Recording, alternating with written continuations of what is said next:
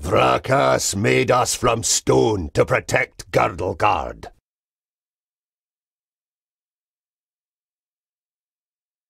Against orcs, ogres, and all the other beasts of Tion.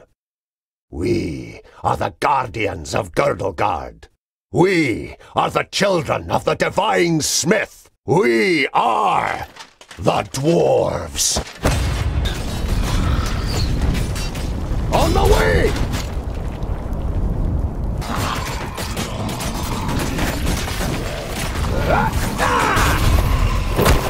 That's that.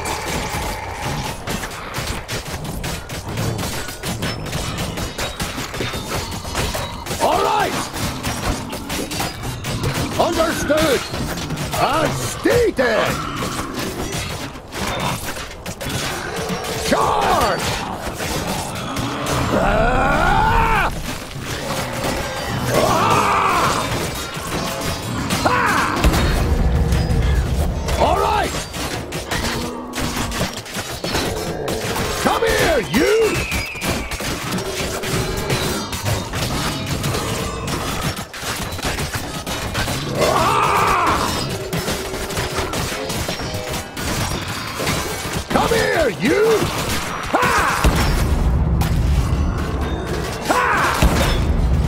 Glandolin! A present from the workshop!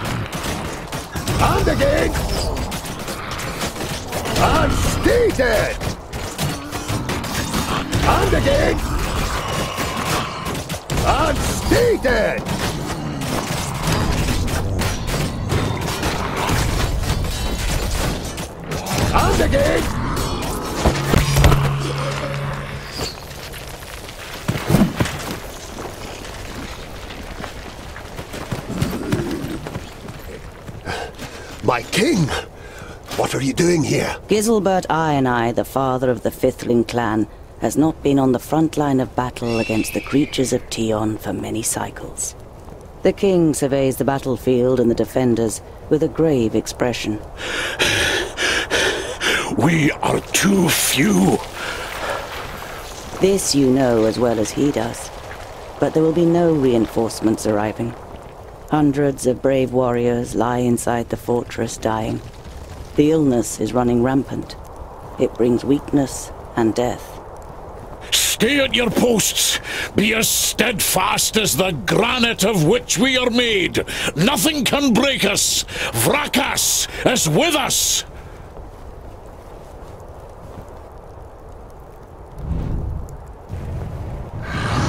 Yes? Charge!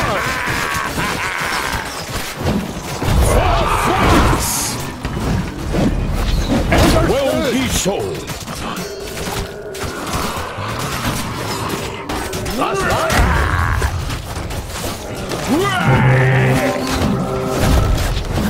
Another one gone.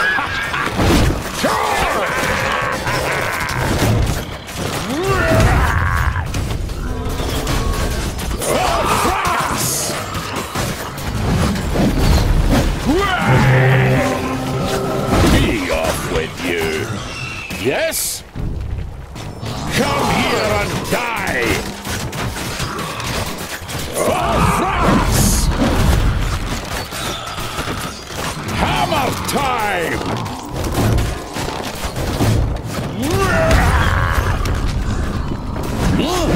Come here and die!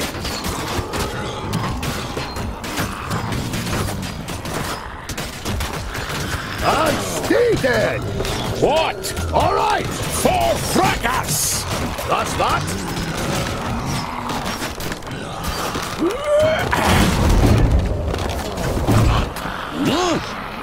Come here! On my way! That's that. Come here! And again! yes? What is it? Ah! Another one gone!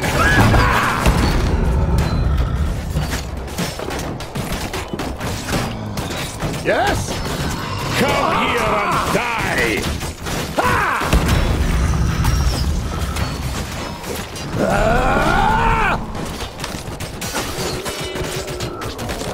Over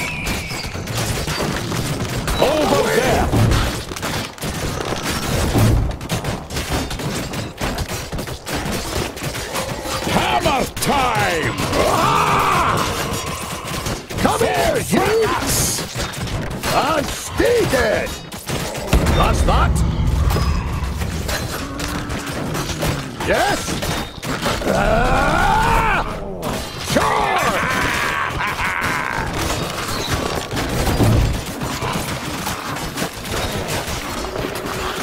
What is it? Be off with you!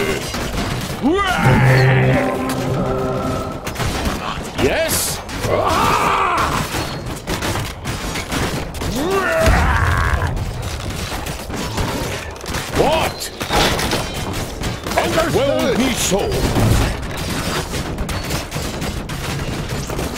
Ah! Ah! What is it?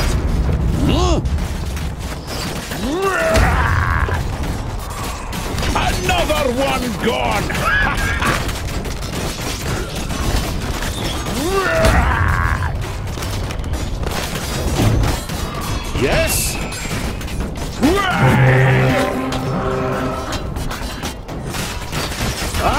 And!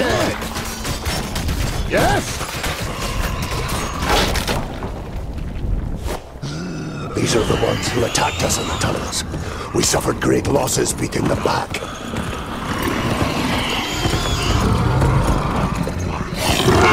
Come here and I'll split you like a straw, you treacherous elf! In his fury, the old king radiates a ferocious power that none of Sitalia's children could withstand. But the slight, willowy being sitting astride the shadow mare just grins down, mockingly. You are mistaken. We are älfar. We are here to destroy the elves. All peace-loving beings here in Girdlegard are under our protection, and you cannot open the gate that has barred your path into Girdlegard since the creation of the world. Not us, but perhaps one of your kind. This cannot be. Silence, you fool! Vraccas, forgive me for what I am about to do. Quickly, in formation! You must hold them back until I close the gate! What is it?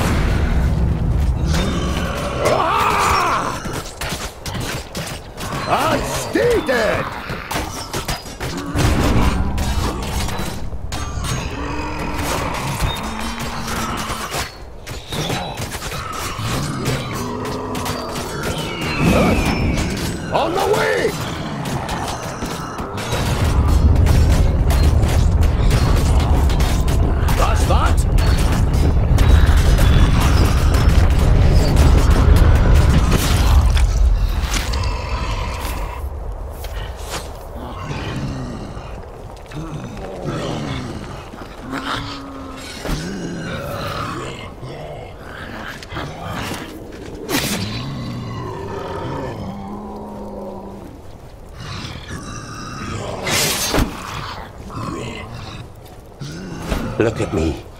I am Sinthoras, the reaper of your death. I will take your life, and the land will take your soul. Get out of my sight, pointy ears, and let me delight at the closed gate a little longer. The gate may have closed, but when you rise again from the dead by the power of the land, you will be one of us, and you will open it. Never! My soul belongs to Vraccas. No. Your soul now belongs to the land, and henceforth you will belong to it forever. Now die, and return. Then hand us Girdlegard.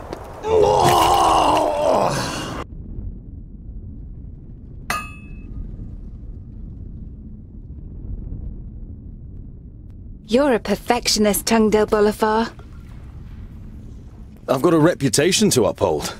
If you can't rely on the metalwork of a dwarf, what can you rely on?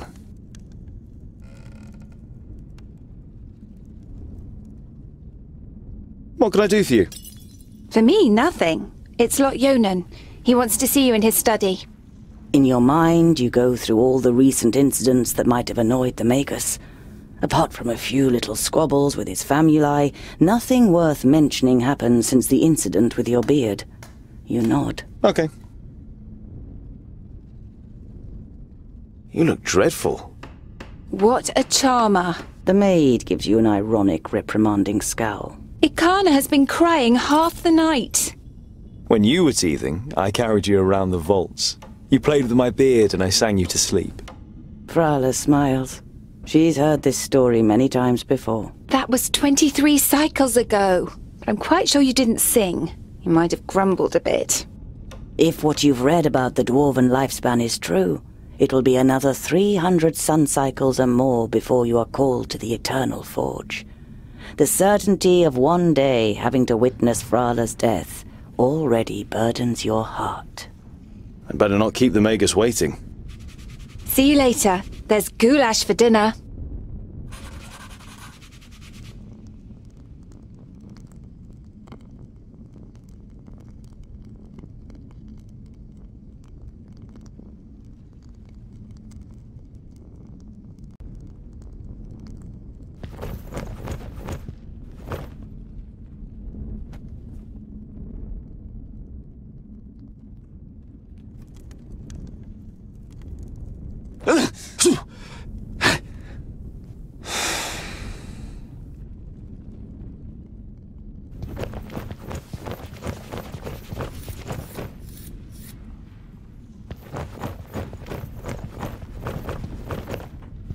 Hey, groundling! Come to the kitchen, we need you. Jolosin, a fourth degree famulus and your favorite foe among the students of magic, gives you a disparaging glance and disappears without waiting for your reply. Tungdil! Quick! Or the goulash will get burnt! You immediately recognize what the problem is. A chain running over a pulley for positioning the cauldron is detached from its mounting and the cauldron stuck in the fireplace. It's a heavy load and none of the famuli, who feel superior even during kitchen duty, dare do anything. They might burn their fingers, or even get a bit dirty. Vegetables, bread, cheese, but the cook is not to be trifled with. Many painful knuckles have taught you that she knows how to handle her heavy wooden spoon, and that she may possibly have eyes in the back of her head.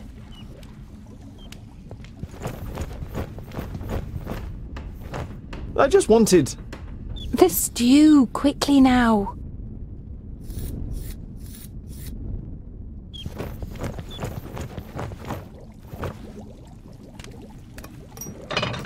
It'd be a waste of goulash. And I'm hungry. Here, hold this.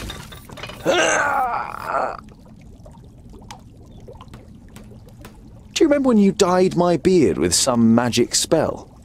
I had to shave it off. You stroke your beard, which is unusually short for a dwarf. Damn it! Ah, it's heavy! The young human forces through his pursed lips, letting the pot sink a little. Don't you dare ruin my goulash, boy! The cook, with beefy forearms, glares at the young man, and after a brief moment, he tries harder. With as much concern in your voice as you can muster, you say, Oh, no, no, this doesn't look good. You're pleased to notice he's dripping with sweat. I'll get you back for this, groundling!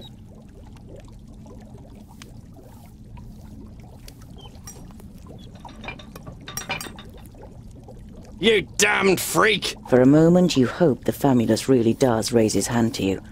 But then he comes to his senses and leaves the kitchen, his face bright red. What a pair you are!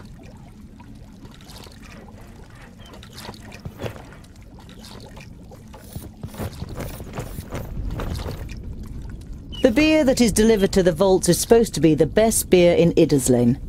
It's certainly your favourite beer, but you haven't drunk enough other beers to truly know.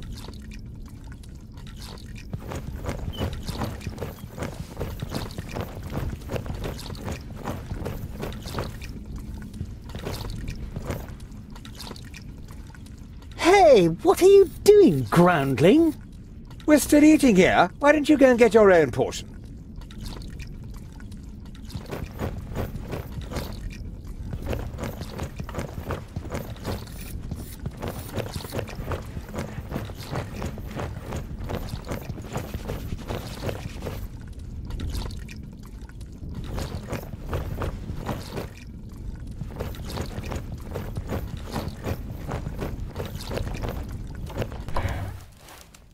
Master Lot-Ionan, Frala told me you wished to speak with me. Ah, Tungdil, come in. Uh, there is a bag over there in the cupboard. Take it out, please. It contains artifacts belonging to my former famulus Goren. I wish to return them to him. He's in Black Saddle, 300 miles away. 300 miles? That's a long journey. Who are you going to entrust with this? I was thinking of you. Me? There is no one better to take on this journey. You have acquired much knowledge. You are almost a scholar. You know more than most famuli about Girdlegard and its inhabitants. It is time for you to go out into the world and see it with your own eyes. I... with pleasure.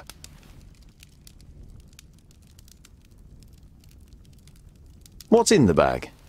Magical devices. Uh, you better leave the bag closed if you want to avoid any accidents. Dwarves don't really like magic, and magic doesn't like you either. Rakus gave us so much craftsmanship that there's no space left in our bodies for magic. Strictly speaking, every time you've been too close to magic, it has ended in catastrophe. Perhaps I'll meet some dwarves on my travels. Yes, perhaps. But don't hold out too much hope. And be careful who you talk to. Not everyone out there likes dwarves. Yeah, goblins. They abduct baby dwarves and sell them to magi, from what I've heard. Not the best bit of business I've ever done. But what was I to do? The long noses threatened to throw you into the nearest river. Be on your guard. Look after the bag and don't lose it. May Palandiell be with you. And Vraccas too, of course. I'll set off immediately. I'll see you soon, Lot-Ionan.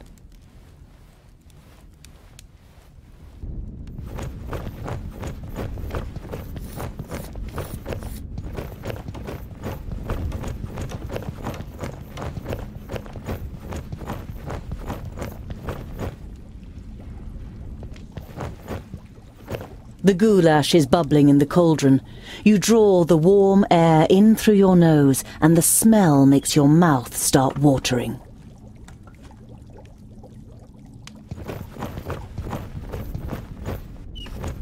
Hello, Frala. Hmm?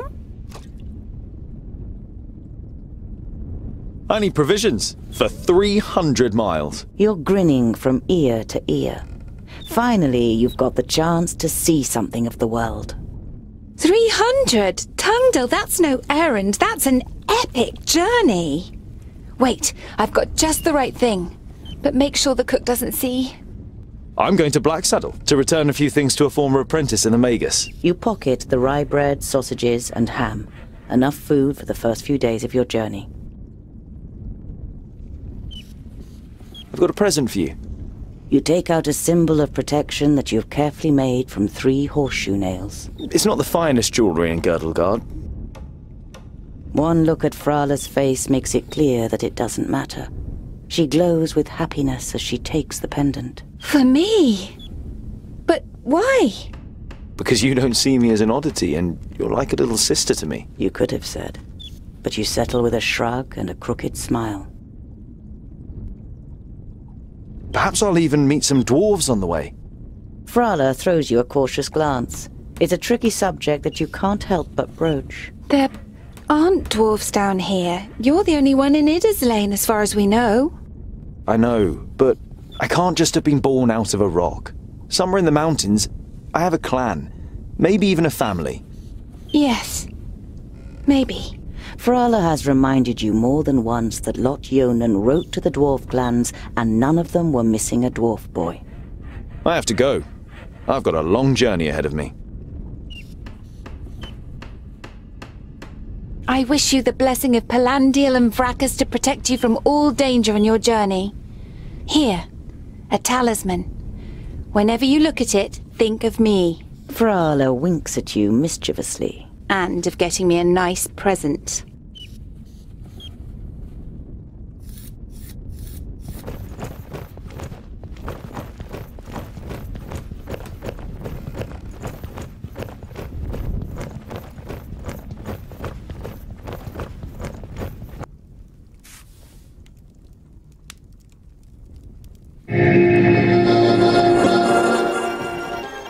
Nice to see you again, Lot-Ionan.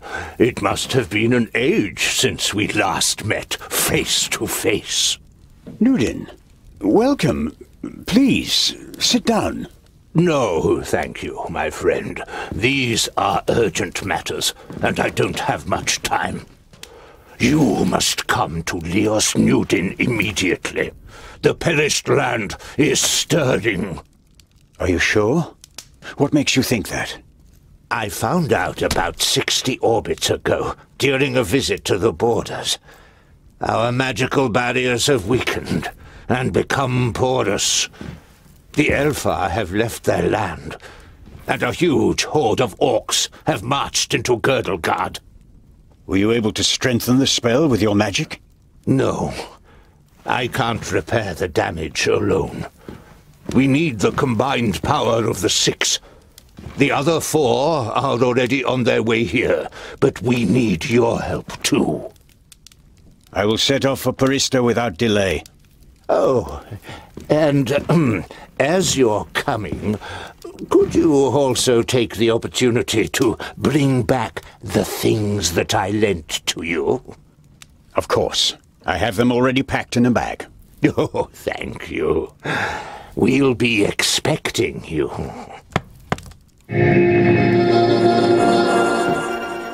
Blinded by the sunlight, you squeeze your eyes tightly shut after only a few steps. The time spent underground has made you so sensitive to light that you're forced to seek shelter in the shade of a mighty oak. You reach a small lake by a birchwood. Your feet hurt and your eyes still sting in the unaccustomed sunlight, but a smile spreads across your face nonetheless. You've covered a decent distance on the first day of your big journey. You pitch your camp and lie down to sleep on the hard forest floor. When you awake in the morning, your legs are stiff and achy. Trying not to feel sorry for yourself, you throw your rucksack over your shoulder. You're a dwarf, and dwarves don't complain.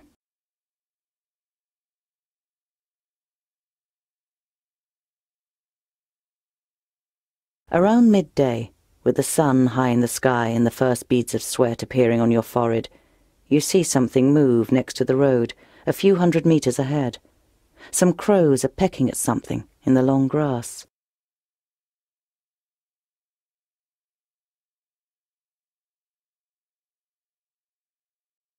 The creaking leather armor, the clattering rucksack, and a dwarf's inability to be quiet makes the crows flap around as you move from one bush to another. You give up trying to be stealthy, stand up straight, and see two human bodies in the flattened grass.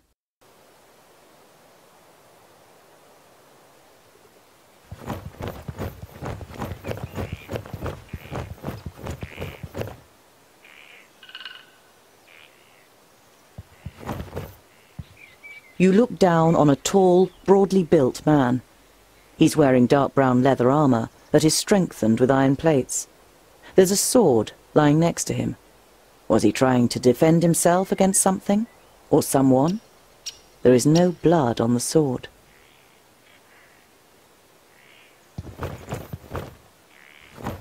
A rucksack that probably belonged to one of the dead. It seems to have been searched and then thrown away carelessly.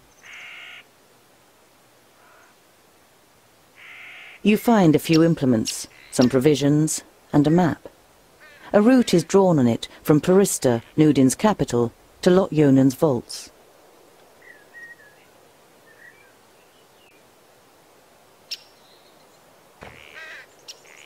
You don't see any signs of a struggle in the area where the corpses are lying. Were they stabbed by a companion? A stranger could hardly have crept up on them with such sparse cover. A slender man lies in front of you, dressed in an expensive robe. It is in the colours of Turgur the Fair-Faced, one of the six magi. The dead man must be one of Turgur's famulae. You don't see any wounds. Does this mean that Turgur the Fair-Faced is in Porista and wanted to send Lot-Ionan a message? And if so, why didn't he use magic? Did he want to contact him without anyone noticing? Why all this secrecy?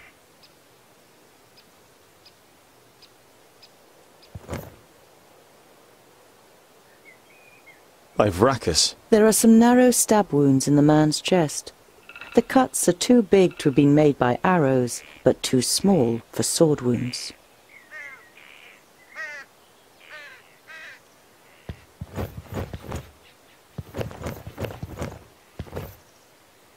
The man has the same incisions.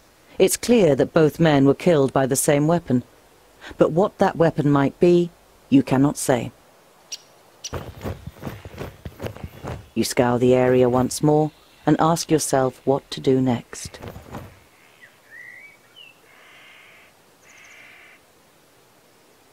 It's time-consuming and strenuous work digging shallow graves in the ground with a stick and covering the corpses with a few stones but it should at least keep the crows from their feasting for a while. You continue on your way so as to put a few more miles between you and your grisly find before night falls.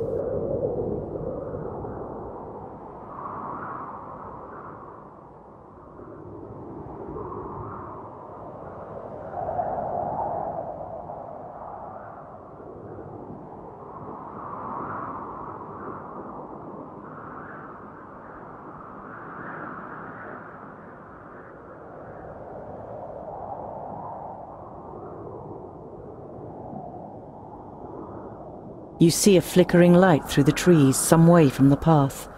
It might come from a campfire.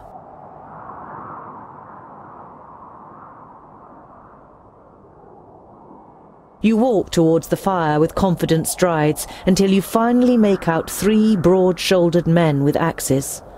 Two rabbits are sizzling over the fire. The men are joking with one another, but you can only understand the odd word. They haven't noticed you yet.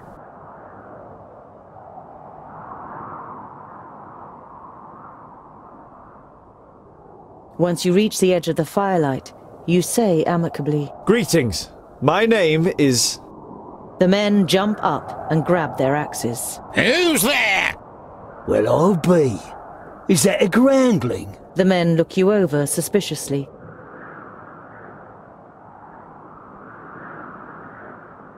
My name is Tungdil. I I'm only a traveller who would have nothing against a warm fire and some company.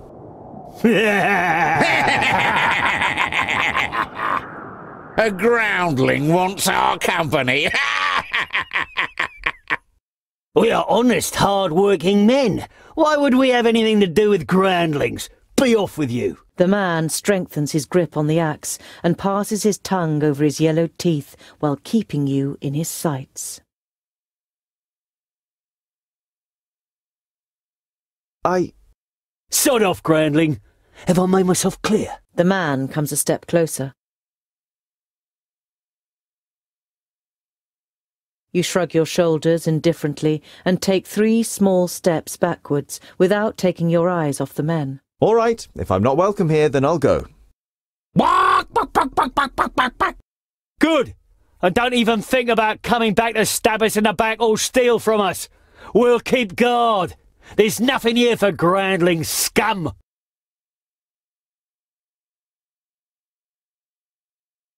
Your heart is pounding, and you confront the man a little more courageously than you feel. I'm no thief, and I'm certainly no murderer. I only wanted to see if. Pah! All groundlings are thieves and good for nothings. You find it difficult to take control of your voice again. Have you met many dwarves?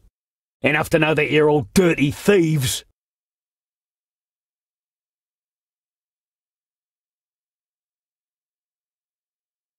Now consider this. I am a dwarf with an axe, and I don't use my axe for cutting down trees. The men are visibly unsettled and lower their axes a little. The next morning, visions of axes, faces full of hate, fists and heavy boots flicker through your befuddled mind. Your first attempt to move fails when pain shoots through every bone, every muscle, and every nerve in your body. It's a long time before you manage to sit up and tend to your wounds in the early sunlight. There's no trace of the woodcutters. They must have thrown you into the undergrowth near the campfire once they were finished with you. You reach the banks of the Warder and can see Axeldale on the other side, but there isn't a bridge for far and wide. The fishermen's boats glide over the water, which sparkles in the sun. None of the men seem to notice you while they throw out their nets.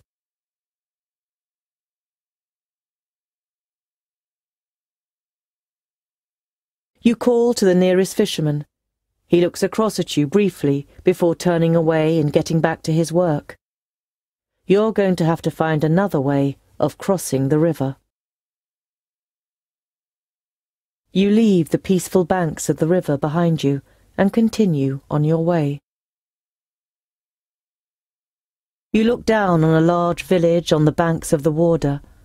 Some of the village is built on stilts in the river. A wooden bridge spans the fast-flowing water a huge wooden palisade has been erected to protect the village from attack. The guards on the palisade are watching you. Their armour looks well cared for and well made. The smith who made them knew what he was doing. You conclude that the men depend on the protection the armour offers and aren't just wearing them to look good. They're certainly not villagers.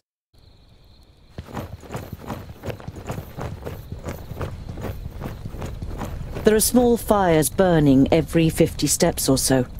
They are intended to light up the area in front of the palisade in the night, so that orcs can't creep up to within an arrow's reach without being seen.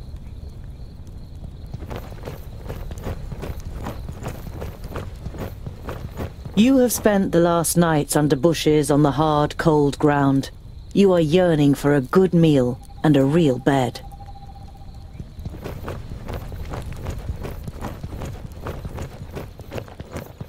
The double gate is made of strong planks, sturdy but still much less solid than the fixed parts of the palisade. Security has been forgone here for practical reasons. Never a good idea when building fortifications. Orc skulls? You're not sure it's wise to taunt the beasts with the severed heads of their fellow kind.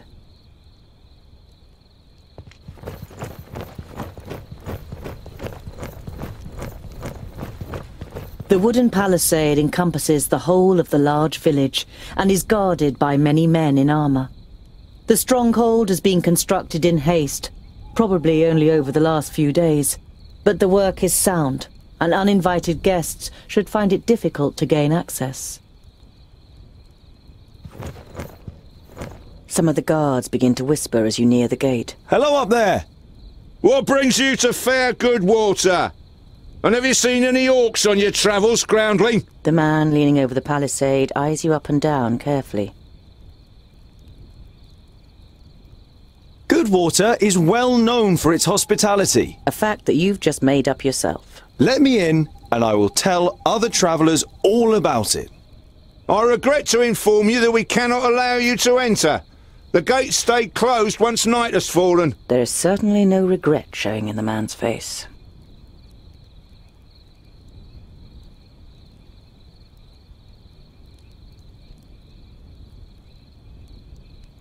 I've got 20 pieces of gold here looking for a taker in the village. Ah! One of your folk might leave his post for 20 pieces of gold, but I say, clear off, groundling! The gates stay closed until tomorrow morning! But. Oh. You think about waiting by the fire until the morning. At least you wouldn't have to go cold. You hardly slept a wink during the night, jumping at the slightest sound. At least I wasn't cold.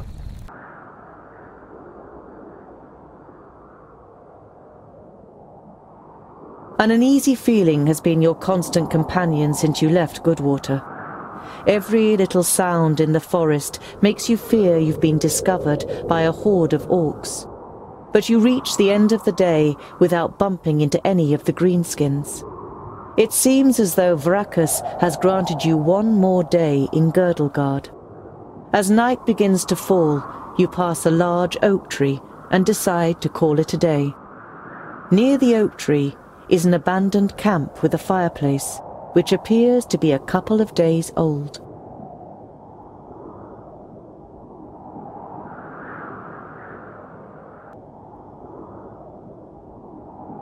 You swing yourself up the trunk and then pull up your baggage after you. You're prepared to sleep in a tree like a bird if it means escaping the orc's attentions. You sling your rope twice around your stomach and the trunk of the tree to stop you from falling accidentally. You close your eyes and dream. You see North Pass and smell the fresh, icy wind that sweeps over the peaks of Great Blade and Dragon's Tongue. But the harmony is interrupted by the hideous roar of an unending flood of orcs throwing itself unceasingly against the fortification. You smell the disgusting green blood of the orcs and taste the rancid fat of their armor on your tongue. The bitter taste becomes stronger until it's unbearable and wrenches you out of your dream. You open your eyes and are surprised at the brightness as a glance at the sky confirms that it's still night. Your eyes move towards the ground, and what you see makes the blood in your veins freeze.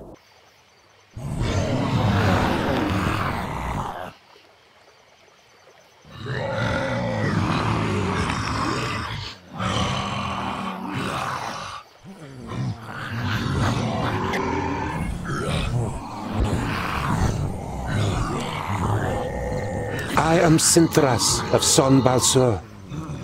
My master, Nôd'onn the Doublefold, ruler of the perished land, has elected you, the lords of Toboribor, to be the sword that conquers the south. You mean you want us to put our necks on the line and be killed by some magus? Lot-Ionan and the others will be taken care of. Your task is to create a diversion in the south until my master's plan succeeds. And which of us is the leader? The one that conquers the most land. So Kragnar will be the new Grand Lord. He glares at Ushnots and Bashkug. The Kragnar Shore tribe will conquer the most land. Never! We will overwhelm the cities of the Red Bloods quicker than you can set the marrow from a bone! We shall see. You can't believe what you're hearing. If the beasts of Tion ride into battle together, catastrophic cycles lie ahead for Girdlegard.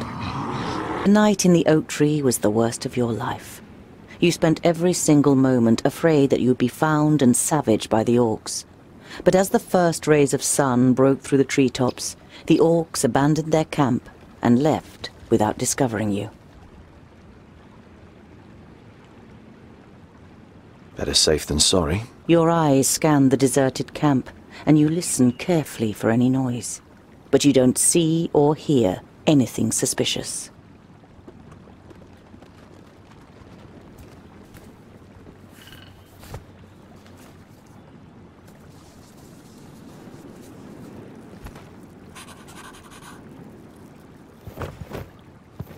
Ugh. You're overcome by the urge to vomit. You have, of course, heard the stories, but seeing with your own eyes that orcs actually do eat humans is a long way from just reading about it. This is the place. I knew it was here. Come on then, find that stupid necklace. Hey, Fuskar! In front of you! A grounding! Perfect for a spotted breakfast.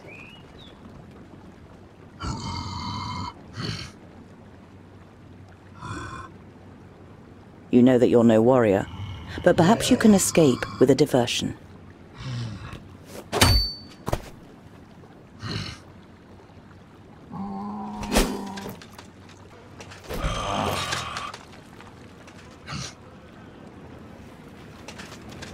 Oink, oink, little piggies!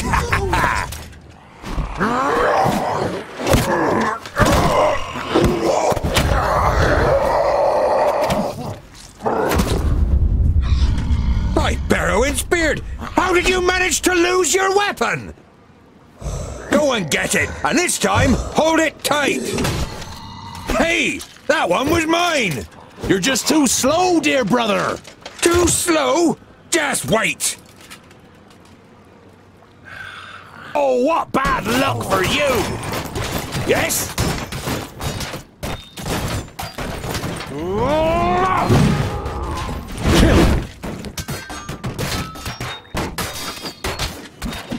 Didn't hit you very hard! Ha ha! What is it? Huh? Yeah! Huh? Yes? Who's next? Huh? And what now? Ha ha! What is it? Another Yes, that bites the dust. Huh? Yes? And again. Oh, he didn't hit you very hard. Uh-huh. Killed. Yes? He hardly put up a fight. Come here, you. Who's next? Huh?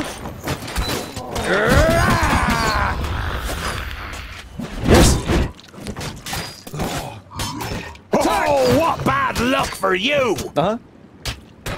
Pow! Another one bites the On my way. dust. As good as done. On my way. Yes? I didn't hit you very hard. Come here, what you. bad luck for you. Huh? Huh? What is it? Understood. Of course.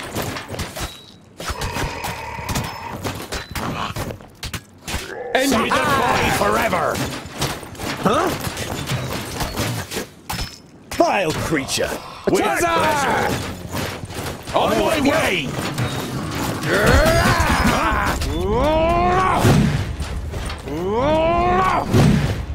With pleasure. Huh? As Yes, good as done. Hit you very hard. With ah. pleasure.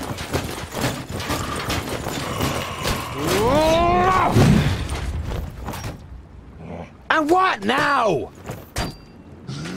He hardly put up a fight. Huh? On, oh, my way. As Yes, good yes. as done. On my way.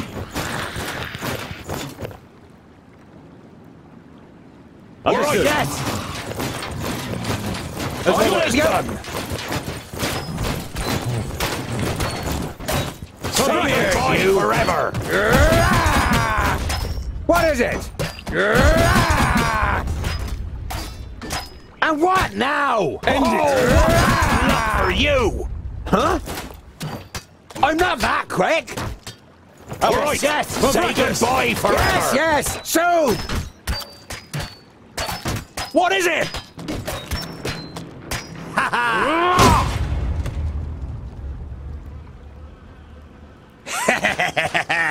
oink oink!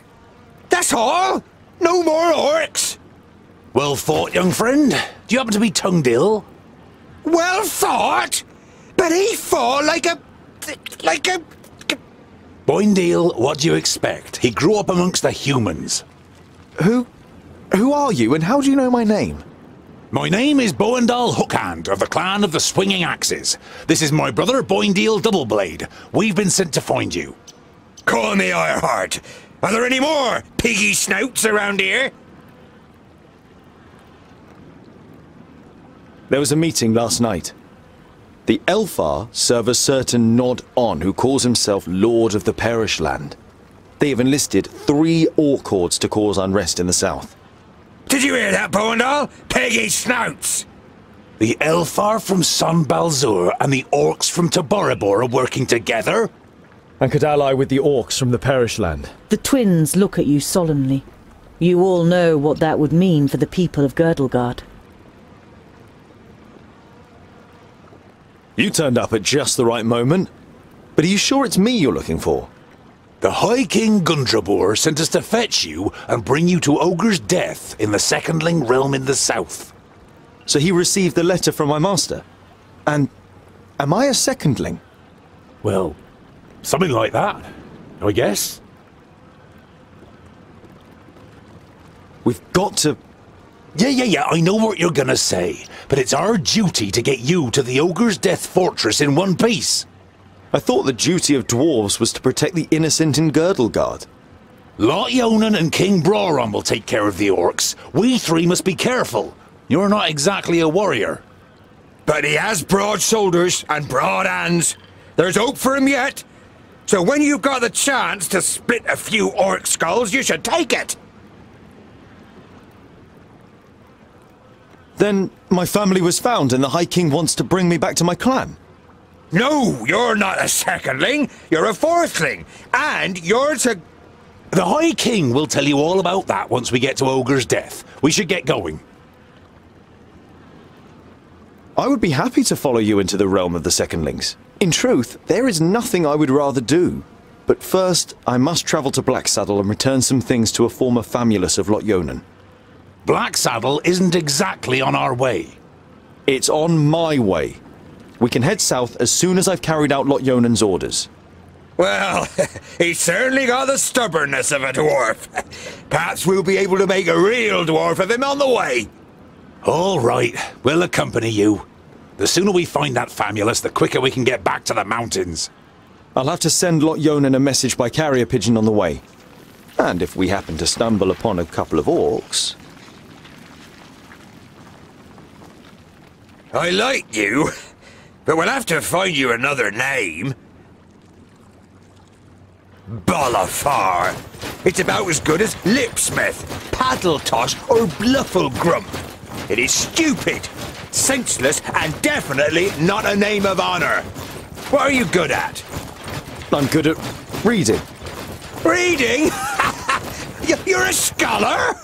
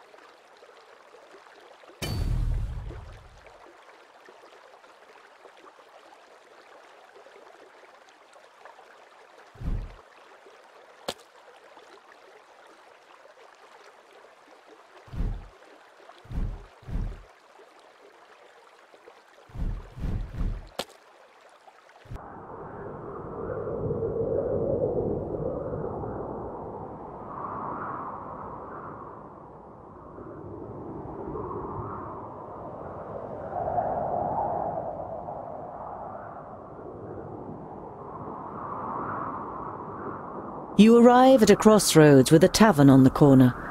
A warm light is emanating from its window, lighting up the road around it. A stone sculpture of a sheep stands in front of the door, and above it a sign, swaying gently in the breeze, reads, The Stone Sheep.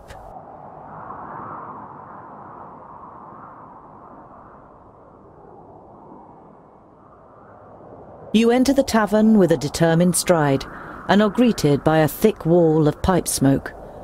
The dozen or so drinkers at the tables turn towards you, then give each other astonished and slightly worried looks.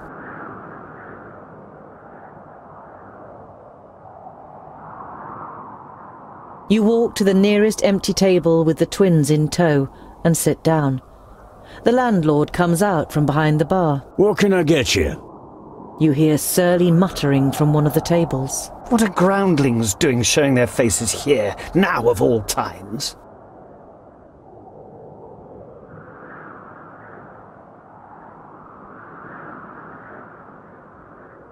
You stand up and turn to the room. This round's on me. The faces of the guests and the landlord brighten up immediately. The landlord gets to work pulling everyone a beer and handing out the tankards. Some of the guests say cheers to you as they get their drinks.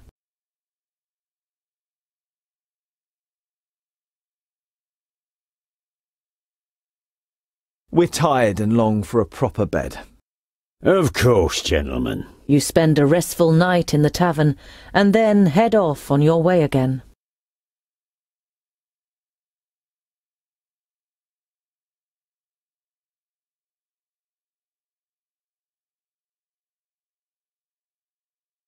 There are dead orcs lying in the defensive trenches and strewn over the meadows in front of the city.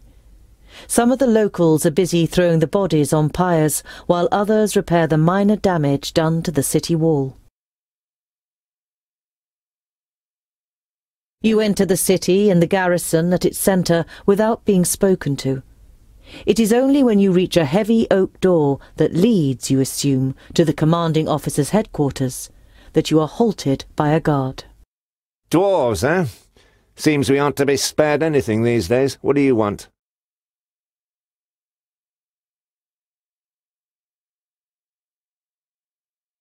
I must speak with your commander. Commander Valor doesn't have time. He's still very busy dealing with the aftermath of the orc attack. I must speak to the commander. It won't take long. The guard's face darkens. Even a minute is too long when the commander is dealing with the orc problem. Commander Valor is dealing with the orc problem, and I have important information concerning it. I witnessed a meeting of the orc lords. The guard eyes you with interest and tries to judge whether you can be trusted. Finally, he stands up, opens a door, and enters the room ahead of you. The commander looks up from his work. The guard repeats what you told him. Your information about the orcs could be useful. We have fought them back but not yet defeated them. Come in. The commander listens attentively, and now and then asks questions, as you tell him about the three orc armies and the meeting of the chieftains with the älf Sinthoras. This sounds very grave. I will send out messengers. We must be prepared.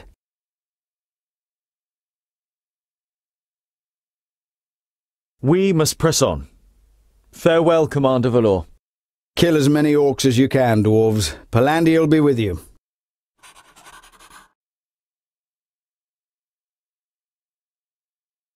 You see a camp with a wagon and two people on the edge of the path. Behind them, Black Saddle towers up above a thick, dark forest, about a half a day's journey away.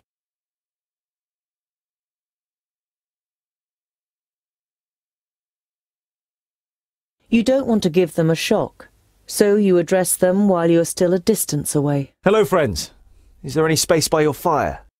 The two traders look up and visibly jump when they see you three dwarves. Ah, hello! Aha, yes, of course. It doesn't escape your attention that you seem to be causing the traders some uneasiness, but you take up their offer and sit down. The twins follow your example. We're only travellers. We're looking for someone who's said to live on Black Saddle. A hermit. Someone who lives here? The traders exchange amazed looks. If they live here, they must be mad. Normally we wouldn't stop and rest here, but the horses are too exhausted. Our departure from Porista was delayed, and we must have driven them too hard. You come from Porista? How are things there? No news to speak of, I'd say. Well, except for Nudin the Knowledge Lusty. You know Nudin the Knowledge Lusty. Lot-Ionan introduced him to you many years ago during a visit. What about him? Oh, nothing really. Just rumours. You nod at the trader to continue. He's behaving strangely and disappears into his tower for days on end. Merely looks ill, apparently. That's what someone I know said. Perhaps he got a spell wrong.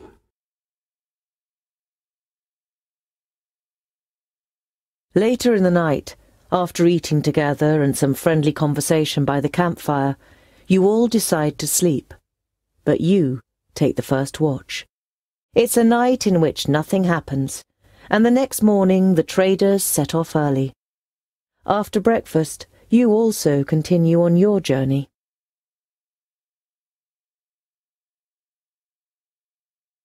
After a march through the thick pine forest, Black Saddle, the sinister tabletop mountain, and your journey's destination rises up before you.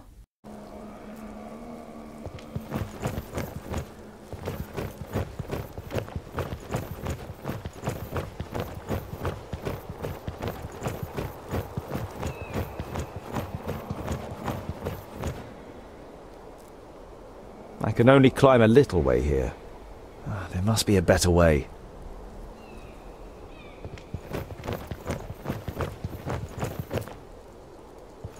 An old tree. Looks like it could fall down at any moment.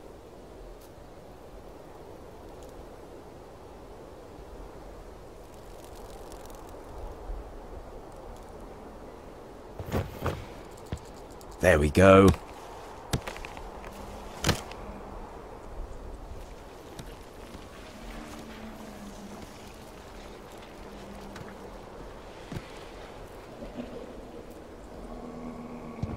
Too steep. I can't get a grip anywhere.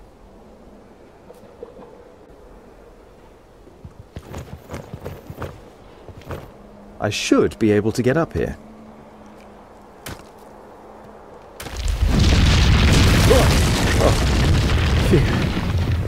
That was close.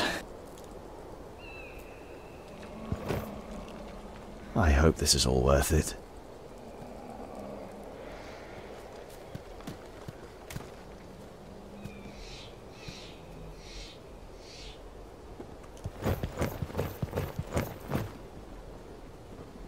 Definitely a rock face.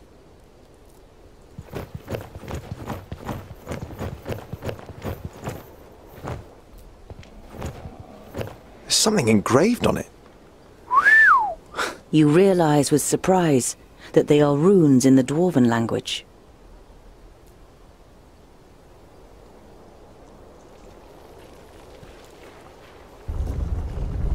Huh? Um, hello?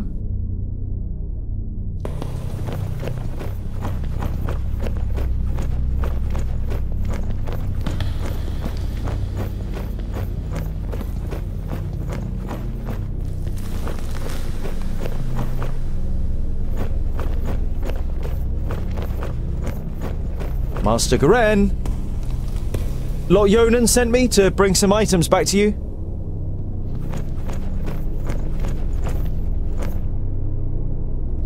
Inquiries are almost at an end.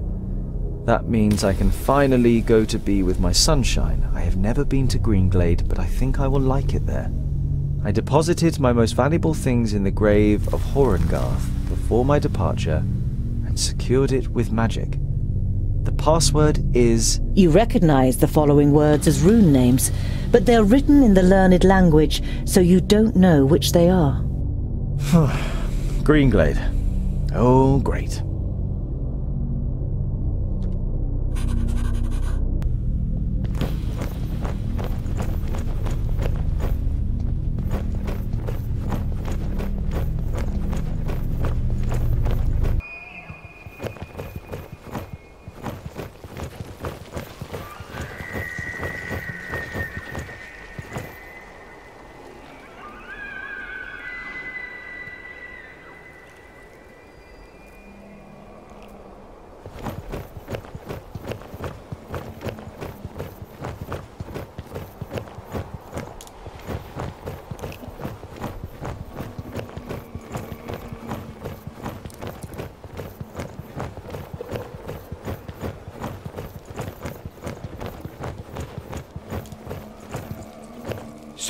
Scholar, what are the results of your inquiries? There is an abandoned fortress in the mountain, and I think it belonged to the Thirdlings. Boïndil's eyes narrow. The blasted dwarf killers! A Thirdling fortress? Here? In the middle of Girdlegard? We must let High King Gundrabur know about this. The fortress has been long abandoned by the looks of it. Anyway, I can't go to Ogre's death until I have completed my quest. Gorén is in Greenglade. Huh. The High King. Why do you want to bring me to him? All right then. It's about the choice of the new High King. Gandagar, the King of the Fourthlings, is with his entourage in Ogre's death and is supposed to ascend the throne. But our acting High King Gundrabur wants to prevent that from happening. He fears that Gandagar wishes to instigate a war against the elves. But what have I got to do with that? Boïndil is about to say something, but is silenced by a nudge in the side from his brother. High King Gundrabur will explain everything when the time comes. You look distrustfully from one twin to the other. Boindill has donned an innocent expression, and Boendal doesn't give you the impression that he has anything else to say on the matter.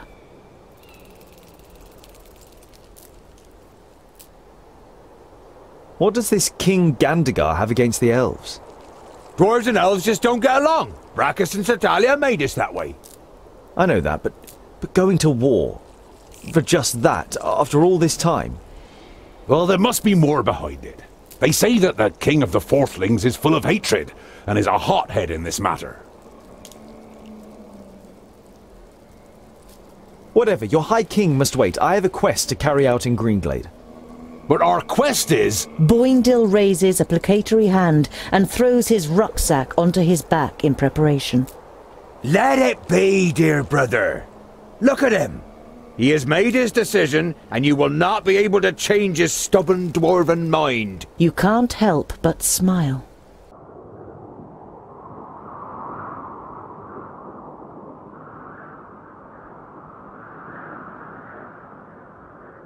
While taking a rest, you see a car trundling along the road not far away from you. A young couple are sitting on the box seat, clearly in love and more interested in each other than the rest of the world around them. The sight reminds you of a long unanswered question. So, I was uh, wondering, what do female dwarfs look like? Uh, pretty. Very pretty.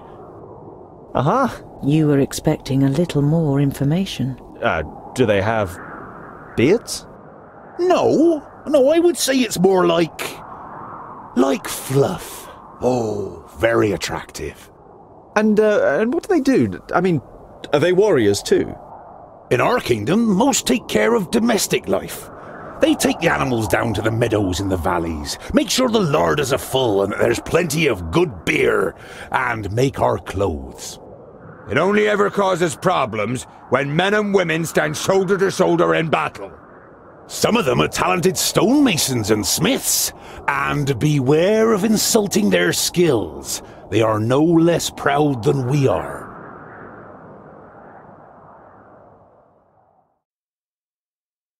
By the evening campfire, Boïndil rummages around in his rucksack and pulls out a cheese wrapped in a cloth. He sticks a fist-sized piece on a spit and grills it on the fire. Ah, there's nothing better than grilled cheese at the end of a long day. The smell it gives off makes you hold your breath. Oh, oh, it smells like my socks after weeks of marching in my boots. Oh, picky, are you? Hardly surprising considering you were brought up by humans. It's ruined your taste. Boïndil holds the stinky cheese at the end of the stick under your nose. Eat! And stop complaining. You pull the warm piece of cheese from the stick. It tastes dreadful. Your fingers will smell of it for the next few days, and probably your mouth will too.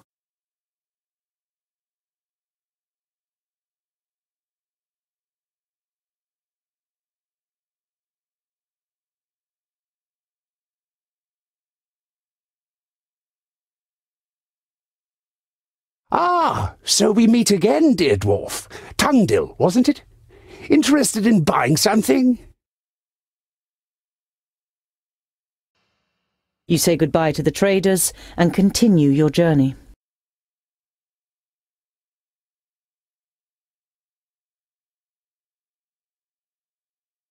The closer you get to Porista, the livelier the streets become. Many of the large buildings in the city are even taller than the high city wall. But one building towers above them all, the palace.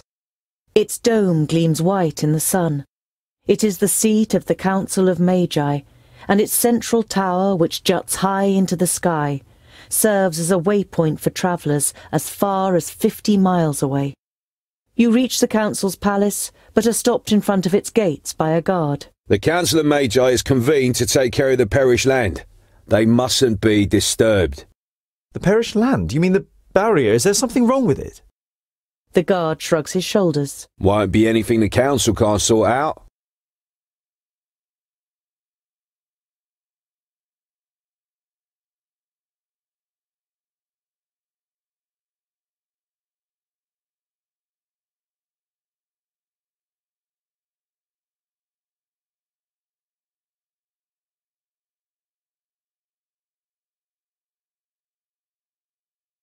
You approach the village and can tell even from far off that something isn't right.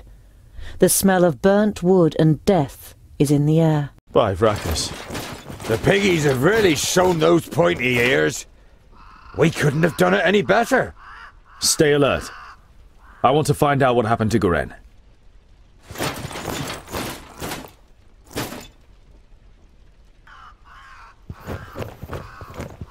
Hoof prints! Burned into the ground!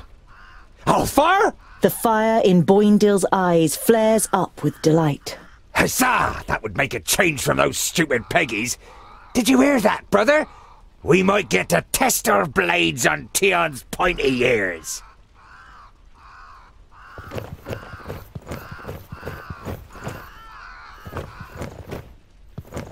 The elf maiden's graceful snow-white face still radiates beauty, in terrible contrast to the rest of her appearance. From the neck down, she is nothing more than a blood-red, damp and glistening skeleton. There are long nails sticking through her thin bones, and where her beautiful eyes once were are now gaping black holes. In your imagination, you see the älfar shadow mare standing around the Lady of Greenglade, devouring her, while she, nailed to the tree, squirms and screams in pain. You quickly put your hand over your mouth.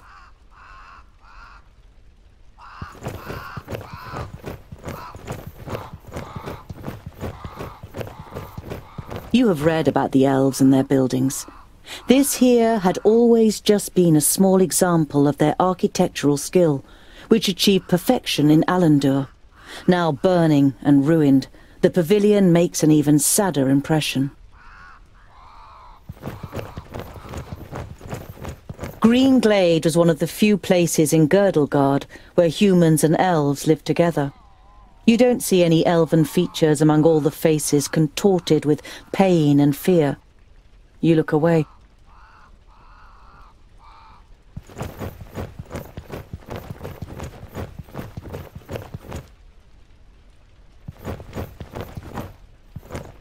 The body of the man is riddled with arrows and is lying in a small patch of undamaged ground while a sea of flames must have raged in a circle around him. The robes remind you of those of Lot-Ionan's famuli. This, plus the fact that the man used magic, makes you quite sure that this is Gorén. Gorén had these books on him when he was attacked. Was he trying to bring them to safety? Your eyes fall upon a sealed letter next to the books. The circumstances seem grave enough for you to break the seal. Greetings, Turga. I am glad to hear that you finally wish to confide in Lot-Ionan. I have found out something new about the demon. It's all written in these books. I think they are the key to his destruction, or I hope so, at least. Yours faithfully, Gorén. What demon are they talking about? You instinctively think about how the magical barrier is only a few days' march north of here, and beyond it, Vraccas only knows what kind of creatures live in the Perish Land. I knew I smelled the stench of groundlings. Huzzah! This will be fun! We finally get to fight! I hope your blood doesn't clot too much. It has to be nice and fluid for my fine brushstrokes. Ha! How do you plan to defeat us, pointy ears? There are three of us! Oh, only three. That makes it easier. She looks over the corpses. Othar and Lueth Buanre! Oh, oh, oh, what's happening? That's the perished land. Impossible. Gr- Greenglade is south of the barrier. I know of nothing else that can resurrect the dead. Knock their heads off or they'll keep coming back.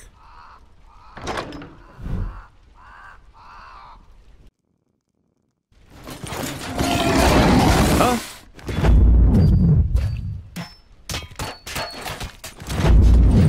Yes? Don't rush me! Huh? Yes?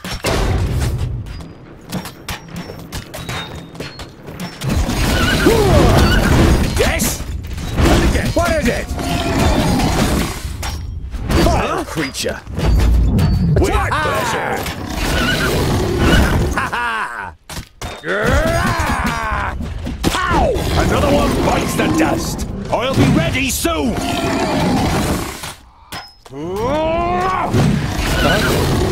I didn't hit you very hard. Too easy. Huh? Yes?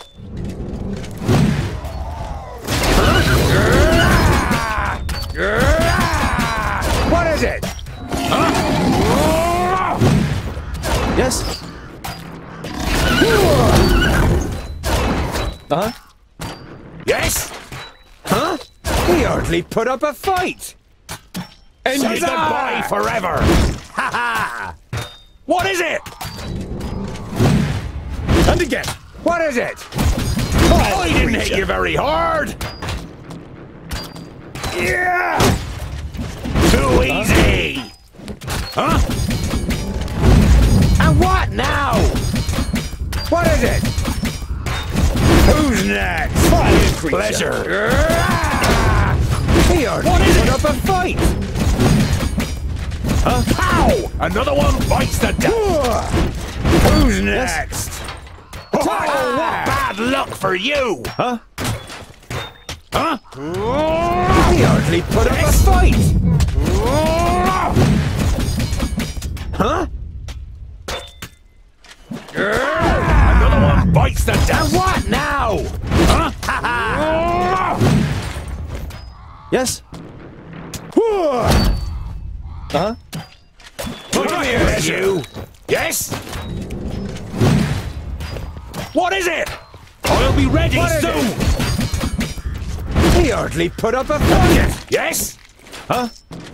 Too easy! Yes? Oh, bad luck for you! Come here, you! Huh? Yes? All right.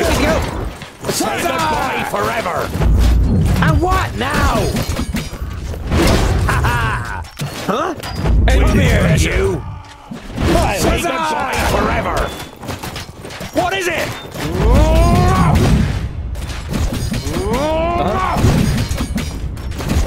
Yeah! Huh? Oh, bad luck for you!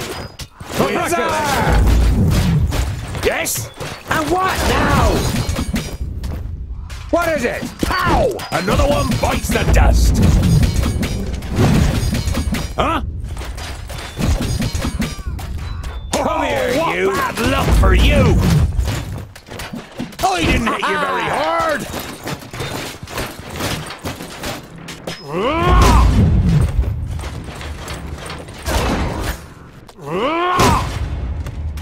Say goodbye forever! What is it? On my yes. way! Huh? He hardly put up a fight!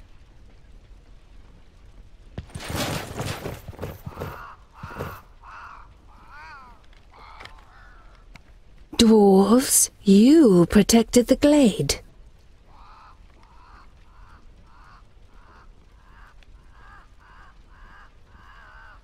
The perished land, the barrier has fallen. You can feel your stomach cramping. Unlike Boindale, you can't say a word. The damn mage I only had one job!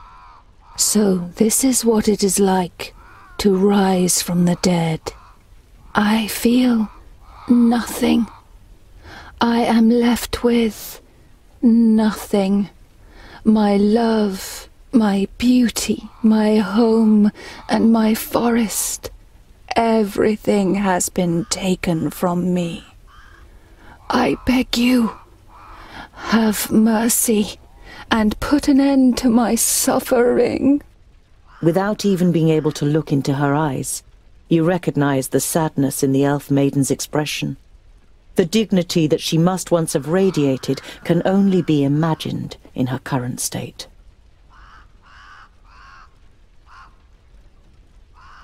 Gorén was here, and I've heard that you elves have special abilities in battle. Did the älfar take you by surprise in your sleep? I felt her presence, but when I confronted the elf, she had already killed the first of us and resurrected the perished land. It fills humans and dwarves with a hatred for life. It turns you into beasts.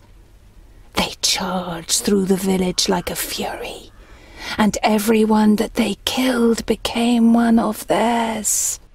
If the perished land spreads further south, then Nôd'onn won't need any orcs, ogres, or älfar. One human losing their life in the perished land oh, would be enough for the madness to sweep through the land like the plague.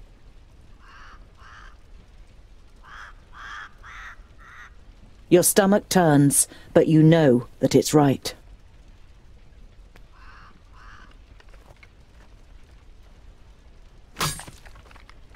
You've never seen the twins looking so serious.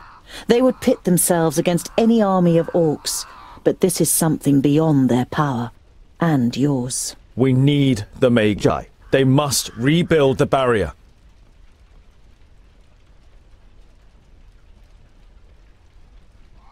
Can't believe it. The barrier has fallen. How, how could that happen? Who could tell? Anything could go wrong with all that hocus pocus. It had held back the perished land since the fall of the Fifthlings. Reinforcing the barrier whenever it loses power is the primary duty of the Great Magi. I can't imagine how Nôd'onn or anyone else could have broken through it. You think of the demons mentioned in Gorén's letter. You wonder whether it could be possible that a demon from the outer lands might possess powers so great that even the six magi weren't ready for it. We must go to Lot before the perished land spreads further. He will know what is to be done. Neither of your companions objects.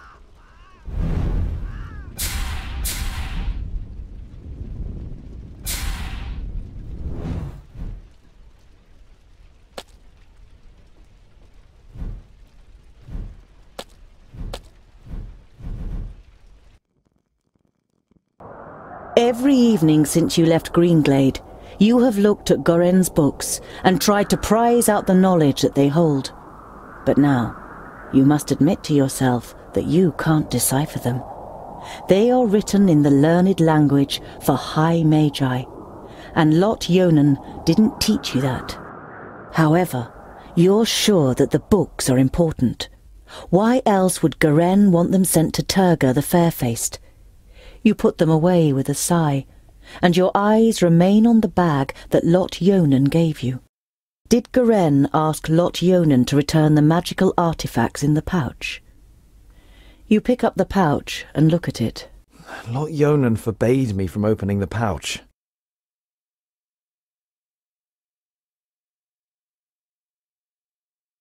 Lot Ionan trusted you with the pouch. You don't want to betray that trust. You look at it for a moment longer, but then you close the rucksack and pack it away. But your curiosity is not so easily contained and keeps you awake in the night.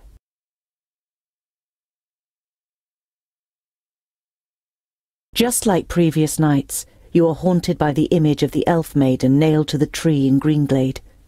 You wake from your sleep and look around you. The night is unusually dark. Despite your good dwarven eyes, you can only make out Boendal's outline, even though he's keeping watch only a few steps away. You're about to lie down again, but suddenly feel something cold against your throat. Next to you, the pale face of an elf slides into view. Good evening. I'm afraid we missed each other in Greenglade, so my companion had to receive you on her own. A colourful trader's wagon drawn by two stocky horses is coming towards you. A small man is sitting on the box seat, and as soon as he sees you, the wagon slows down. As it draws to a stop next to you, you realise that the driver isn't human. He's a dwarf. Greetings, my friends. All too rarely does one meet wayfaring dwarves around here. You can call me Mort. Greetings, Mort. I am Tungdil. This is Boïndil and Boendal. You are happy to meet another dwarf, and such a friendly and eloquent one at that. Wayfaring dwarves may not be common, but a travelling dwarf trader? Now that really is weird. Then you see what great luck it is that we've met like this. Come, have a look at my wares. I'm sure you'll find something to make a dwarf's life a little sweeter. I'll make you a good price. Mort, I hope you don't mind me asking, but which kingdom are you from? The dwarf's clothes seem more like those of humans, and he isn't bearing any coat of arms. My kingdom? Is that important? I'm my own kingdom. I go where I please and enjoy the fresh air and the sun on me skin. At your side, Boïndil is tensing his muscles, and you think you see from the corner of your eye his hands moving a little nearer to the handle of his axes. Is your kingdom important? You two must be secondlings, right? I can tell by your armour. But you... He looks you over for a while. You're not a secondling, are you? As you yourself don't know for sure which kingdom you belong to, you give no answer and just shrug your shoulders. Mort throws you a knowing glance and nods slowly. Where are you heading? To Clintel, a small village where I can expect to do very little business. But the people there are nice and kind. I've known some of them since they were smaller than me. Isn't it astounding how much they manage to achieve in such short lives? After glancing at Boïndil's grave expression, Mort continues unfazed. I can say in all certainty that there's not the same ambition to make a difference and change things in our halls. That is because there is no reason to change things if you do them right first time.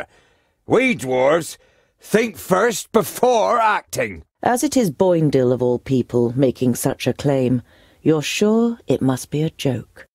But your friend continues to eye the trader with a serious and distrustful look.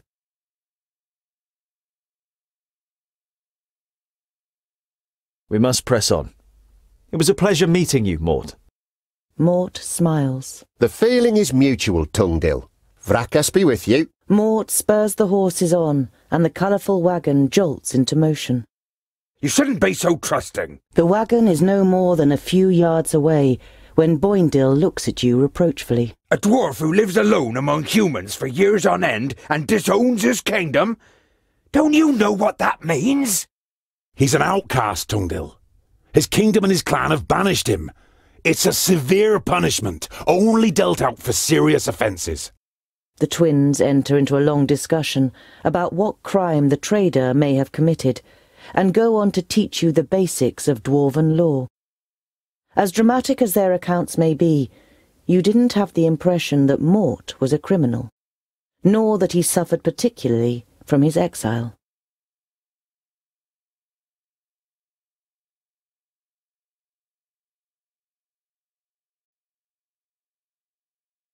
Boïndil unwraps his dwarf cheese again and cooks it on the fire.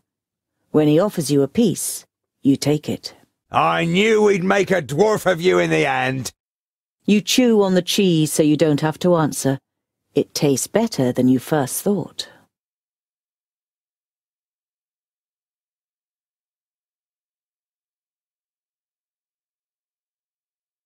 You arrive at a small, bustling village. One thing is clearly missing from the lively scene the sound of metal on metal from the village smithy that would normally be heard above everything else at this time of day. A dour, grim-looking man is sitting in front of the forge with his right arm in a sling. His expression brightens as he sees you, and he jumps to his feet. Dear dwarves, could I interest you in helping me in my workshop for a day? The man's expression is somewhere between desperation and hope. As you don't answer immediately, he continues. You will, of course, be royally rewarded for your work. I can offer you 100 gold pieces. What happened to your arm? A stupid accident. A box of blanks fell down. I was trying to catch it. It will heal, fortunately, but I won't be able to wield my hammer for a while. You must have quite a backlog of work. You nod sympathetically. You always felt bad if you were ill or couldn't work in the forge for some reason or other. Loads. But if what I hear about the metalworking skills of the dwarves is true, it will be easy for you to manage it in a day. I'll help you. I worked in a forge for a while. You modestly conceal that in this case, a while means almost a whole human lifetime. A little later, you are standing in the workshop, examining the smith's inferior tools, while he fires up the forge and prepares everything for the job as well as he can with just one good arm. You weren't able to persuade the twins to help you. As warriors, they'd rather go hunting, Boïndil declared. But you think it's more probable that you'll find them drinking beer. But you don't care. You're excited about being able to smith again after such a long time. Hours later, you have forgotten everything around you. The heat of the forge, the sweat on your warm skin, the play of the flames. You're in your element, and work as if in a trance. The smith left the workshop ages ago, with a satisfied grin on his face. Oi, I'm talking to you. You look up in surprise. Everything but the beating of the hammer had ceased to exist, and you didn't notice that someone has come in. Can you do it? You immediately dislike the middle-aged man. He sounds you out so doggedly with his light grey eyes that it feels as though he wants to look right through you and into your deepest thoughts. The man points to two horses. Those two, in one hour.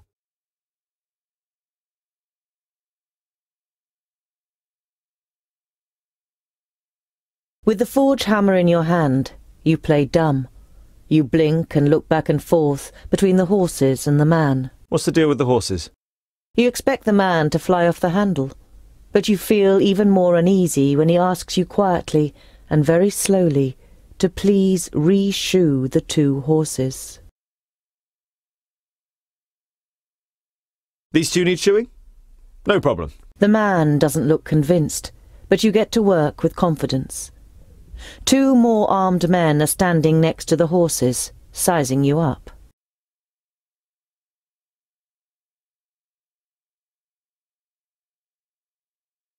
So, you're mercenaries, I take it. You're only trying to engage in conversation, but the man looks at you incredulously, as if he didn't expect dwarves to be able to talk. Something like that. Got lots of work? Oh, do you know anything about the armies of orcs from the south? We can't complain. The man's tone makes it clear that the conversation has ended here. You carry out the work in silence. As the leader of the mercenaries pays you, you have the feeling that he is trying to transfix you with his eyes. The men leave the workshop without a word.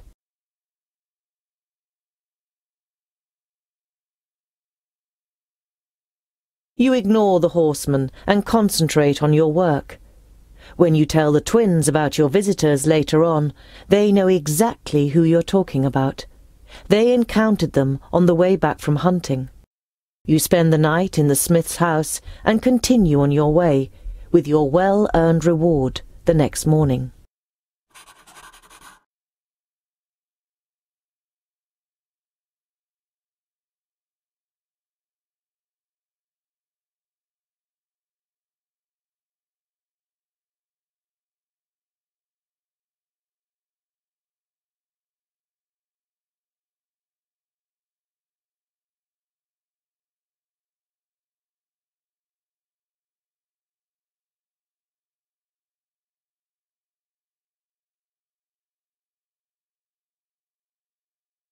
Once you reach the top of the hill above Goodwater, you can see what is left of the village.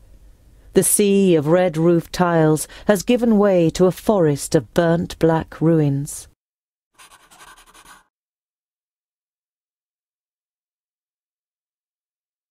You see a light through the trees some way from the path. It inevitably brings to mind your encounter with the woodcutters.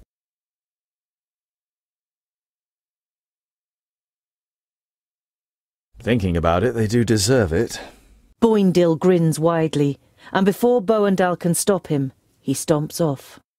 You lie awake in your camp and think about the woodcutter's roast that you had for dinner. The rabbit was the best thing you've eaten in a long time. It tasted of victory.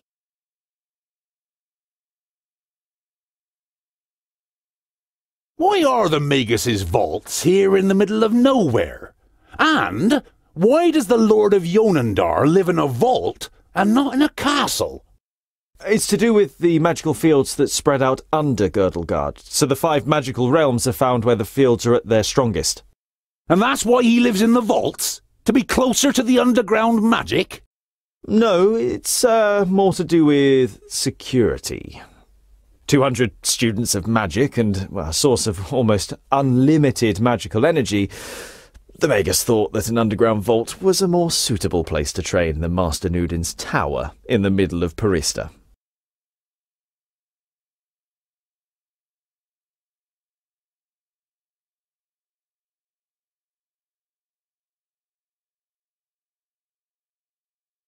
I don't like it here.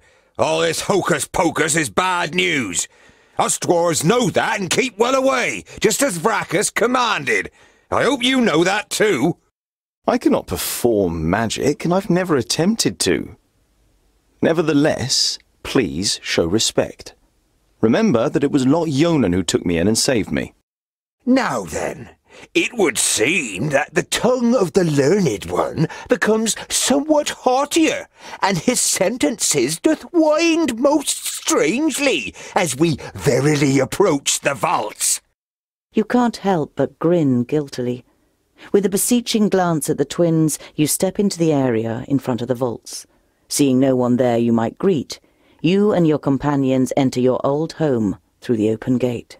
Who the hell built this tunnel? Boëndal examines the crumbling roof with a mixture of disbelief and indignation.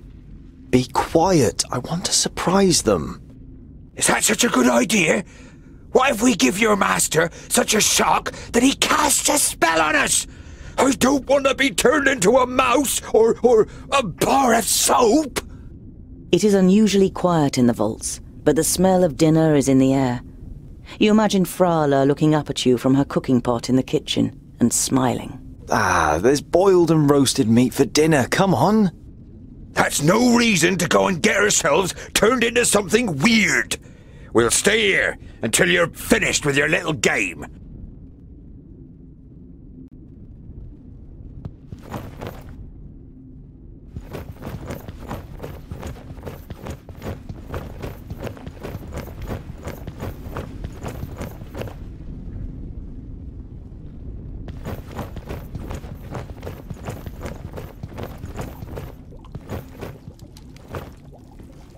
Lumps of meat rise up and appear on the brown, bubbling surface of the soup before sinking back down out of sight.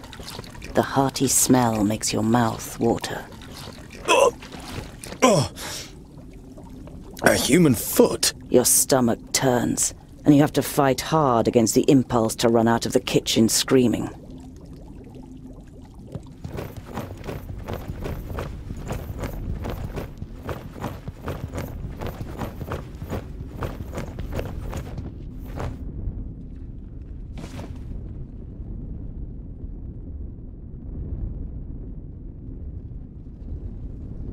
What happened here? Speak!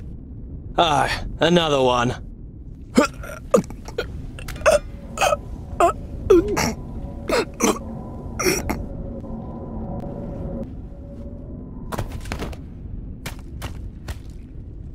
Don't even think of using magic, or I'll lodge this pretty piece of steel in your brain. It takes the Famulus a few seconds to comprehend the situation he suddenly found himself in.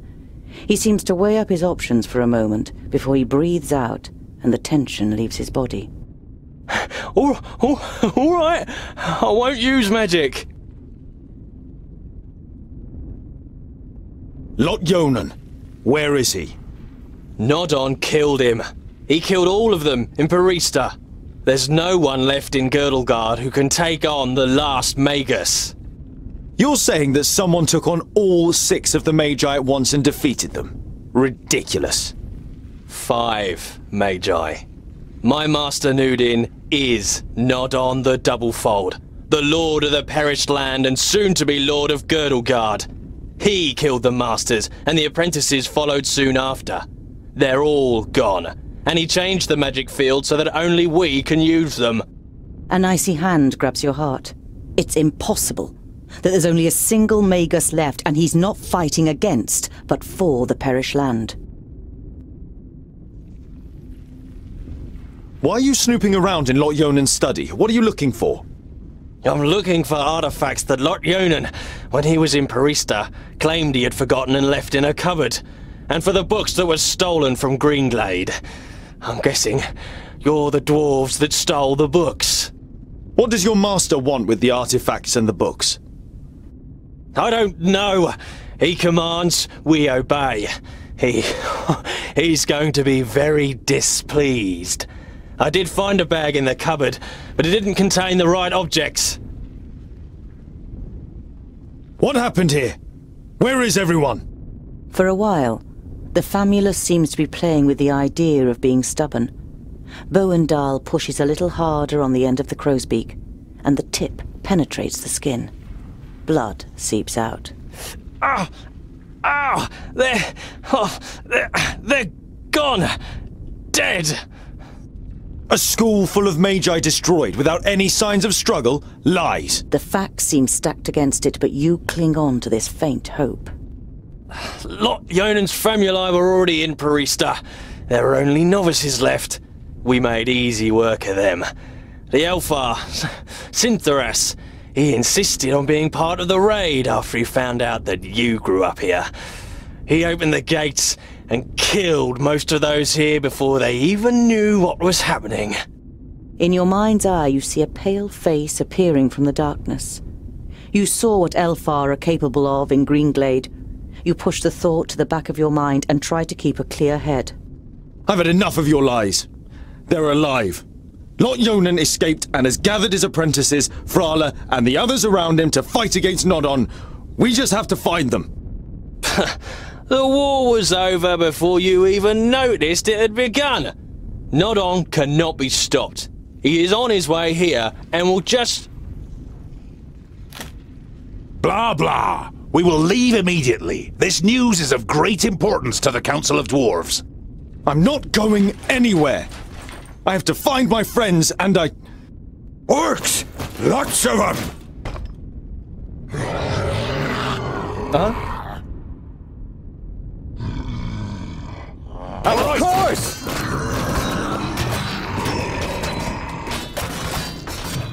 Yeah! Huh?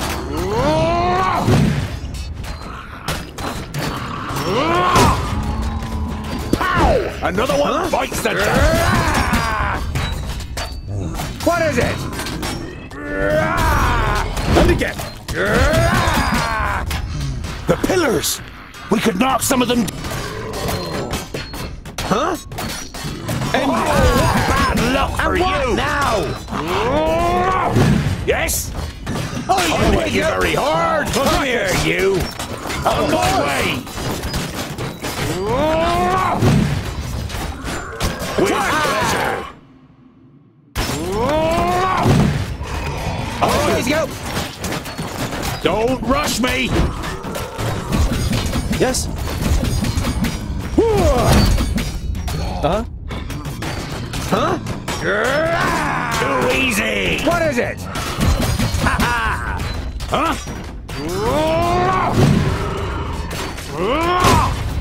Yes? And here you forever! Killed! I need help over here! Quickly!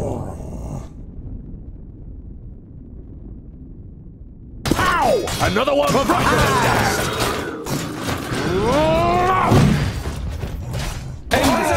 Bad luck for you! Say goodbye forever!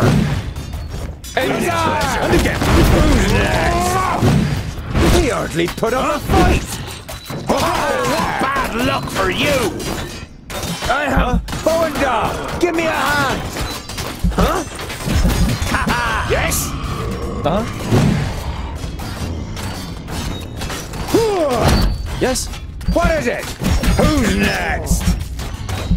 Huh? And Say goodbye forever! Come here, you! There are too many of them! The side door in the workshop. It's our only chance. I didn't hit you very hard! Yes? That's good stuff! Of course! On my way! Done! On my way!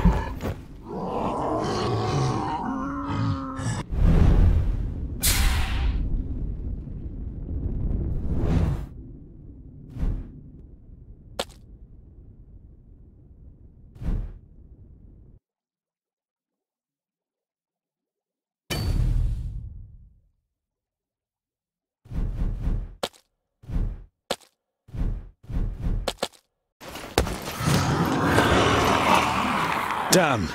The first twenty are mine! You have come far, but this is far enough. Give me the artifacts and the books you stole in Greenglade, and I'll set you free.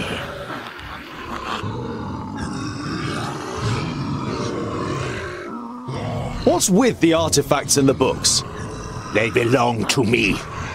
Lot-Ionan was supposed to bring them to Porista, but forgot them. So, I came to pick them up. That's all you need to know.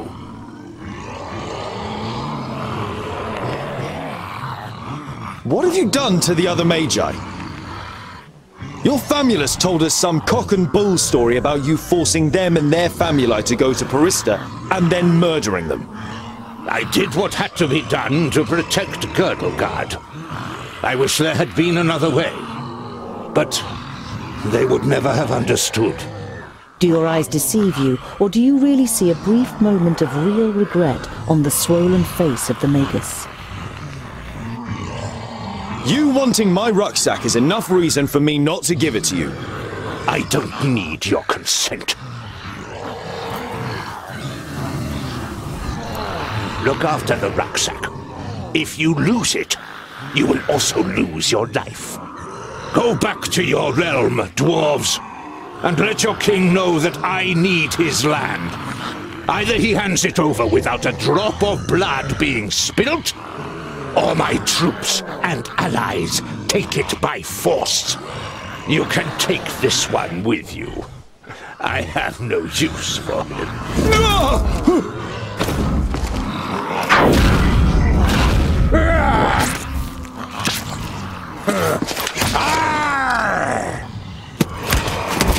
Invisible wizard, Maya! Look!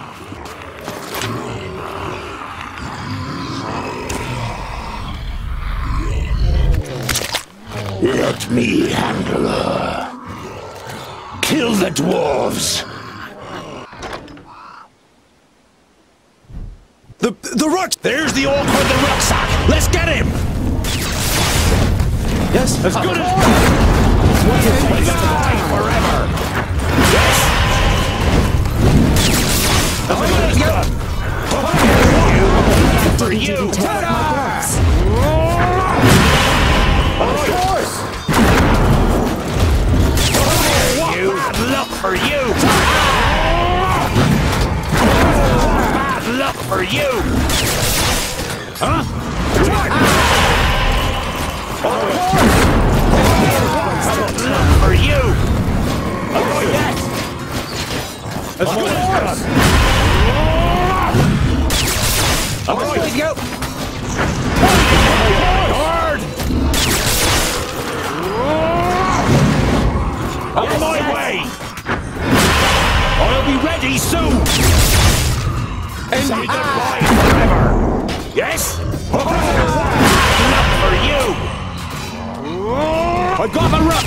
Let's get out of here. Over the bridge. What is it? That's good On my oh, way. Don't rush me. All right, Dad. And I didn't even take off my boots. All right, wait, go. On my way. Of course. Let's get done. Right, go. Don't rush me. On my way. No chance. This. I'll be ready soon. On my go.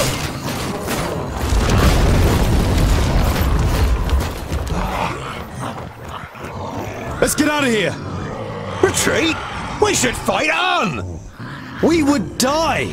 Perhaps you've noticed that Nôd'onn has risen again, headless. He is more powerful than the Perished Land itself, but the key to his destruction is in here. We will return to the Secondlings and tell them what the Magus is up to. We'll be safe at Ogre's death, and there we can hatch a plan. If we manage to get there. Nôd'onn will do anything to stop us. Then let him try!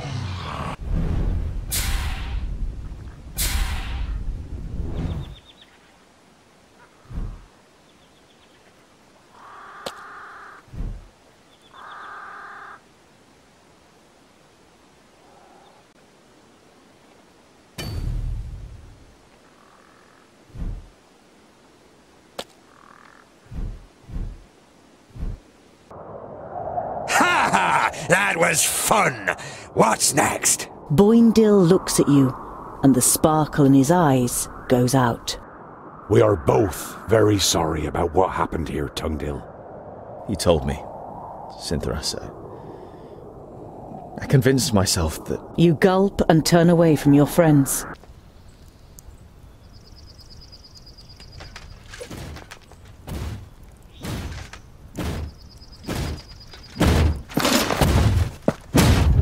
Ha! That's what I call a goodly challenge. Cover me. Not a good idea if you want to go on living, dwarf. You've got quite a big mouth for someone who sounds like a girl.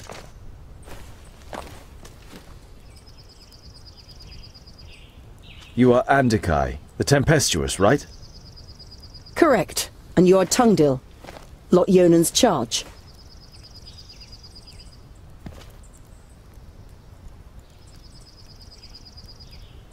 Your companion, won't he sit with us and introduce himself? Yes! Hey, you up there! Can you even hear us with that bucket on your head? Djerůn is mute, and he won't do you any harm unless I command him to. And as long as you treat him with courtesy, dwarf. Boïndil seems to briefly weigh up his chances against the two of them. I decide when I'm courteous. Just don't get in my way. And the orcs are mine! Honourable Maga, what news of Lot-Ionan? Does he live? Andôkai looks at you in silence, pain and rage slowly spreading across her face. He is dead, Tungdil. Along with Maira, Turgur, and Sabora. Nôd'onn killed them all, and destroyed the Council of Magi. The certainty of their death is painful. It feels as though someone has just torn your insides out. He killed their best pupils, too. And now he's the unchallenged Magus in Girdlegard. It was you, wasn't it, that attacked them with the lightning? Were you any more successful than we were? Andôkai shakes her head. He defied everything I threw at him. All of my skills. In vain. I soon realized he was superior to me, but I wanted to buy you some time.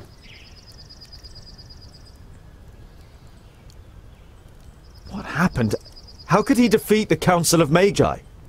Nudin called us to Porista, under the guise of reinforcing the barrier against the perished land. Instead, he tricked us, took control of most of our powers, and attacked us.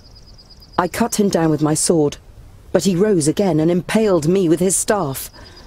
All I can remember after that is the sound of fighting, destruction, and cries of death. How did you survive? Djerůn. Nudin had forgotten he was with me in Porista. He found me, tended to my wounds and brought me out of the city to safety until I could summon up enough power to heal myself. And Lot-Ionan? When Djerůn carried me away, he was frozen in stone, like a statue. To my knowledge, the spell cannot be reversed. You nod slowly. You don't have the strength to say anything else right now. Nôd'onn's famula said that he had changed the magical fields, but you still seem to be able to use them. Andôkai smiles. I'm not quite as benevolent as the other magi.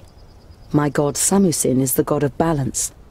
He loves the darkness as much as the light, which means I can use both. But my powers aren't unlimited. It is difficult for me to store and use this altered magic. We should avoid confrontation as much as possible. What will you do now? Leave this place. I'm not so foolish as to believe that I could restrain the perished land or Nôd'onn. Why should I stay here? Foolish, no! but cowardly! You're on your way to the kingdom of the Secondlings, right? Then I will accompany you and leave Girdlegard by the High Pass. We'll need all the help we can get. Nôd'onn will have a lot worse in store for us than just orcs. The Maga nods in agreement. Then she looks pensively at your rucksack. Your rucksack? Why did Nôd'onn want it? I... I was taking some objects to Gorén, one of Lot-Ionan's family. He was murdered at Greenglade by an älf. There were books lying next to his body which he was planning to send to Turgur the Fairfaced. May I see them? You nod. Take the books out of your rucksack and hand them to her. She goes through the letter and the books, one after another, without showing any sign of emotion. Finally, she closes the last of the books. Is that all? They are only sagas and travelogues from the outer lands, which tell of legendary creatures and myths. I don't know why they should be of interest to Nod On. There must be something in them that's important to him. He destroyed a whole village for them, and... and the vaults. Possibly. I'll study the books. But let's sleep now. Djerůn can keep watch. We are still being followed.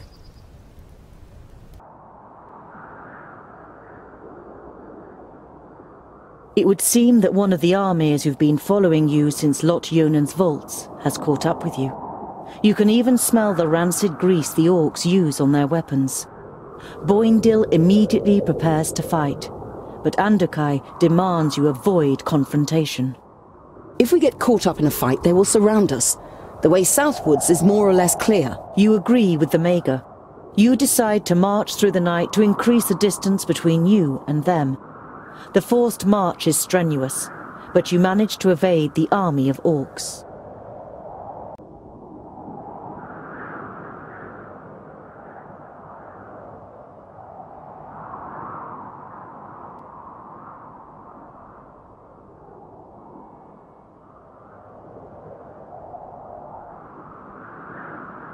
You have put out a plate of food for the night every evening since Djerůn and Andôkai joined you on your journey, but still none of you have seen him eat.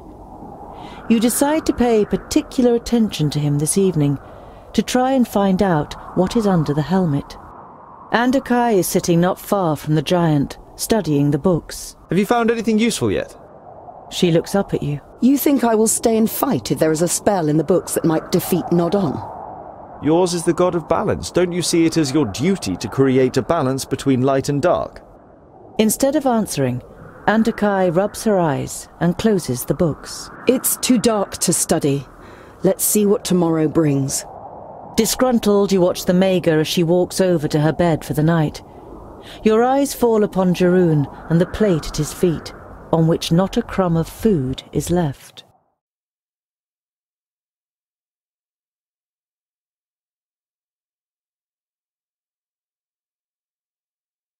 The army is too big for you, and even if you could defeat them, the battle would take up too much time.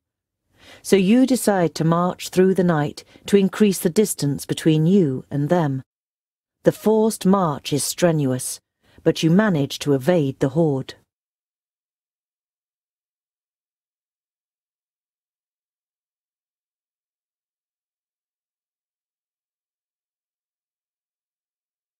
In the afternoon, with the sun low in the sky, the path leads you through a ravine.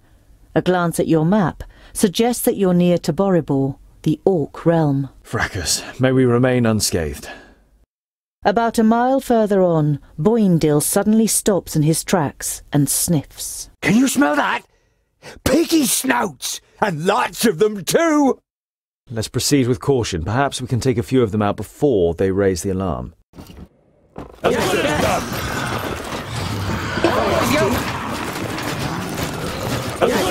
there! We have to stop them before they can warn anyone! Up my way. Luck for you! Bad idea.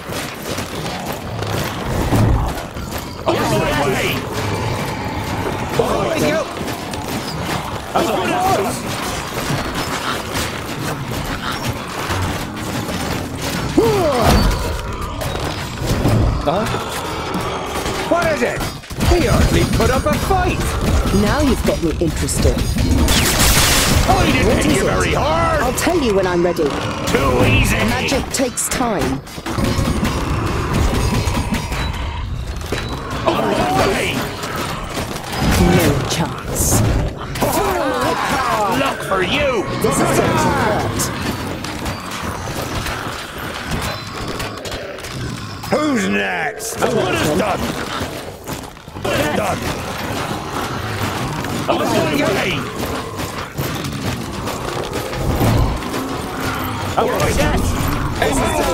Bad luck for you! Who's next? And I didn't even take off my gloves. What is it? Ah! Hmm? Huh? What a waste of time. Yes? Forever! Huh? Bad luck for you! Yeah! Huh? Huh? What is it? He hardly put up a fight! Now you've got me interested. With pleasure!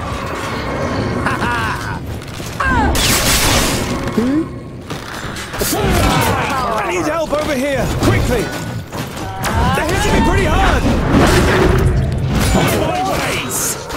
Always go! Always! Bad idea. Always! Always! Bad idea.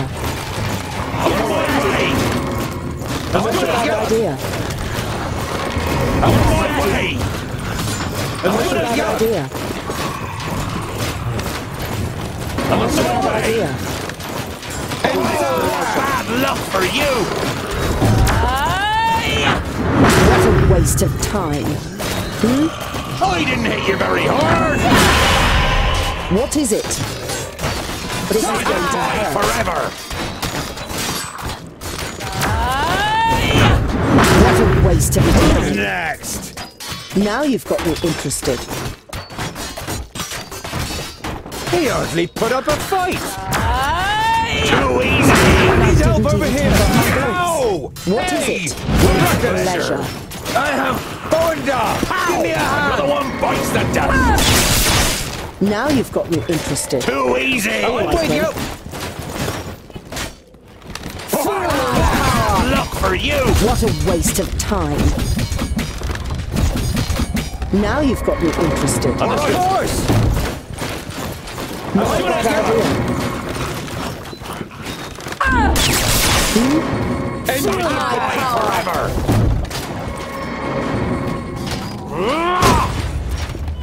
Ha ha! What is it? Come here, you. Now you've got me interested. Hmm?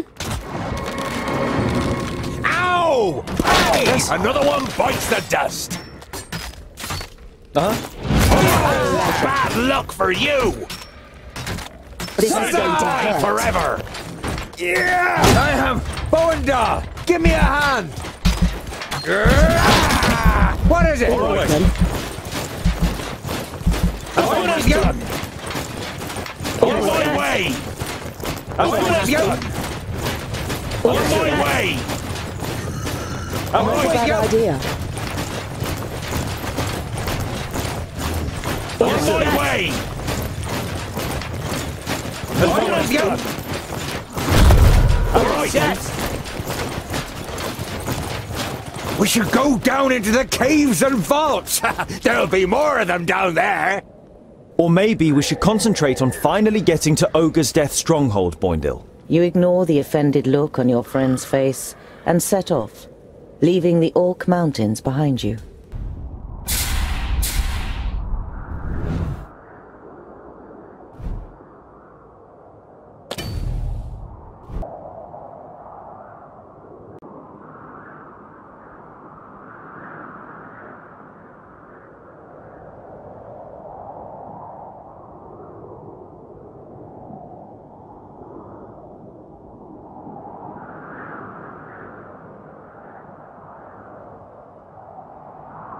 You can already see the oasis a day's journey away, but in the glimmer of the midday sun, you're not sure whether it might not just be a mirage.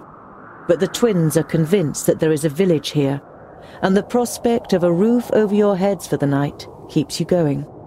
The nearer you get to the oasis, the more the uneasy feeling grows that something's not right. It's too quiet, and you don't see any movement. Once you enter the village, your fears are confirmed. Your enemies have already been here.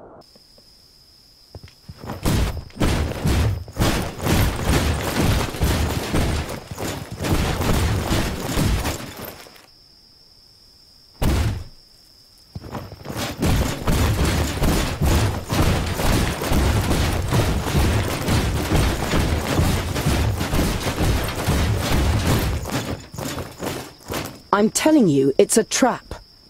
If it is, then we'll soon find out.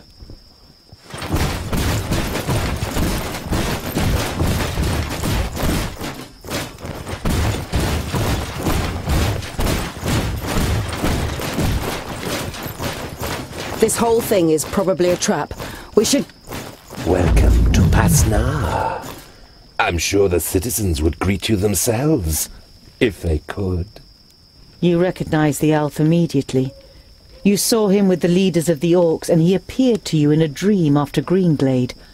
Or no, not in a dream. Sinthoras. So we meet again, Tungdil. What do you think of my work in the vaults? It was a nice start, wasn't it? An eerie smile sets on Sinthoras's lips. Wonderful! I can see the hatred in your eyes. Come on. Come and get your revenge. Oh my Bad idea. Luck for you! Now you've got me interested. Too easy! What a waste of time. Huh? No chance. Yes. What is it? Ah! Oh, I Now you've hit got very hard! interested. Huzzah! And I didn't even take off my gloves. Ow! Another one bites the dust! Ow! Hey! On my way! As good as done! All right! End it! Pleasure! They're hitting me pretty hard! What is it? As good as done! Don't rush me! I'll be ready soon! You're very I can't do that yet. What is it? Pow! Another one bites the dust!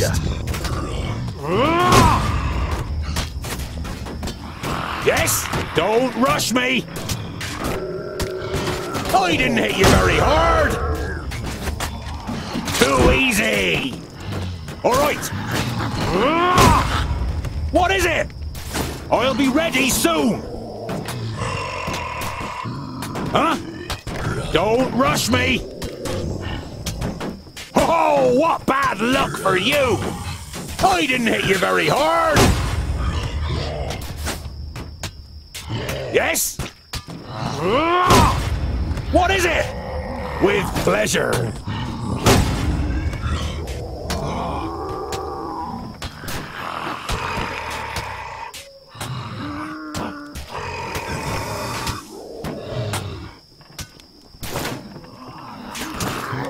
I didn't hit you very hard!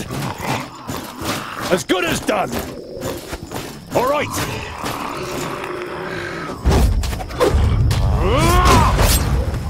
What is it? All right! Oh, what bad luck for you! On my way! As good as done! Say goodbye forever! Don't rush me! I didn't hit you very hard! With pleasure! On my way!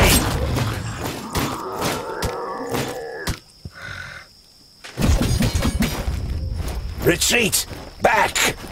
Why are you here? And how can you possibly still use magic? The one person your master left living is the one you would least like to have as an enemy. Go on, little älf. Flee. Your magic saved you this time. But next time, I'll be prepared.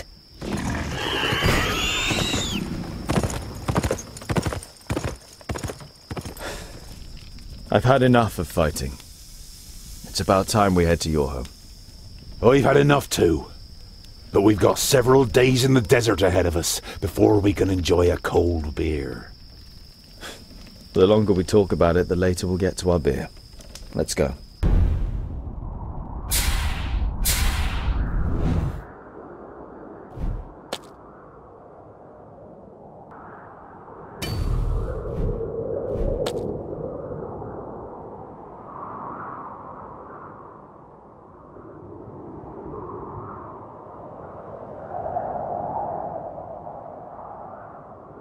You've been travelling through the desert for days.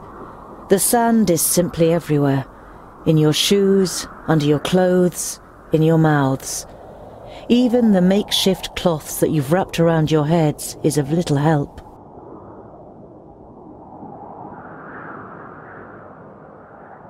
With the last of the energy you can muster, you finally leave the 40 mile wide sandbar that separated you from Ogre's death. It is as if you've passed through an invisible wall when the raging wind and sand suddenly falls silent. In front of you, an enormous massive towers into the sky, the Blue Range.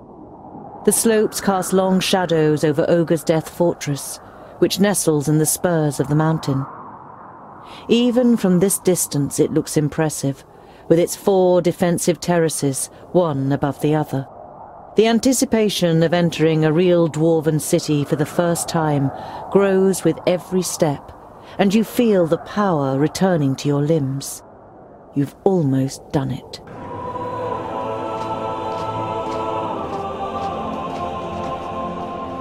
My High King, you have called me to succeed you to the throne. Here I stand before you. Well,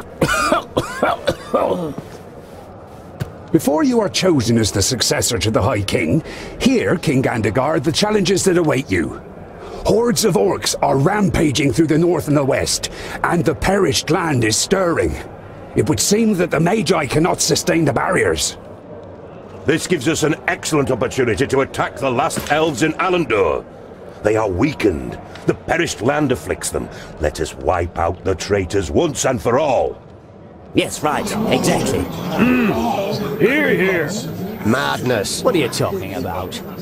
I do not recognize you, King Gandogar, in what you are saying. The elves are inhabitants of Girdlegard.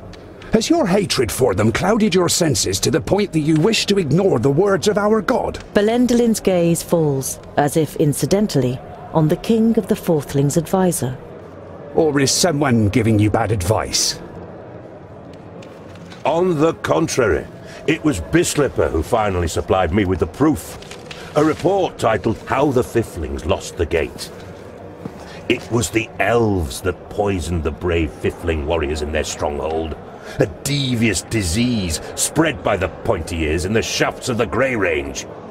Impossible! I always knew it! Treason! I don't believe They should that. pay for it! the pointy ears! Enough! Don't be so short-sighted!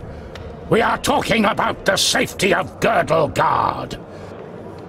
We must reach out and forge a large coalition with the elves. Yes, and even with the Thirdlings, if we are to defeat the perished land. My High King! You cannot be serious! Drivel from a dwarf who has grown too old in his post.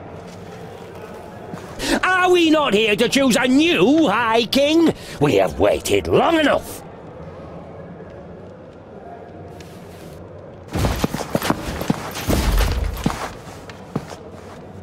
It would seem you will have to wait a little bit longer. The second aspirant has arrived. Our guests must be tired from their long journey. The meeting is adjourned till tomorrow.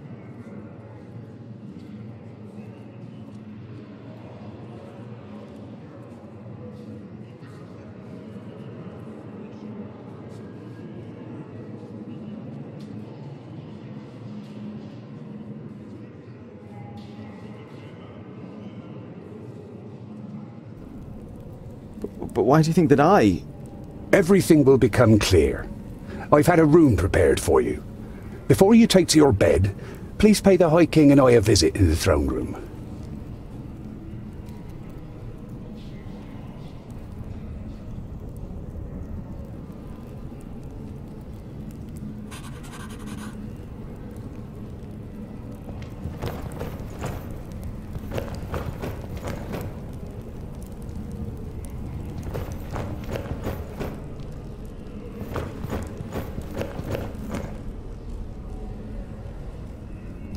Ah, your highness! Heir apparent? What do you know? Spit it out. A slight expression of guilt flits briefly across Boïndil's face, but he's soon back to his old self. A scholar as I king has something to it. You'll certainly have our votes, that's for sure. Boëndal nods in agreement. As High King, you could unite the kingdoms and get them to do battle against Nôd'onn. You look at your friends and aren't really sure whether they are trying to pull your leg or not. I, I, I, I can't be High King. I, I, I got all my knowledge from, from, from books and, and you, you're, uh, you're pulling my leg, right? The twins' grins grow ever wider, and it would seem they can hardly contain themselves. Just talk to High King Gundrabur and Balendilin. They will explain everything.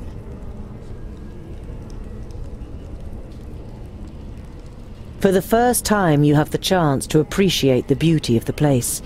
You suddenly forget what you wanted to say. I've never seen such masterful masonry.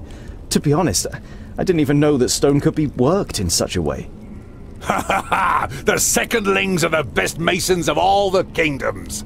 That's how Vraccas made us.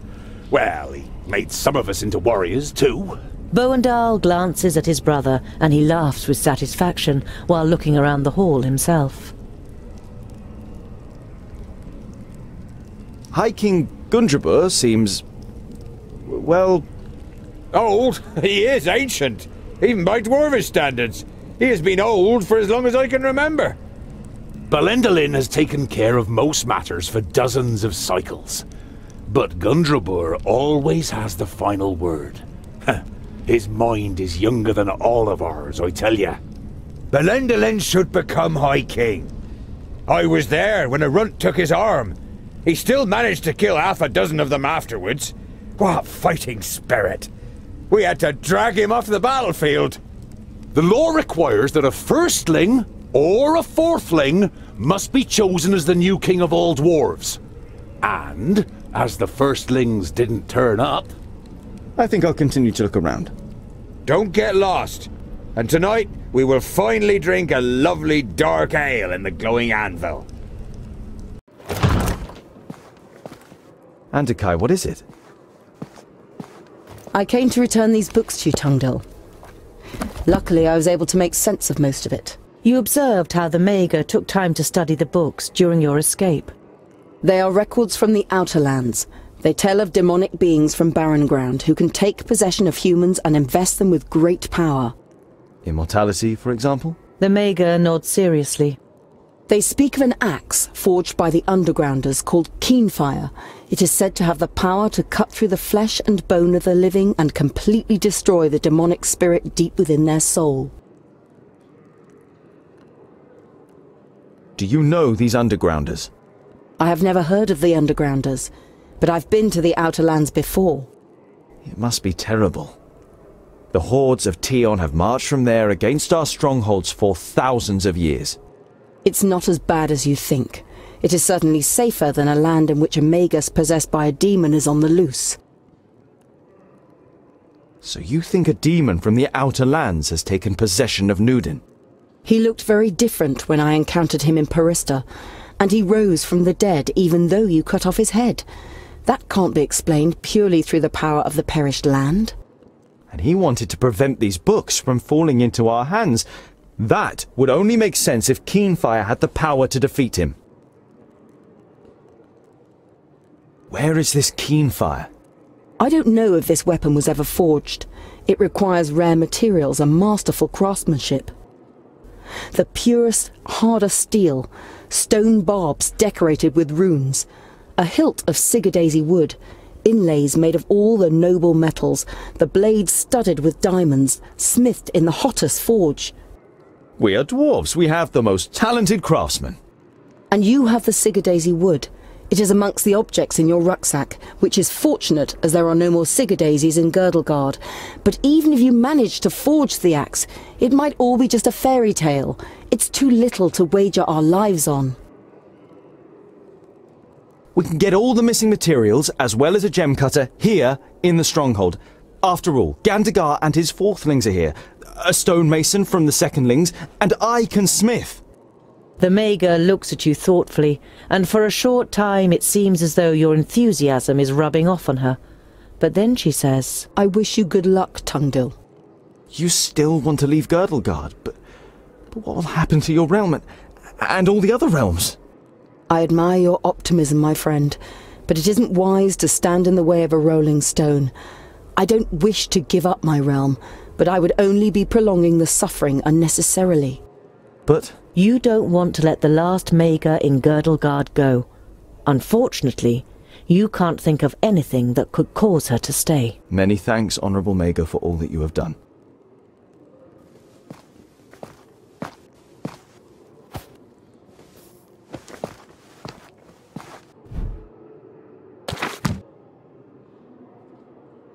A variety of cheeses, pickled cave mushrooms, toasted vault moss, and some smoked sausage. Mmm. The intense smell of the cheese makes your mouth begin to water. You are exhausted from your adventurous journey, but it would be impolite to just go to bed if the High King is waiting for you.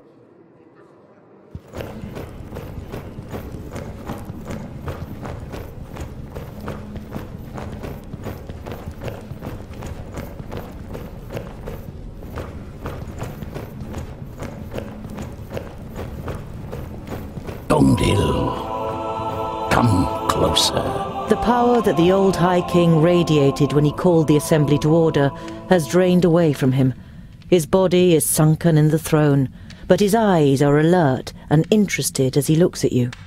The lost son returns to his people. Thank Vraccas. Tell us what you learned on your journey. You describe your adventure down to the smallest detail. Neither the king nor his adviser interrupts you. From time to time they nod, as though they were already aware of certain facts. Their brows become more furrowed with every passing minute. When you're finished with your story, you also have some questions. I don't want to appear ungrateful, and I'm happy to finally be among my people, but, but I will not ascend the throne. I hardly know anything about our customs and laws. Everything that I know, I have learned from books that Lot-Ionan gave me. There must be more suitable heirs than me. Your renouncement honours you. But to be honest, you never had a claim. To stop Gandogar, we had to stall for time. Lot-Ionan helped us with our little story. We don't even know if you are a fourthling. The king's advisor misinterprets your unbelieving gaze and quickly adds, uh, We're only being as deceitful as goblins for one solitary reason to stave off possible harm to our people.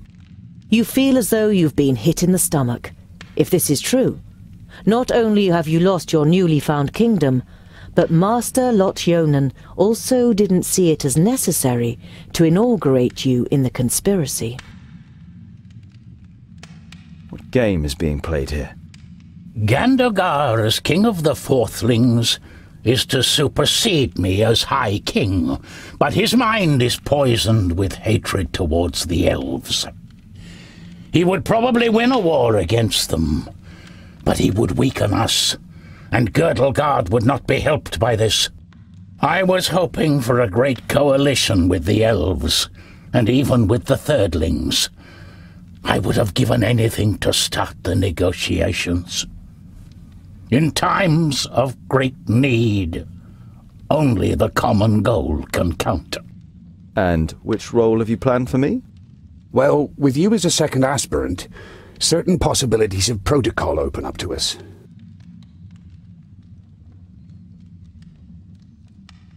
Why is Gandogar so full of hatred towards the elves? His father and brother were murdered by elves. At least that's what's claimed. No one knows the truth. Just as no one knows how true this report about the Fifthlings is. But isn't it strange that this letter has turned up now, just when it can play into the hands of the elf haters?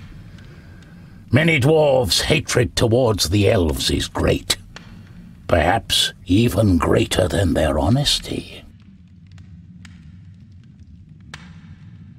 I understand why you want to prevent a High King Gandogar. You will be blind to our real problems. Gandogar's only liability is that he lets Bislipur whisper dark thoughts in his ear. The advisor is the problem, not the king. A problem that I am fortunate enough not to have. The High King smiles weakly at his adviser. Gandogar is a good dwarf and a good king, and I am certain he could also be a good High King if he was free of Bislipur's lies and false advice. Your plan has a flaw. Even if I were to light up, I couldn't win. No one on the council will vote for me.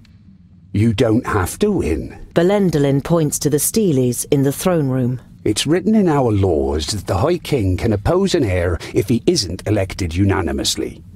He can then demand a duel or a contest in order to determine the winner. Such a contest could take weeks, if not months, and it would win us some time. What kind of contest would you have us compete in? Gandogar is surely superior to me in many things. Everyone in the council will write a task on a piece of paper, and from them the contest will be drawn. And this only once you have made a speech, and have won over as many as possible in the council to your side. The more sympathetic the council is towards you, the higher the chances of a contest that fits your abilities. Speech? You're beginning to like this whole thing less and less. Is this really the best for our people? If you cannot dissuade Gandogar from carrying out his plans, it could end in a fraternal war. Don't worry. We'll open up his eyes and he will recognize the malice of his feigned friend. We just need time, and you must gain it for us. I'm not sure.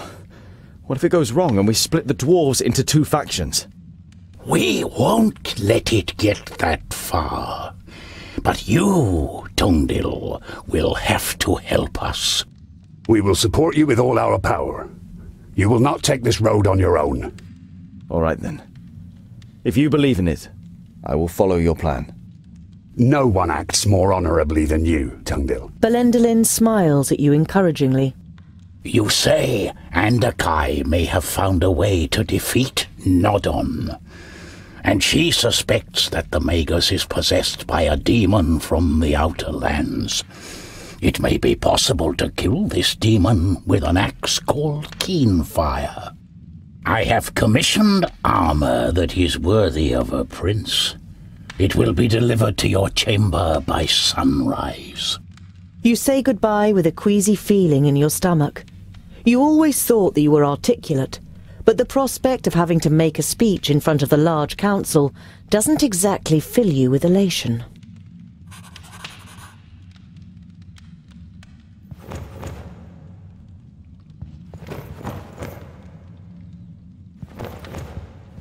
The coal fire is lit when the kingdoms meet for council.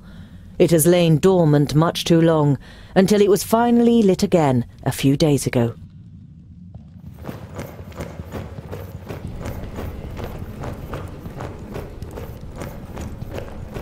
Ah, Tungdil, what is it?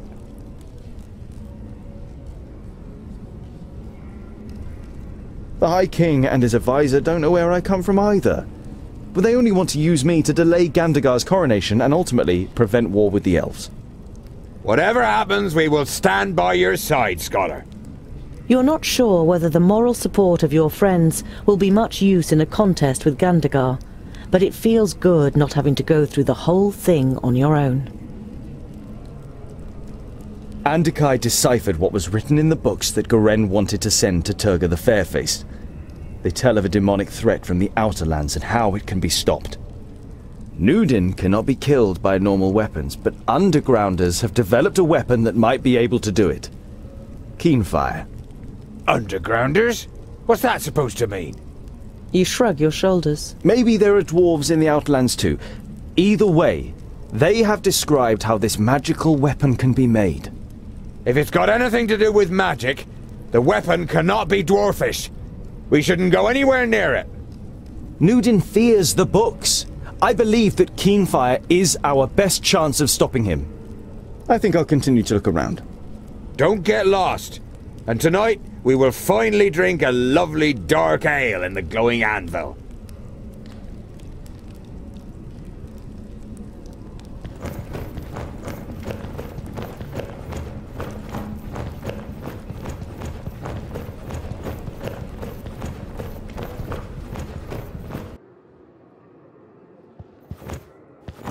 You are looking forward to the first proper bed for weeks.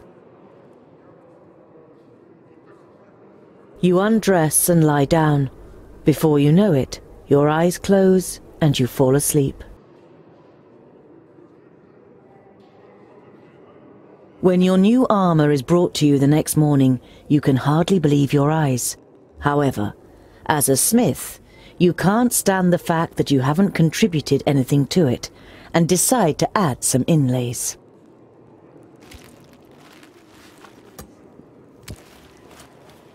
Even one who wears the armour of a prince can still be a farrier underneath it, don't you think, Tungdil Bolofar?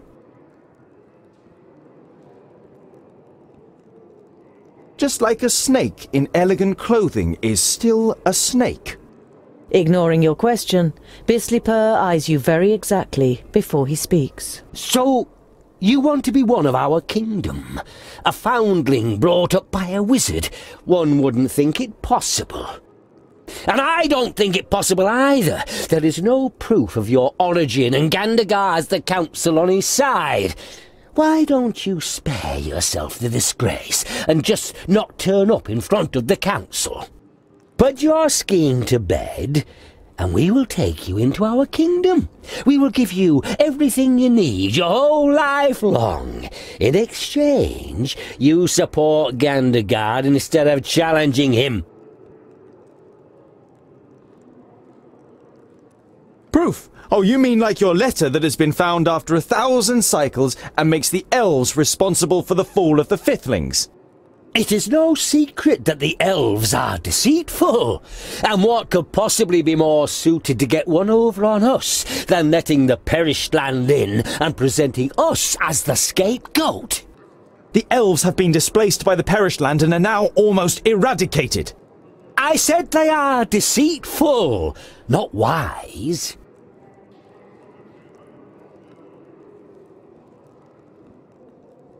And what if I don't withdraw my candidacy? You wish to stand against your own king? A stray dwarf offending a deserving leader such as Gandogar through his claim? No one in the Brown Range will like that. Prepare yourself for life as an outsider among the Fourthlings.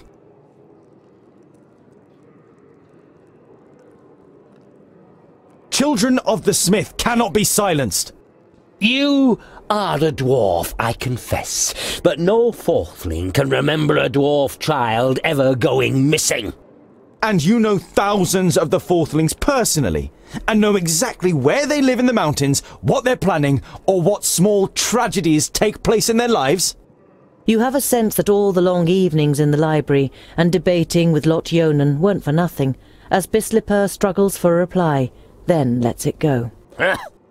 you have had enough of this dwarf. He makes you feel uneasy, or worse still. Get out! A humanized bastard will not issue me orders. Know your place, false dwarf.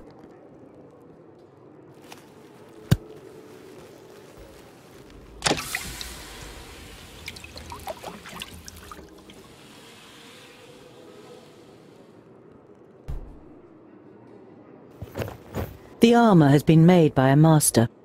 Over the chainmail is steel plate, alloyed with gold in many places, which certainly appeals to you.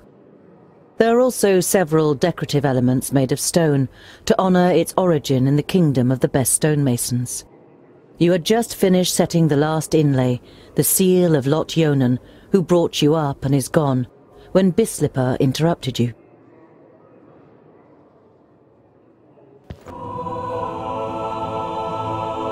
That is why I, too, lodge a claim to the throne and why I think I am the more capable heir. Thank you for your speech, Tungdil Bolofar. The Council may now ask questions.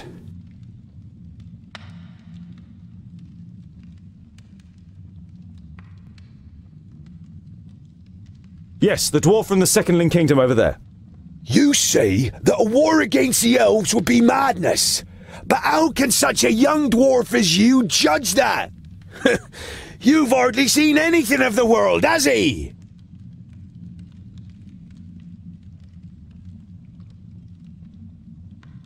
It is true.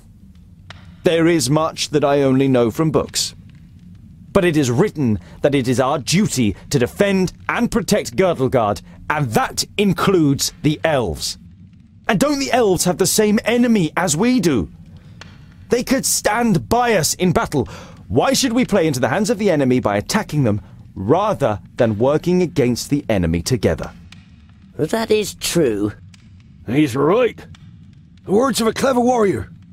But the pointy ears hate us, and we hate them too. What is it they say again? My enemy's enemy is my friend. Yes? Your question? Just so I get this right, you want to forge a weapon that is described in a book of fairy tales from the perished land eh, to kill a demon that none of us has ever seen? I have most definitely seen it. Goimgar, Yellow Belly, Shimmerbeard.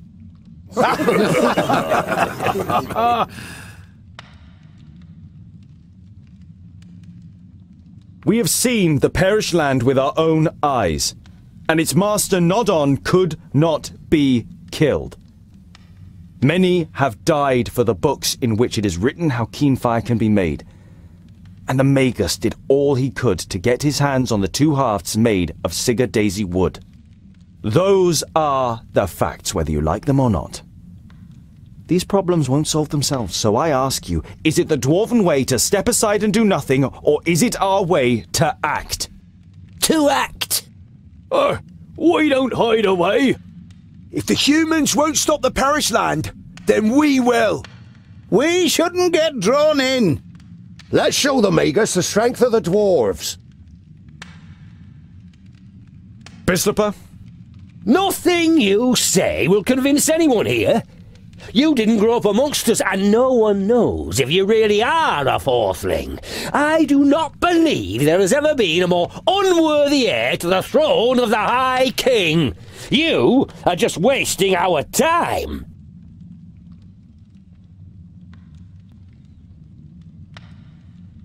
Oh, I didn't know you were the spokesperson for everyone at this assembly, Bislipur. I had the impression that every dwarf is capable of forming their own opinion. Absolutely. Here, here! He's right, you know. Keep out of it, Bislipur. I have heard enough. The council has heard the words of both candidates and must now make its decision. Those of you who wish to see Tungdil Bolofar, the returning son from the Fourthling Kingdom, as my successor, raise your axe.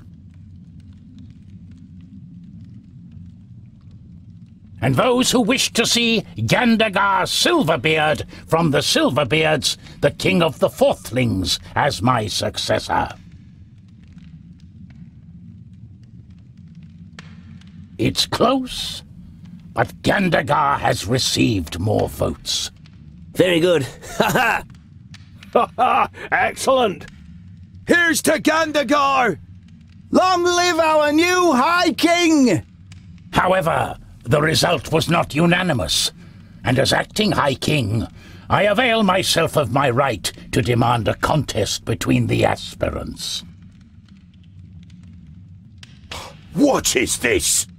But he won the ballot. It's the rules. The High King has the right to do so. Respect! He is still the High King. Silence! You have heard the High King's command. Write down your challenge for the aspirants.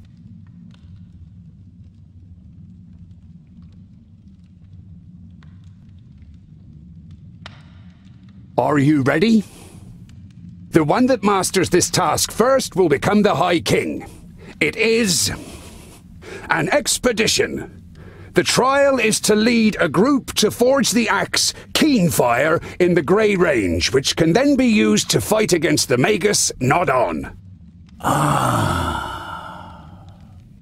An expedition into the perished land? Ha ha! Brilliant! You can't be serious.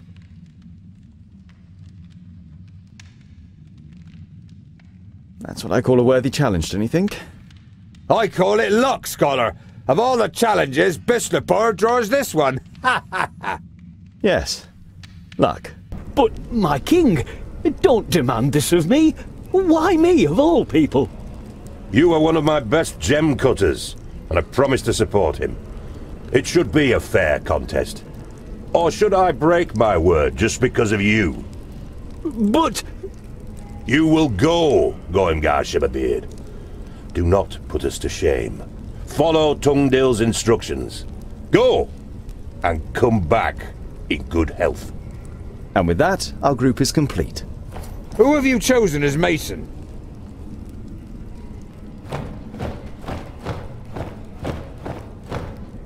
Good day, gentlemen.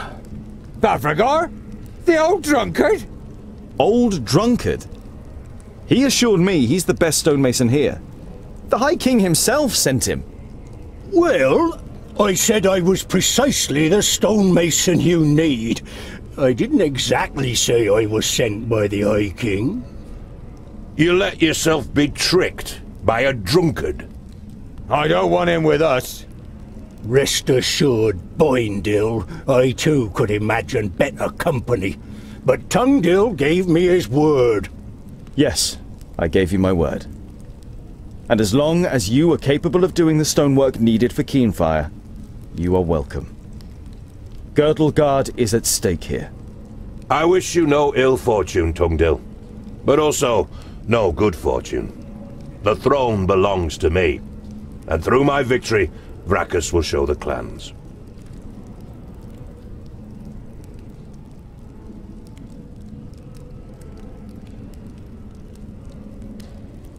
The task is clear to the contenders? The first to forge Keenfire and bring it back here has proven his abilities and will be our new High King to lead us in battle against Nôd'onn.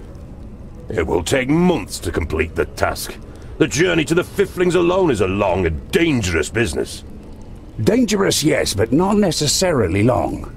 Do you know the old tunnel system that connects the Dwarven kingdoms?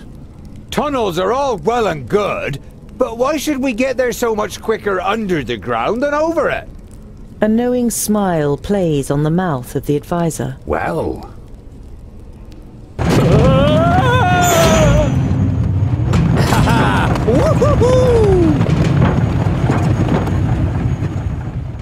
Pretty impressive what our forefathers achieved here, isn't it? The kingdoms all work together. If we do the same, nothing is impossible. Here, here. I still don't understand why you tricked me and why you were so set on coming with us. I have been the Master of Stone for more than 200 sun cycles. My work is admired all over Girdlegard. There has never been a better secondling mason than me. But today, I don't want to be remembered as a drunkard with the chisel trembling in my hand, but as Bavragor Amethyst, undefeated Master of Stone who brought Keenfire to life. One last masterpiece. I. I hope you understand me asking, but. There seems to be bad blood between you and Boïndil. It's nothing that will endanger our mission. We've just always hated each other. There's more behind it than commonplace hatred. Bavragor doesn't react. His gaze is directed towards events that took place a long time ago. You really should rein in your drinking. We need you in good shape. There are some who say I'm only the master of beer and not the master of stone anymore. But don't worry, I haven't forgotten. I can't forget, no matter how much I drink. Hmm, I wonder why we haven't seen any sign of Gandogar recently. Perhaps they took a wrong turn somewhere. I'm sure we'll reach the Fifthling Kingdom before them.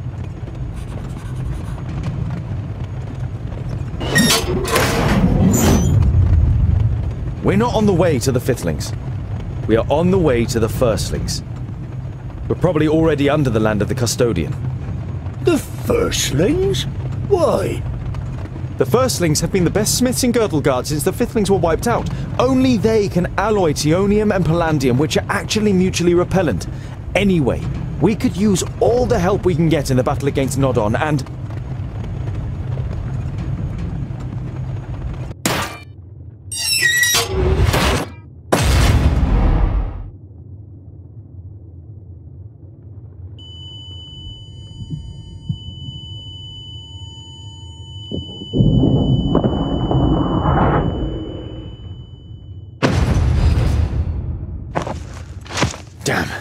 Goimgar!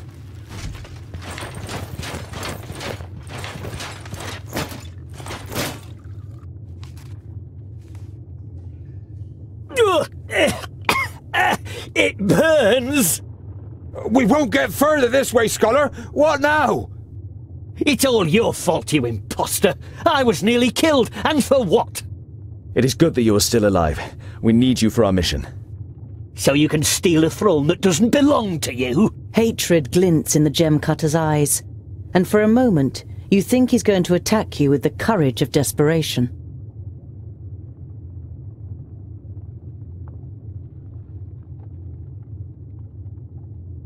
I'm not interested in the title of High King. I am trying to save Girdlegard. Even if you don't believe anything else, you must believe this. I don't have to believe anything. I am here against my will. My own thoughts are my only remaining right. Enough! Gather up all the materials we can still save. If we manage to reach the Firstlings, we can get anything we're missing there. And it should be less than 200 miles to their stronghold. After you have gathered together the materials, you begin to search for a way out. And after a sweaty climb, you reach a door adorned with runes. From here, you enter a large cave with a waterfall covering a sun-drenched opening. You walk through the waterfall one after another, and after the unintentional shower, you find yourselves in Weyurn, near the enchanted realm of Oramira. You find yourselves on a plateau, and the river which falls as a waterfall here hides the entrance to the underground rail network. It then flows past a forest, behind which you can see a wall and tiled roofs. You check the map. That must be Mifurdania. We'll go through the forest to the city and see if we can refresh our supplies and buy some ponies.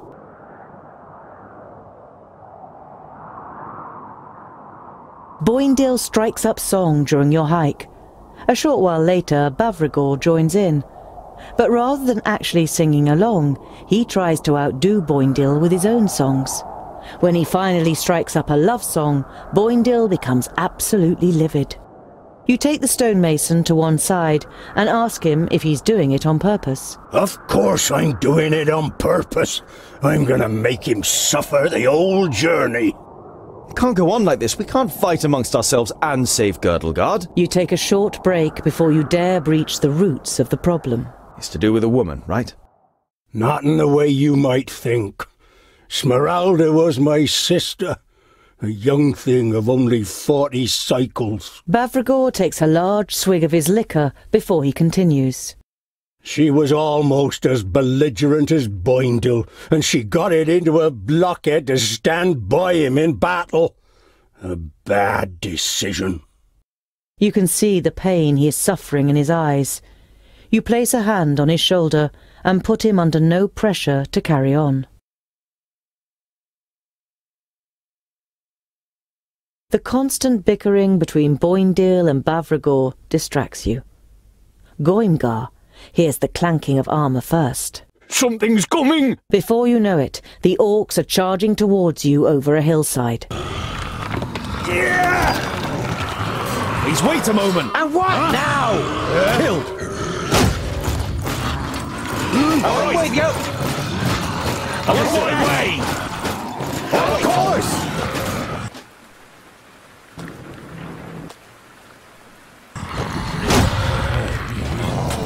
Yes? Yeah. Huh?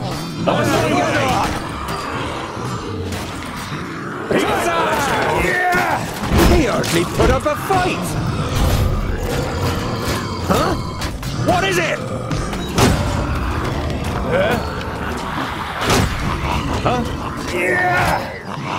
What is it? Huh? Don't take it personally. Yes. Mm. What is it? What's up? Hmm? Oh, bad luck for you. I didn't hit you very hard. As good as done. On my way. Always get off. As good as done. On my way. As good as done. Yes? Yeah! And what now? And again. What is it? Yes? What is it? Kill. With yourself. On my way. Of course. On my way. He wasn't by forever. And what Too easy. Of course. I'm with you. As good as done. Of course. On my way. Yes, yes.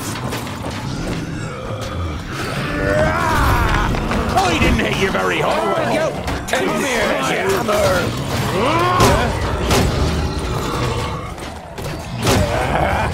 A bit too much. He hardly put up a fight. Huh? Yeah! What's up? He's alive forever! Huh? Disgusting. Yeah! Another one bites the Yes. dust. All right, go. Who's next? On my way. Yes. Trial hammer for you. Huh? Yeah. Huh? What is it? Ah.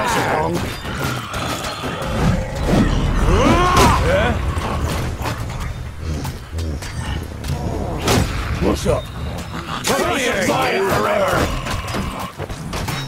He hardly put up a fight. The way. Another one bites the dust. Understood. horse. On the way. On the horse. On the way. On the horse. Yes, done. On my way. On the horse. Bad luck for you. Understood. Uh-huh. On my way. Let's go. The war is done.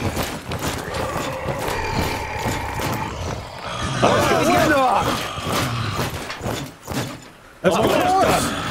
Yeah. Huh? Huh? Uh, what is Too easy. On my way. Let's go. Understood. On my way. The war is done. On my way. Take the Yes? Yeah! And what now? Kill! Huh? Vile, what is it? Don't take it ah! first, yes. buddy. And there you. Bad luck for you. Yeah. Huh? Yeah. Yes? Ow! Hey! Ah, that was refreshing. Hey, here comes some more. Three, four, five, five or six. Five or six? Oh, phew. He means five or six hundred. Goimgar turns white as a sheet. That's too many. To the city. Come on!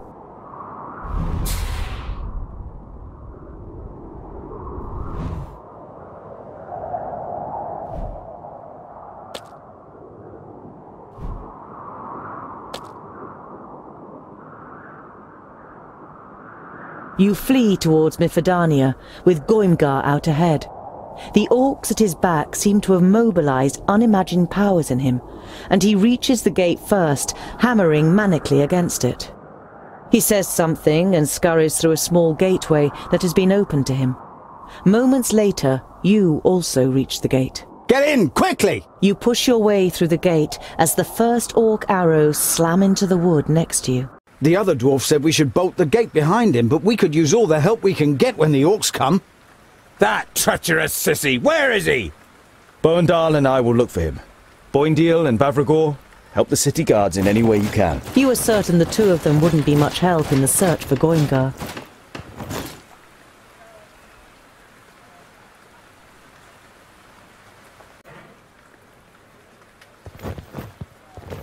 Weyurn is well known for its love of the written word. Some of the scripts on offer are known to you from Lot Ionan's library.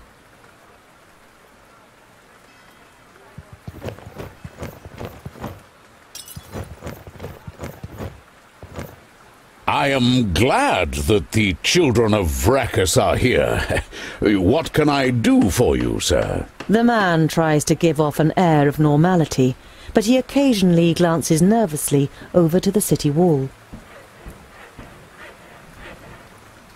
This is the biggest human city I've ever seen. After Porista. You haven't chosen a very good time to take a look at Mifurdania, sir, and I don't just mean because of the orcs outside our gates. The winter is only just now retreating into the mountains. In a couple of weeks, it will be spring, and the city will burst into bloom. The man glances at the city wall once again. At least, I hope it will. Have you heard any news from other lands? Nôd'onn is rampaging through the land with his orcs and the älfar.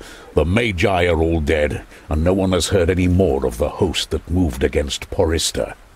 These are dark times, but I think it's important that we don't despair. We must trust in the gods.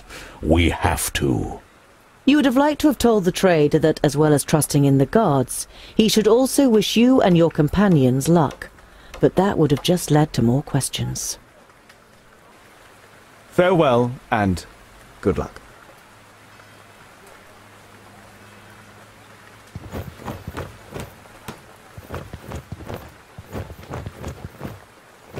In the past, travelling showmen regularly put up tents like this in front of Lot Ionan's vaults to draw a little money from the pockets of the servants and the famuli, with plays, vocal performances, and all kinds of fun. The fabulous Rodario. Cometh, dear spectators, cometh and see! Let the Theatre Curiosum, with its star actor, the fabulous Rodario, the mysterious Narmora, and the genius Magister Technicus, Furgas, carry you off to another world. Now see and hear, dear spectators, the truth about Nudin the Knowledge Lusty who disposed of the other Magi in a most horrifying way and plunged Girdlegard into disaster. Girdlegard, it will be mine. Lot Ionan?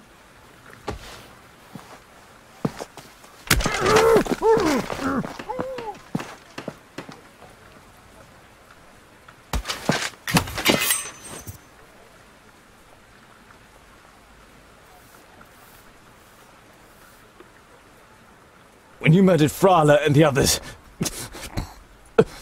To your horror, you realise that you can no longer talk. You feel a lump in your throat, and your eyes begin to burn, as images of the vaults and Sinthoras appear in front of you. I see that my first strike really hit you, Groundling. Oh, how they screamed. If only you had been there to help them. What do you want with my rucksack? If you're looking for provisions, you could have just asked me nicely. I'm not interested in what's in the rucksack. I only know that the Lord of the Perished Land wants it. So he will have it. Your master doesn't tell you much by the sounds of it. Either he doesn't trust you, or he's in the habit of not talking about his business with servants. You feel the blade cutting into your skin, and you take it as a sign of a small victory.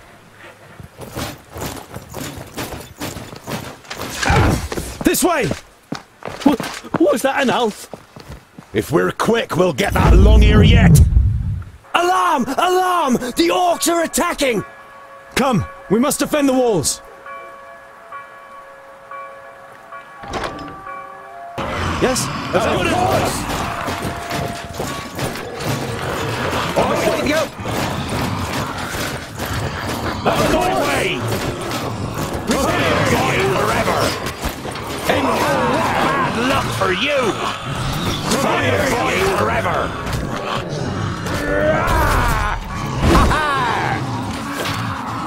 Yes! Oh, what bad luck for you! Fire you forever! Huh? On my way! I'll throw There we go!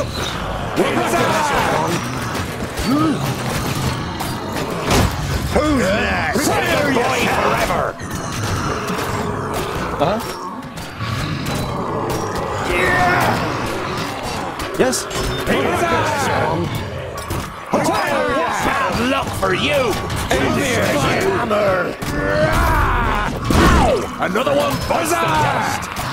He hardly put up a fight! Say goodbye forever! What is it? Ah! Huh? And again! Forever! Huh? Yeah! Yes?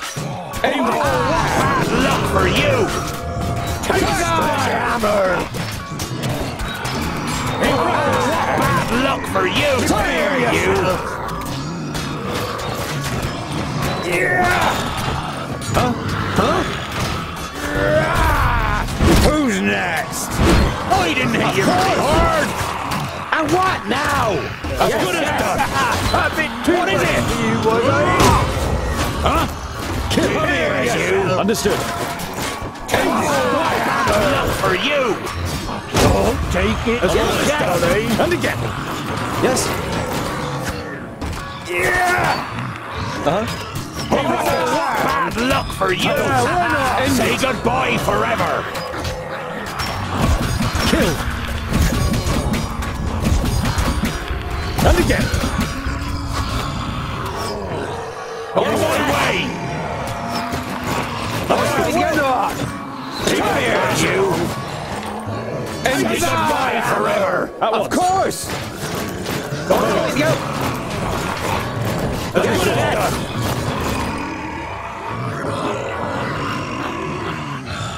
Very good. We're able to stop them. Centaurs. You wish it weren't so. But it is clear to you now that the city can no longer be saved. To the side gate. It's our only chance. Yes?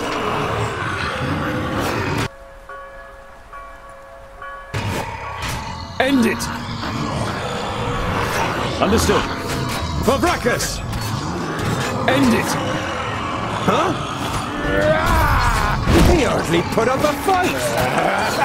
a bit and what now? Was I? Kill. I'm with you! Yes, yes! All right!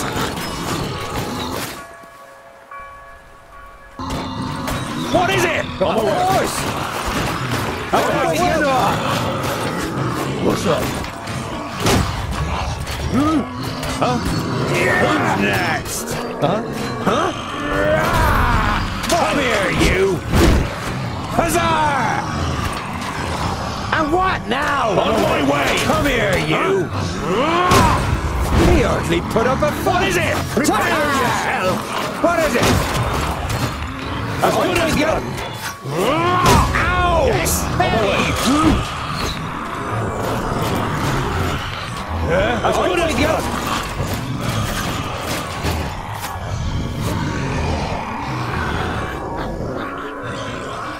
It's locked.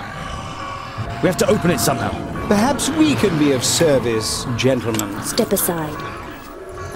Are you thieves? Certainly not. We are artists. People with extraordinary talents. Say, friends, as you clearly mean to leave Mifurdania too, would you have anything against us joining you?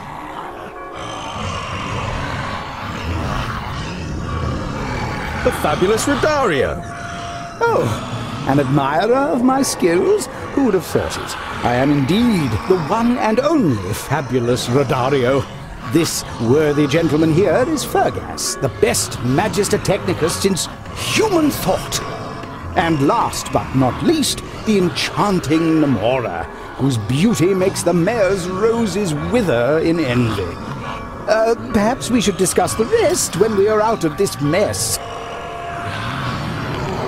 We have a long and dangerous journey ahead of us. I don't think you really want to join us.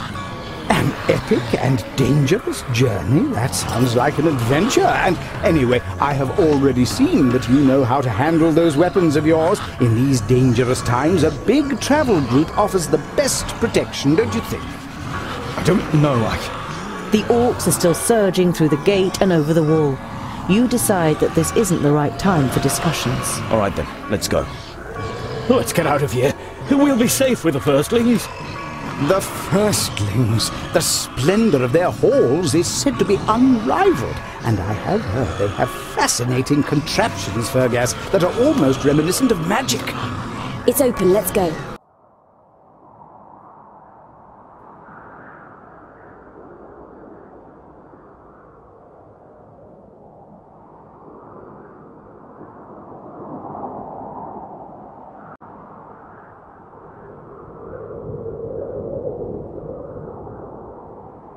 In the evening, after your escape from Mifurdania, you recover from your exertions around a campfire.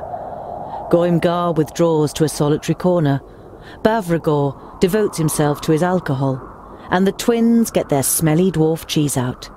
Narmora and Furgas exchange hugs and kisses on the other side of the fire, while Rodario sits next to you. Ah, a journey with real dwarves to the stronghold of the firstlings.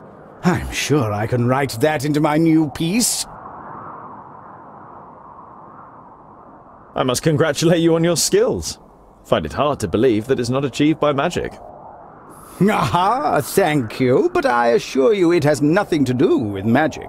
Just alchemy and accomplished acting. We leave the sorcery to the Magi.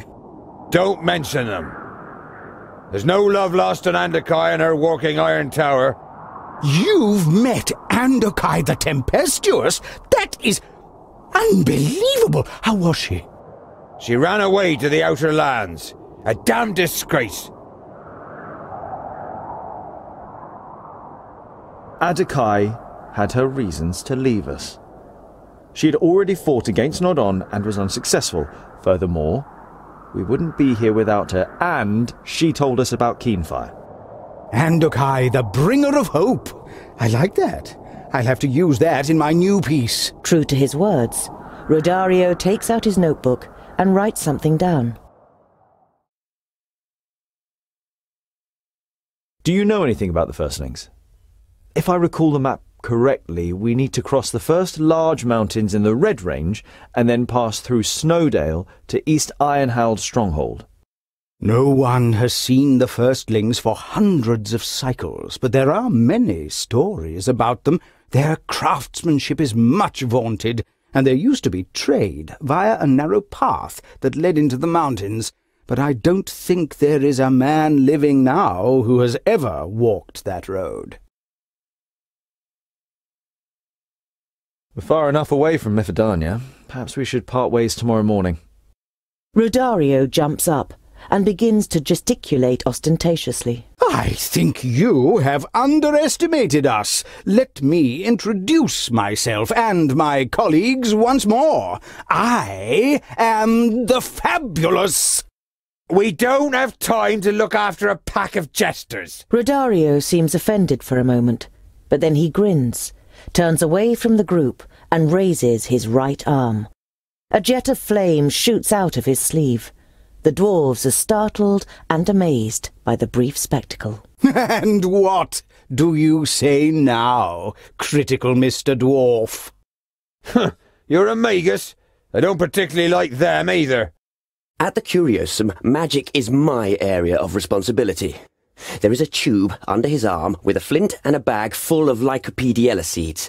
When he firmly presses the bag, the flint sprays sparks and the seeds shoot out. And there you have it.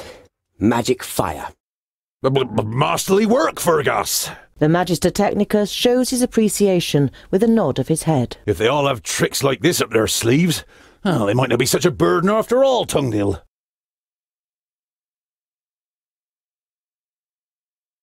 How are you doing for provisions? We don't have enough.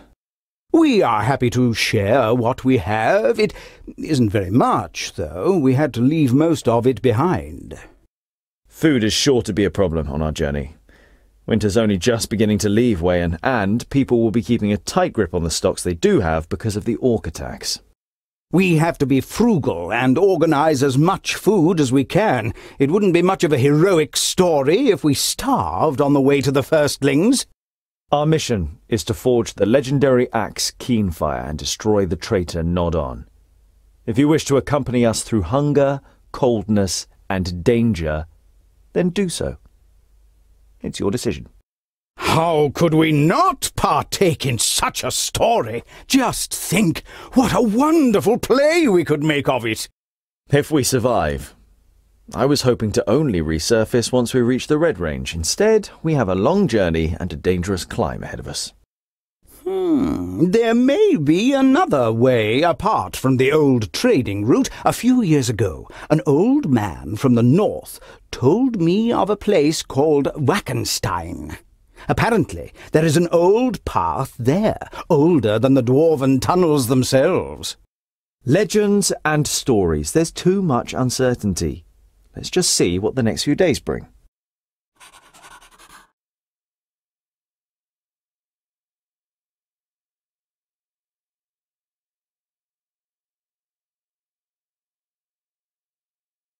You reach a large camp with dozens of humans, countless campfires, and several wagons in and around the camp. You notice traders and guardsmen with Mifurdania's coat of arms, but also others that you don't know. You decide to take a look around the camp. All in all, the refugees are in bad shape, and you can't even see the slightest glimmer of hope in most of their eyes. Ha! I know you, dwarf. You were in Mifurdania. Ran off with your friends when things got tricky, eh? You're not such great orc killers, or you wouldn't have left Mifurdania to its fate. We are dwarves, not gods. We did our best. No one could have saved Mifurdania. The fatigue that had disappeared from the man's face for a moment returns. I hated that city with its wretched stench of fish. It's just so many dead. We're headed to the old dwarf stronghold on the Red Range. Do you know the way? You're going to travel through Snowdale so soon after winter? Good luck. And what are you hoping to find? There aren't any dwarves left in the mountains, I'm telling you. We'll see. What about the old trading route? The trader shrugs his shoulders. Head west. There is only one road that leads into the mountains. If you've got a death wish, then you're heading the right way. I can see some guardsmen from Mifurdania here too. How did you escape? The authorities ordered the guards to protect the city to the very last man, while they, the high society, made off unnoticed. When the guards and the townspeople saw them go, they dropped their weapons and ran. The quickest made it. Just a few dozen. A few dozen. How many people could you have saved if you'd stayed? On the other hand, how many will die if you don't stop Nôd'onn? You're heading south. I wish you luck. You don't think these people have much of a chance of survival, and a last look at the trader's face reveals that he doesn't either.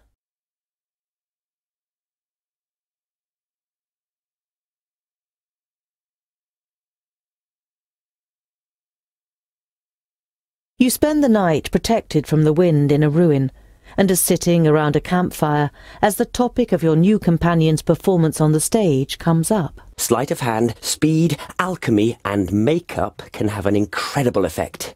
Narmora transformed herself into an elf using the latter. I also noticed your weapons, Narmora. I've never seen such swords before. Their names are Crescent and Sunbeam. I designed them myself. It took a long time until I found a smith who was able to make them. She looks like a pointy ear, too.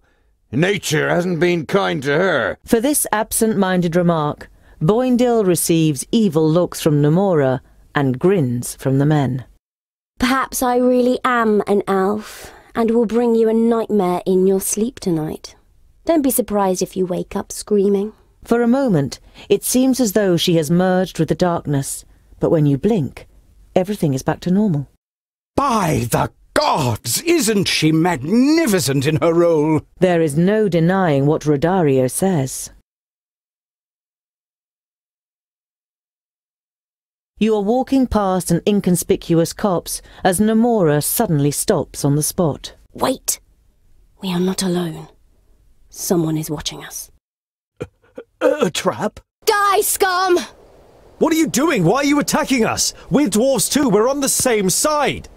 I see honest dwarves here, but they are accompanied by scum. I will free you of it. Oh, really? And what are you going to do on your own against eight? You, come here. What? Ha ha!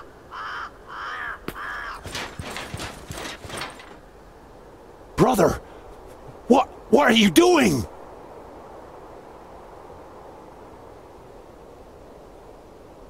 Boïndil, Boïndil, what's wrong? Come to your senses!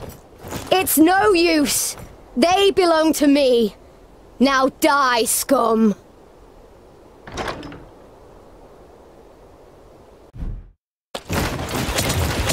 Yes? Hmm?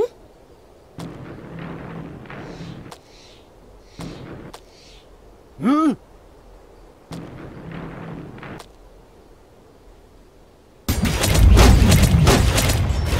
Yes, yes! So! Help! Help! Patience, I'll be ready soon. I'm not that quick! Even I am not that That's quick. too much for you, was I? Yes, Patience, I'll be ready soon. Let's go. Even I am not that looking quick. for enemies? They're all here! Uh-huh. What?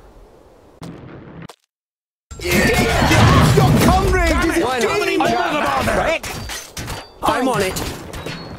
Yes, yes! Can't do that. So! I didn't hit you very hard! On the I'm not inside. that quick! Like Yes? this. Yes, yes! So! I'll be ready again soon. Well, I'm on it. I'm not that quick! Yes, yes! So! Uh-huh. I'm on my way. All right then. End it! Yes, yes. Soon. I'll madam. it. On my way. Yeah! What? Yes?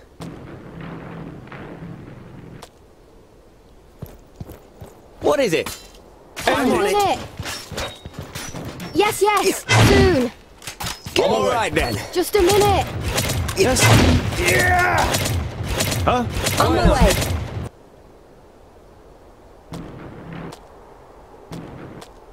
Hmm? What is it?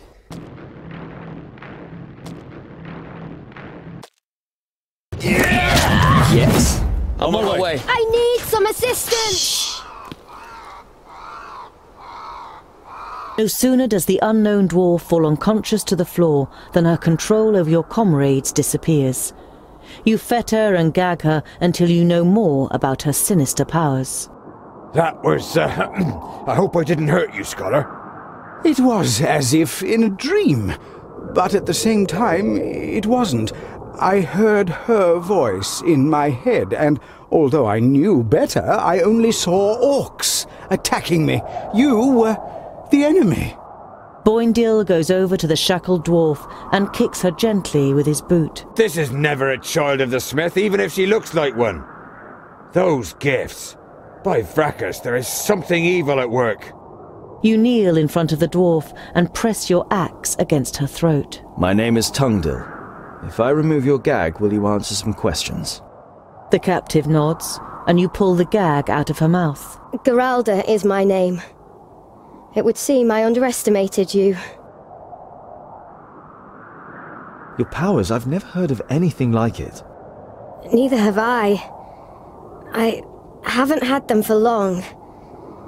When I try to remember, all I see is black mist and I taste iron and mud and there's an elf who... Ugh. Did the älfar give you these powers? When I try to remember, it hurts. Like needles sticking into my head. I am Gerelda Bloodstone. I am. I was. Ugh. You said something about scum when you attacked us. Has Narmora done anything to harm you? Not her, but her kind. Älfar. She is a human. She only acts at being an elf in theatre. In the theatre. For the first time, Geralda looks at Narmora without a hateful expression. She. She must die. Where have you come from and what brings you to Weyurn? I was on my way to the Free Folk. They are said to live in the middle of Girdlegard, without kingdoms or their laws. The free folk? You mean dwarves? Yes, dwarfs who have left their kingdoms, voluntarily or otherwise. Not everyone has a place in their kingdom. You instinctively think of your own plight. You are not a secondling, and won't be welcome among the fourthlings since you placed obstacles in their king's path. Don't believe this nonsense, Scholar. The free folk are just a fairy tale that people tell themselves when they don't want to stick to the traditions. Just look what good it's done Geralda. Geralda prepares to reply, but then she holds back. Enough talk! She is dangerous, probably crazy. She attacked us, we should put an end to her. It's what you call amnesia, memory loss, a tool often used in stage productions. We don't know what happened to her, and maybe she doesn't either. We can't just kill her.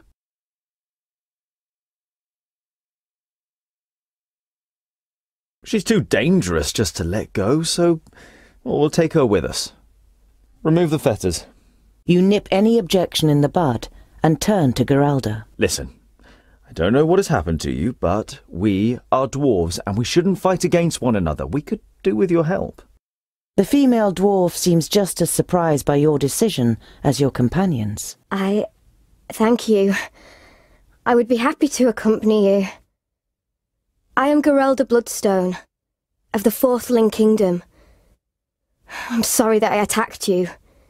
It was a misunderstanding. You realise that your decision doesn't please everyone. Boïndil and Narmora seem particularly upset. But they hold back, and you continue on your way, a slightly gloomy mood hanging over the group.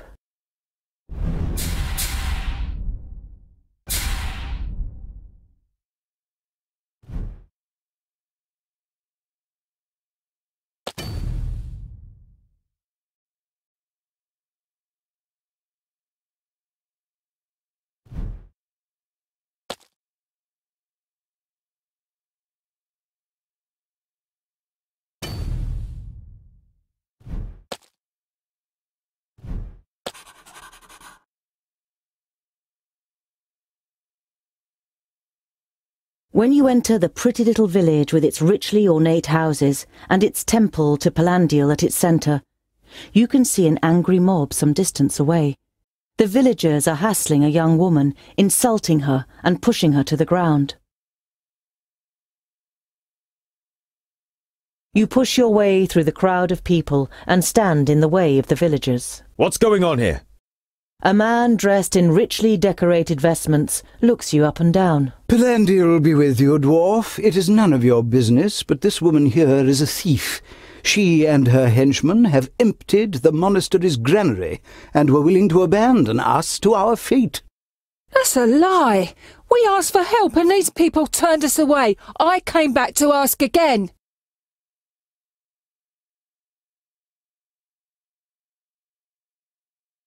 What evidence do you have against this woman? We found the granary broken into. Almost a third of our grain and a significant amount of supplies have gone. And all this just one day after she and her people were snooping around here. That isn't proof. It could simply be coincidence. Anyway, why would a thief come back to the scene of a crime? The priest eyes you in silence, while some of the villagers make it clear that dwarves should keep their noses out of their business. Tell us what happened. The villagers grumble, but the priest gives the woman a chance to defend herself. My name is Tavia. I was forced to flee Tabaîn with my family when the perished land began to spread. My husband, he we had to leave him behind. The horror in the woman's eyes gives you a good idea as to what became of her husband. No one accepted us in the north. There are too many refugees and everyone is scared.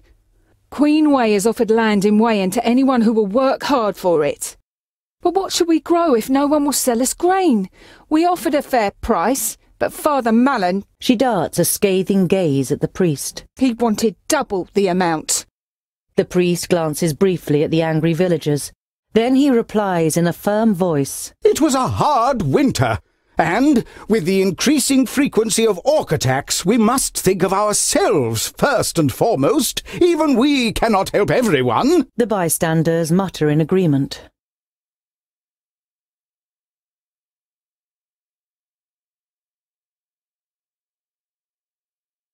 Let the woman go. The priest looks at you in astonishment. He is not used to being given orders. But before he can reply, you step towards him and beckon him down to you.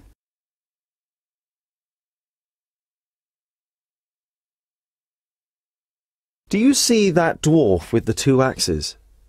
He doesn't like it when a mob wants to lynch someone that may be innocent. You should bear that in mind when you answer. The priest gives Boïndil a worried glance. Beads of sweat are forming on his brow. But a priest of Palandiell isn't so easily intimidated. You there, lock the woman up in the guardhouse. And you, Mr. Dwarf, should leave our village. Good day. The woman is taken into a squat building made of rough blocks of stone. The crowd slowly disbands.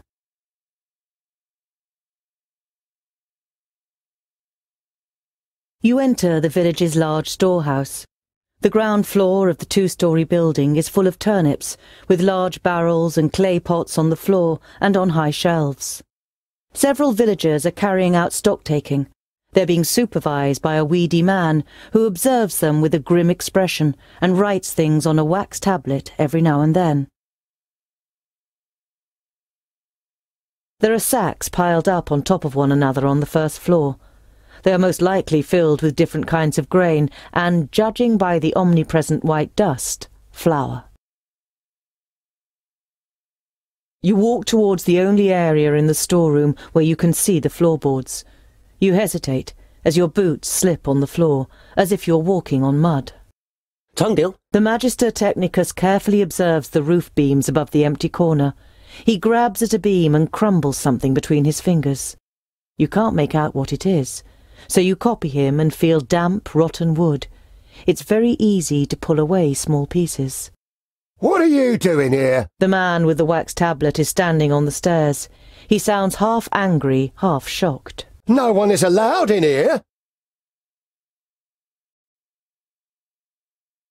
Who are you? What are you doing here if no one is allowed to be here? I'm allowed to be here. It's my job. I'm the steward of the temple. Morris is my name.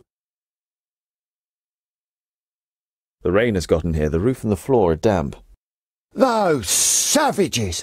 It wasn't enough that they steal from us, they had to damage the roof too! That was probably where they got in. The wood didn't start to rot yesterday, good man. The steward's face turns bright red. And you are the experts on such things, are you? Assuming the roof here has been leaky for a long time, what would have happened to the grain in the sacks directly underneath? Wouldn't it have turned rotten? The man wets his lips. His gaze darts around the room. The roof was fine. I'll have it repaired. And now, get out of here! The steward angrily blocks off all further attempts at talking to him, and even when you threaten him with Father Mallon, it doesn't have the desired effect. The father trusts in him, he says, and he's always been a devout follower. The heavy door of the storehouse closes behind you, and you hear a bolt sliding into place from the inside. You enter the guardhouse, and before the guards know, Boïndil and Boëndal have caught them up in a friendly conversation. Shielded from the view of the guards, you exchange a few words with the suspect without being disturbed. Where have you taken the grain and supplies? I don't know anything about grain or supplies. Apart from the fact that we could do with both, I'm telling you, I am innocent! We won't let anyone do anything to you, but if we are going to help you, you will have to tell us the truth. The woman looks you in the face, then her head sinks, and when she looks back up, she has tears in her eyes. Please, I just want to go back to my family. I don't know what happened. Tungdil. You feel sympathy towards the woman. You raise your hand to silence Rodario and nod to the woman to continue talking. We asked for grain and were full of hope when we saw the well-filled granary. But we hadn't reckoned on the malice of the people here. A slow, ironic clap sounds from behind you. Confused, you turn around to face Rodario. Bravo, my dear, with tears and everything. Tough luck that a master of the art of acting is present. None of what she said corresponds with the truth, Tungdil. She is lying and trying to deceive us.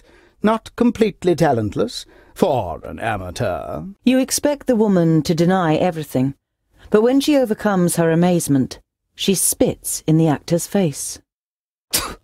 And what if I am? I would do it all again. The people here have more than they need, and my people are starving. Is that fair? Why did you come back here after stealing the grain and supplies? We didn't steal 'em. We paid for 'em. A reasonable price, just not to Father Malin. You had help.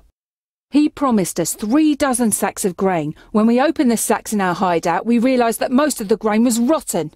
He thought he'd get away with it. The woman looks around wearily. And by the looks of things, he has. Spit it out. Where are the spoils and your people? I'd rather die than tell you that. The woman looks at you determinedly, and neither of you blink. Morris the steward offered you the grain, didn't he? What does that matter? I've no proof it was him. And even if I did, if I admit that we have the stuff, I'll be hanging from a tree by this evening and my children will starve. I beg you, let me go. We bought the grain and the supplies. Perhaps, perhaps he wasn't allowed to sell it to us. But we paid. And with a little seed we can sow, at least some of us have a chance of surviving the year.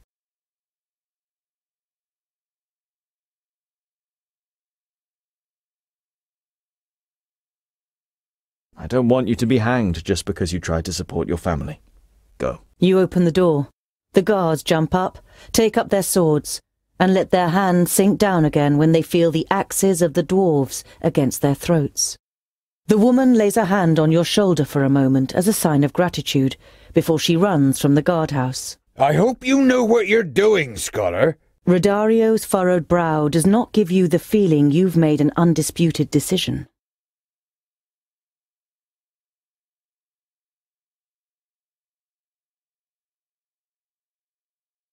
Narmora, find out where she's heading and then rejoin us. Furgas wants to raise an objection, but before he can think of the right words, Narmora has kissed him on the mouth and has disappeared round the next corner. You leave the guardhouse and explain your plan to Father Malin. You expect him to object, but he seems to be satisfied. You assume he'll make you responsible for everything if something goes wrong, and will claim a piece for himself if you are successful.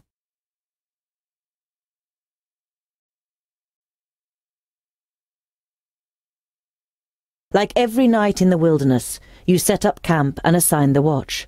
Bavragor takes first watch this evening, while the rest of you sit by a small fire, toasting some bread. You're not particularly surprised that neither Bavragor nor any of the others notice the guest who suddenly appears out of the darkness next to you. Narmora! Furgas jumps up, and moments later has embraced her tightly. Were you able to find out anything? She didn't detect me and led me straight to the hideout.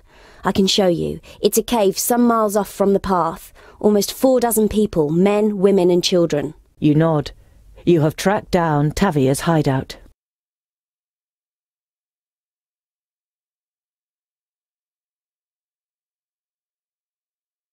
The group isn't overly friendly towards Geralda, and this evening she's sitting once again apart from the others. You ask yourself what you can do to break the ice when you see that she has a file in her hand. The file is wrapped around with silver wire and has a snap lock. The liquid in it is black. Geralda opens the lid and takes a big swig. As she puts down the bottle, a smile flits across her face, followed by a short expression of deep satisfaction. It is the first time that you have seen a positive emotion on the face of the sombre dwarf. Is that medicine? No. It's. I don't know either. If I don't drink it, I have a longing for it. It gets stronger and stronger until it. until I can't stand it anymore. When I drink it, the longing disappears, and I feel rested and strong. And when the file's empty? I don't know. I don't know where I got the drink from, let alone what it is. But if I don't drink it, Vraccas, give me strength. I think I would go crazy or die. Geralda plays with the file, lost in her thoughts, as if she were trying to remember where she saw it for the first time.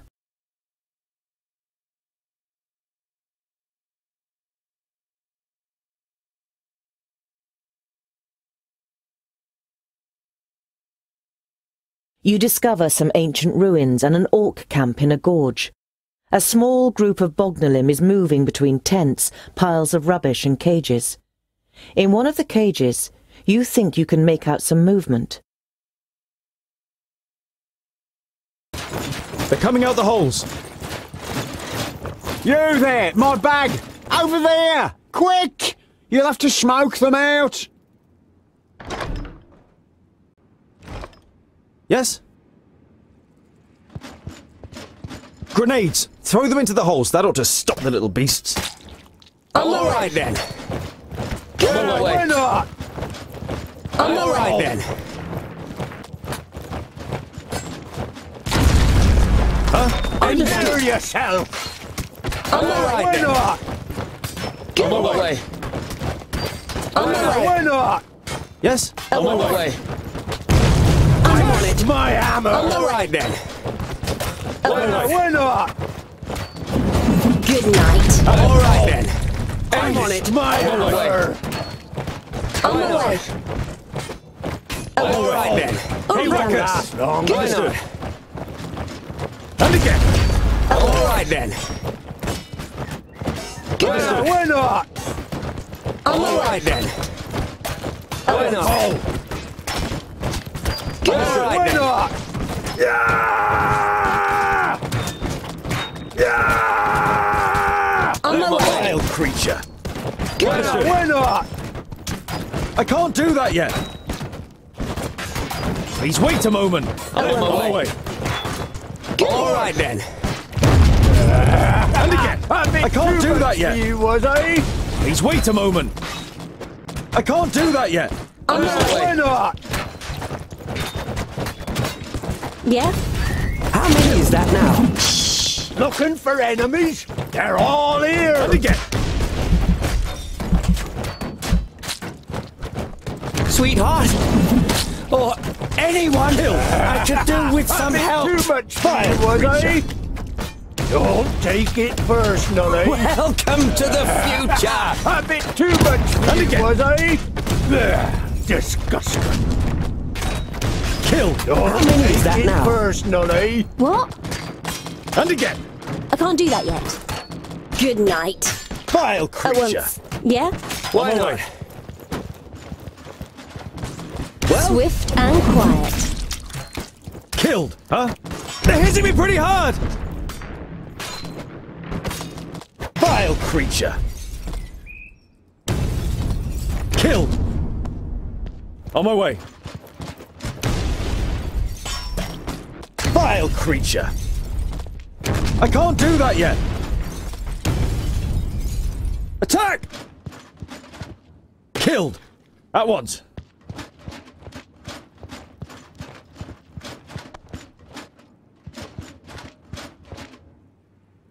Favrakas! Vile creature! Very impressive, I must say. Let me out, my friends.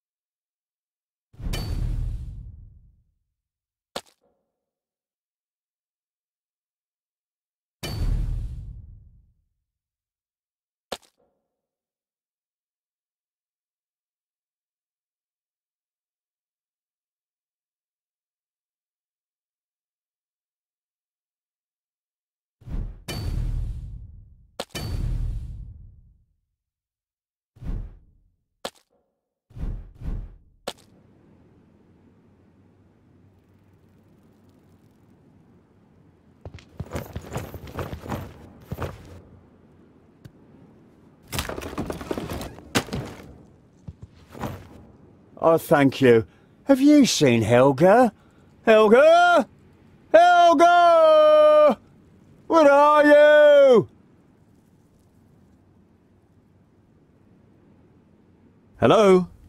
I am Tungdil Goldhand. These are my companions Boïndil, Boëndal, Rodario, Furgas, and Narmora, Bavragor, and Goïmgar. Have you seen Helga? No, we haven't. If you don't mind me asking, what is your name? Call me Ensign and drop the pleasantries. If I may, who is this Helga? Helga? Where? Um, I don't know. I just wanted to know. Helga is my wife. Didn't, didn't I mention that? We came here together, but then the orcs came and she was gone. Do you think she might have gone home? Helga! You have a dark notion of what might have happened to Helga, but as you have no proof, you'd rather say nothing. If, if, if you see her, you let me know, right? What brings you to these parts, Ensign? It's not exactly the nicest of places. Aren't you here for the festival? The unbelievable Wackenstein Festival. My wife and I desperately wanted to see it for ourselves. The Blind Guardian, the statue over there, is the key. It calls people from far and wide to the festival. I finally found some information in the archives of Virunciensis as to how the Guardian is activated. Do you know anything about a secret passage through the mountains? Secret passage? Uh, no, can't say I do. But they say that when the blind guardian awakens, then people will come to the festival from all corners of the world. Maybe they'll come from the mountains too. I wanted to thank you. Your grenades really helped us. Grenades? Oh, yeah, no problem. I used them to break up boulders, but I ended up attracting these pests. Who was to know there are Bögnilim around here? And as if that weren't bad enough, along came the orcs and took me ox skull. Gosh! And Helga, where is Helga? So what have you found out about the festival, Henson? You, you see that statue? That's the blind guardian. You, you could call him the uh, the patron saint of Wackenstein. They say that when the festival begins, then the revellers heed his call from all corners of the earth.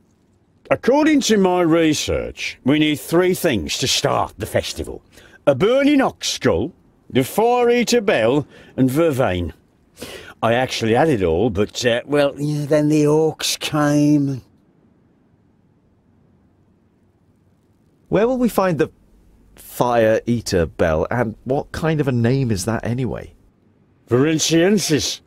I tracked you down to a collector who lives outside the city in an estate on the south wall. According to the legend, the bell was mounted in a black tower. The tower caught fire. The bell fell down and smothered the source of the fire. Now, I'm sure you can work out the rest. The ringing of the bell opens the way for the blazing fire in our souls. At least that's what, what is written. Virunciensis. So what are we waiting for? We'll visit the collector and... Uh, uh, yeah, yeah, um, it would be best if you went without me. I have some things to prepare here.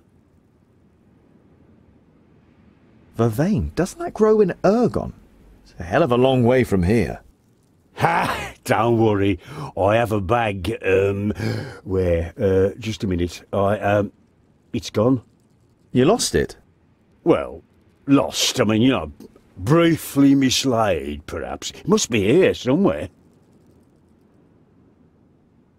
It should be easy to find an ox's skull. All we have to do is find a butcher.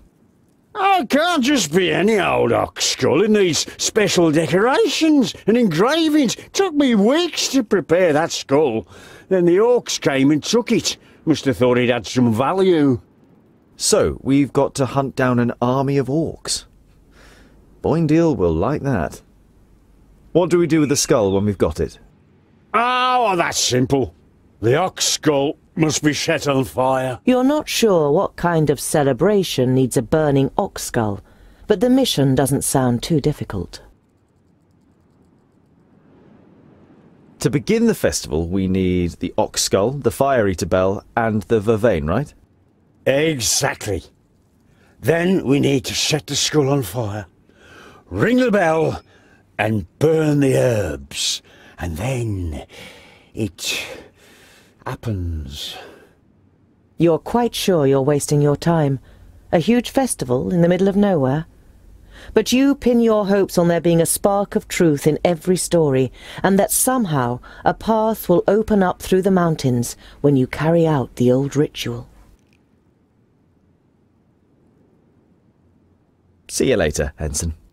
Let me know if you see Helga. If I've understood correctly, the ox skull is to be burned on this stack of wood.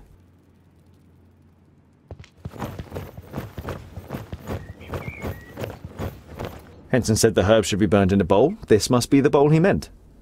Now we just need the herbs.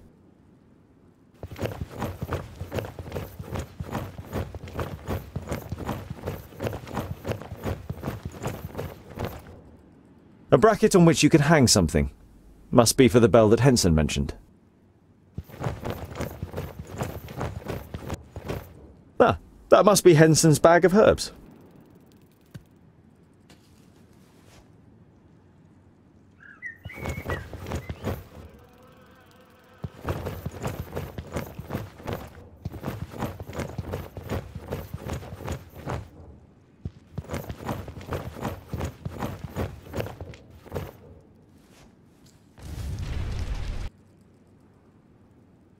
Hmm, something's not quite right.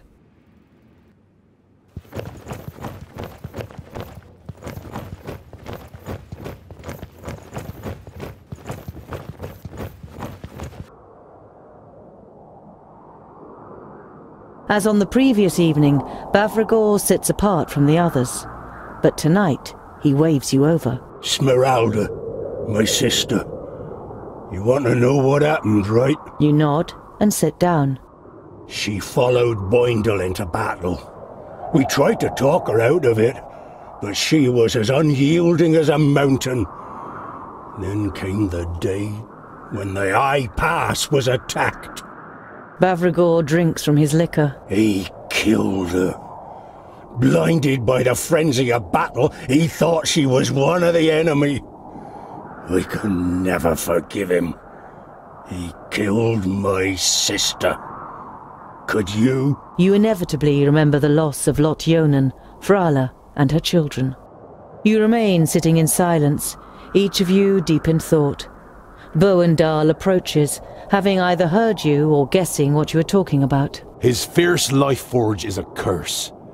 He thought the orcs had robbed him of his love, and the ire came over him. Sometimes he calls her name in his dreams. Oh, he'd never admit it, but he suffers just like Bavragor. He too loved her. The stonemason doesn't react, so you and Boëndal go back to the others by the fire.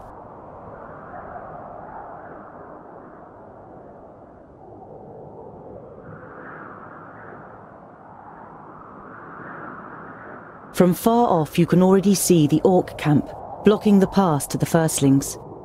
You move away from the path and observe the camp from a nearby cliff. You see strong fortifications and hundreds of orcs. Finally! Now that's what I call a challenge. Let's go! Frontal attacks may have worked in the past, but this here is more like capturing a stronghold. It requires a large military force or a good strategy. Both would be best. We should search for another way. I could go and take a look and perhaps improve our chances for an attack. You remember how the actor had transformed himself into Lot Ionan and Nudin in Mifurdania. You certainly wouldn't bet against him being able to walk through the orc camp unnoticed. I'll come with you. If I stay in the shadows, they won't see me. The actor nods gratefully. I'll come too. I also know how to keep myself hidden. Narmora wants to object, but you are quicker. Thank you, Geralda. Two more eyes and ears would be helpful on such a mission.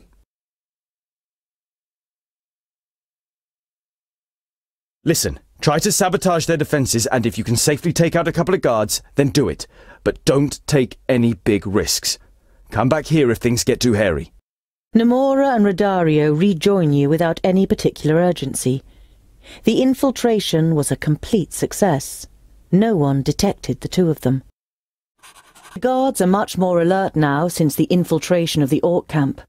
You have delivered a serious blow to your enemy, and an attack should now be significantly easier. You enter the Orc camp with your companions. You have a long way ahead of you.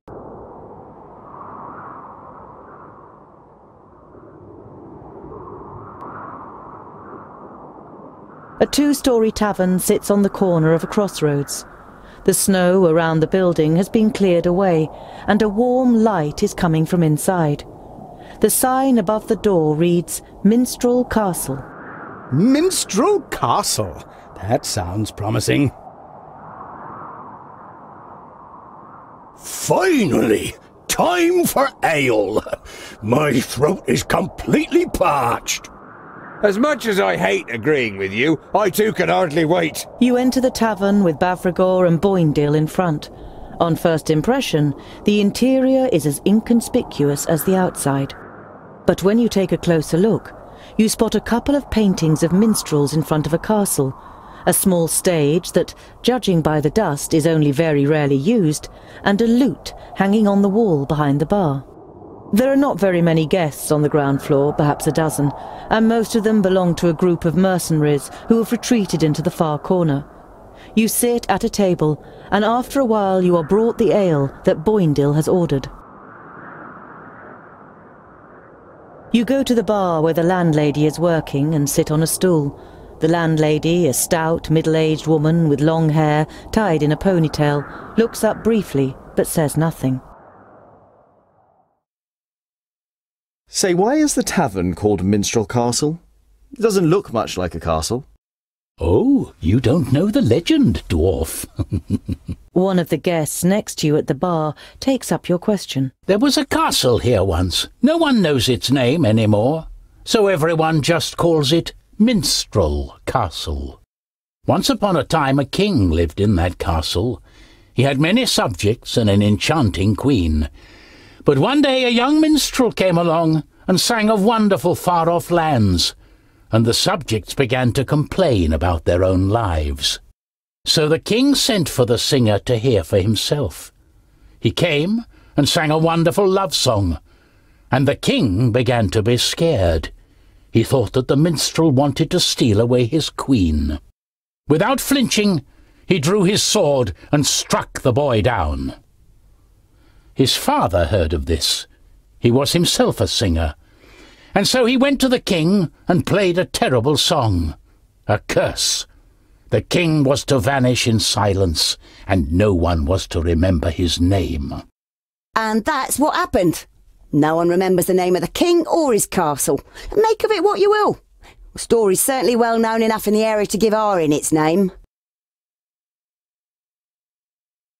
You nod at the landlady as you slip off the bar stool, and she nods back.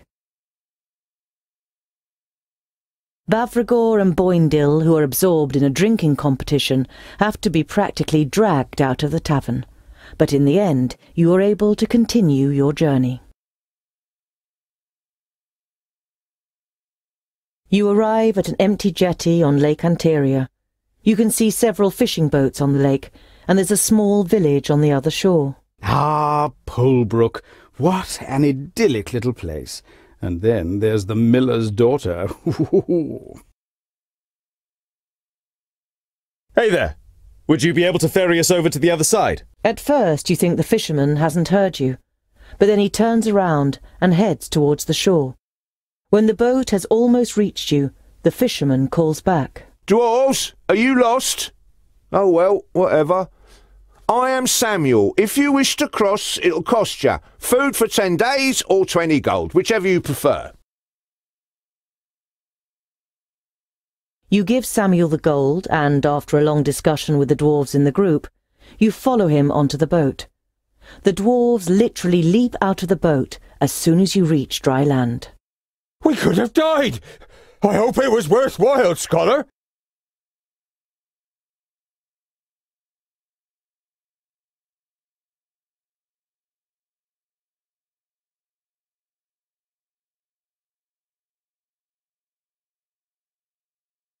You can make out a cave in the bank of a dried out riverbed, with several small fires burning in it. You don't see any guards, so you approach carefully. Men and women jump as they notice you. There is terror written in their emaciated faces. When a little girl screams and runs away from you, the whole camp is alerted, and a group of men and women step out of the cave. Is that them? Your benefactors? Tavia, who came out of the cave next to the man, nods. You've led them straight here. Who are you? The man resembles Tavia. His face too tells of a struggle between defiant determination and fatigue and resignation. I am Gerald, Tavia's brother. I led these people here from Tabaîn. You look around you. You guess there are about ten families, less than fifty people. Half of them are children and youths. Tabaîn is a fertile country in the north, but much more importantly these days, it borders the Perish land to the east. How are things in Tabaîn? Gerald's expression changes. It's as if he's looking through you. The Perish land is raging. It poisons the spirit, and those who become possessed by it just... Gerald looks at his hands, which he involuntarily forms into claws. They no longer recognize you. Brothers, mothers, children. My brother-in-law. I had to... With visible effort, he wrenches himself free of his terrible memories. We can only hope that the Magi manage to build a new barrier soon. You cannot bring yourself to quash the last hope he has.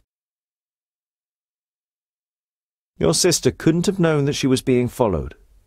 Narmora has quite a talent for not being seen. She shouldn't even have gone to Seaton in the first place. I knew that nothing good would come of it. Tavia went to Seaton on her own initiative. Our gold was gone and our supplies were dwindling, despite being on half rations. I said we should just take what we need if no one is going to help us, but my sister wouldn't have anything to do with it. She took the wedding jewellery from our village, the most valuable thing we had with us, and sold it without my knowing. She then took this money and went to Seaton with several men.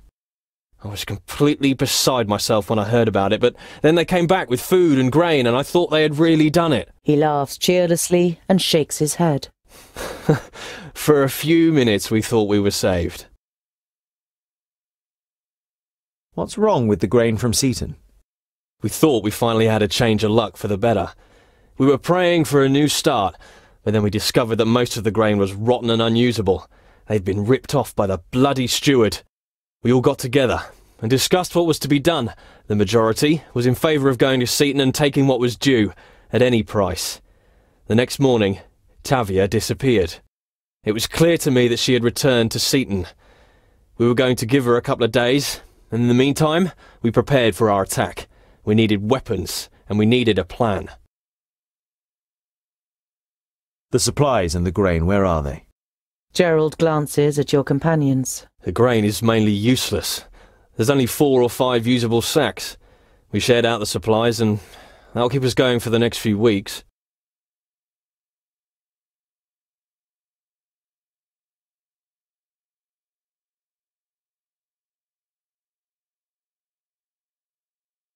If you return the grain, Father Malin may temper justice with mercy. Mercy? Gerald spits at the floor. Let my people starve so that the people in Seaton can live in affluence for another year? No, I won't let my family die. The grain and the supplies stay here. Gerald braces himself, placing his right hand on his axe.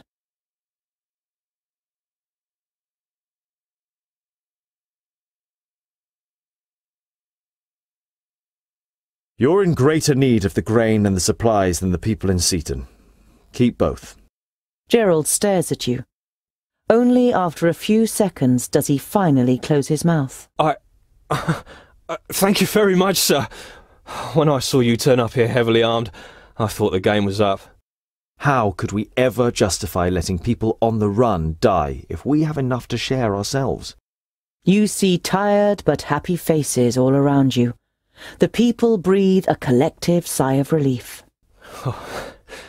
Know this, Good dwarf. Whenever you need help, we'll come. We'll stand by your side. We don't have much to offer you, but we can muster together a few strong arms for battle, and we have some outstanding archers. You nod and are happy to have made some new friends.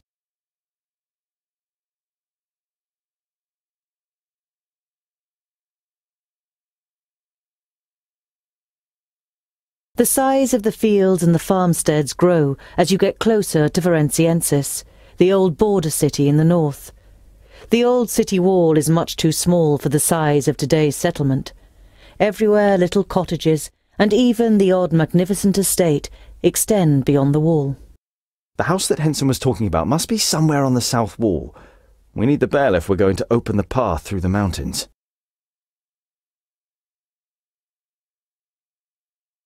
You follow the street to an estate on the south wall, which is surrounded by a fence. The paved path to the door is lined with hydrangea. You knock on the door gently, and after a while it is opened by a chubby man in expensive clothes. The man gives you a fleeting glance. We don't want to buy anything. He intends to close the door again without waiting for your answer. Wait, I've been told you have a rare bell, Fire Eater. The man pauses. Fire Eater? How? Before he can finish what he's saying, a red-haired woman pushes past him. She is also wearing expensive clothes and is heavily made up. After she gives him a stern look, the man disappears into the house. She scrutinizes you with greenish-blue eyes. How do you know about that, Shorty? A man called Henson. Henson? The vagabond that broke into our house? Now he's sending groundlings to assassinate us and steal our belongings. What did he tell you? That we have gold, jewels? Um, no. Henson is our adversary. We want to snatch the bell away from under his nose. The woman's eyes pierce through you. You manage with great effort to resist her gaze. Hmm. I'd like to get that ugly thing out of the house. All right, then. I'll sell you the bell for 500 gold pieces. Five hundred gold coins. All right then. The woman takes the pouch of gold from you with a broad grin and disappears through the door, which slams shut with a loud bang. Uh, hello? Have you been duped? It dawns on you that you haven't yet seen the bell. The door opens again. The man of the house pushes out a wheelbarrow containing a large object inside a sack. May Fire Eater bring you great pleasure. The man dumps the bell on the floor with a muffled bong. He seems anything but happy that his wife has sold the bell.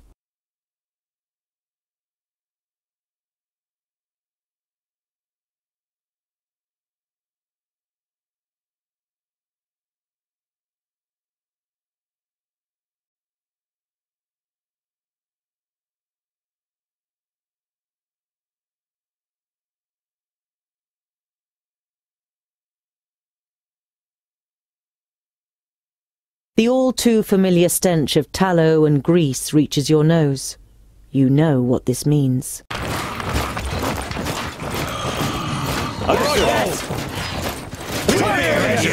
And again. Forever. Vile creature. Fire, you! Look for you! A bit too much for you, was I? On my way!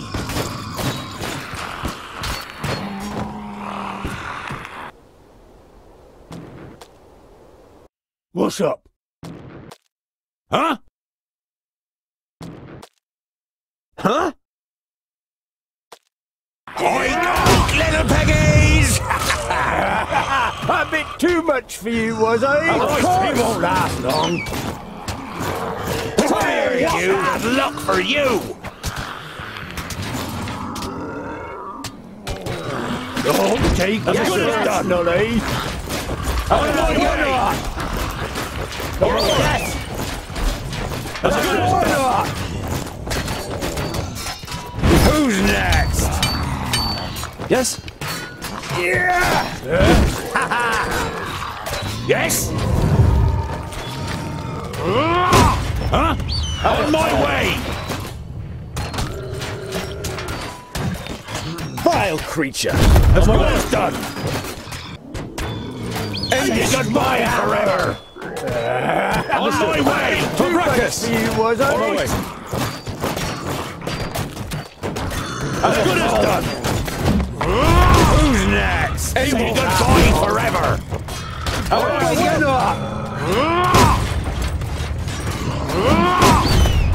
Huh? On my way! Huh?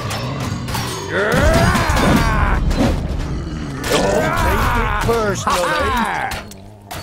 That's good Bad luck for you! I didn't hit you very hard! Vile creature! Oink, oink, little piggies! oh, what bad luck for you! Pow! Another one bites the dust! All right. Say goodbye forever! Yeah! Killed! Huh? Bad luck for you! Ha ha!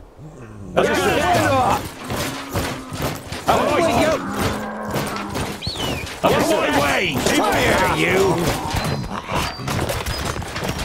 Who's next? Yeah! Yes? Say goodbye forever!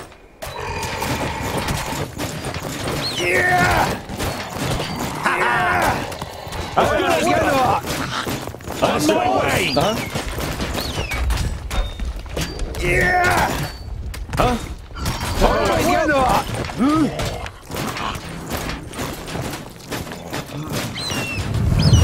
oh, Who's next? On my way! Vile creature! As done! Say goodbye forever! He hardly put up a fight. Hmm. Killed!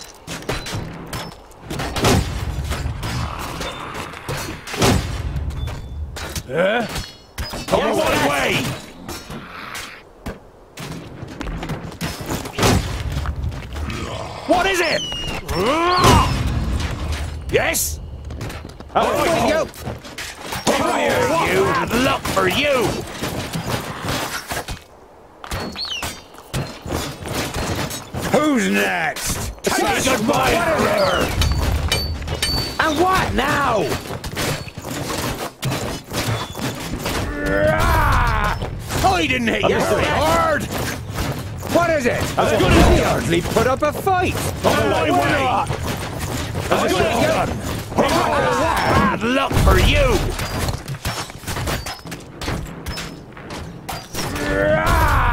Huh? Yeah! Yeah! Huh? On my way! As good as done! And what now? Huh? On my way! Vile creature! Come here, you! As good as done! Vile creature! Killed! Say goodbye forever! Vile creature! On my way! Ha ha! Come here, you! Hammer! Huh? Don't take it personal. While the others take care of their wounds, you find a brown, well cared for leather bag. You are certain the bag hadn't belonged to an orc, and inside you actually find a decorated ox skull. This will please Henson. With this, you are a step closer to a way through the mountains or a huge disappointment.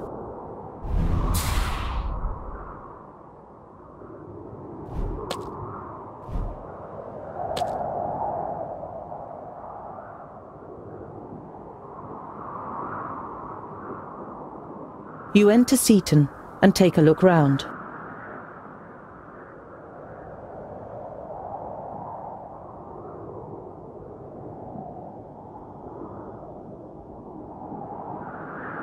Your path leads you once again to the Minstrel Castle Tavern. The warm, familial glimmer from inside is, as ever, inviting. You enter the tavern again You go to the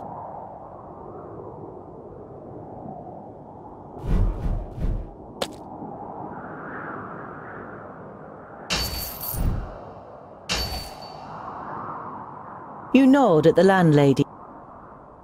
Bavragor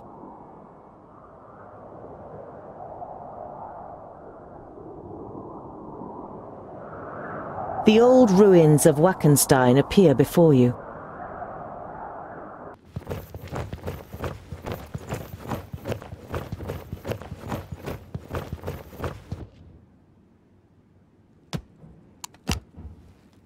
Right.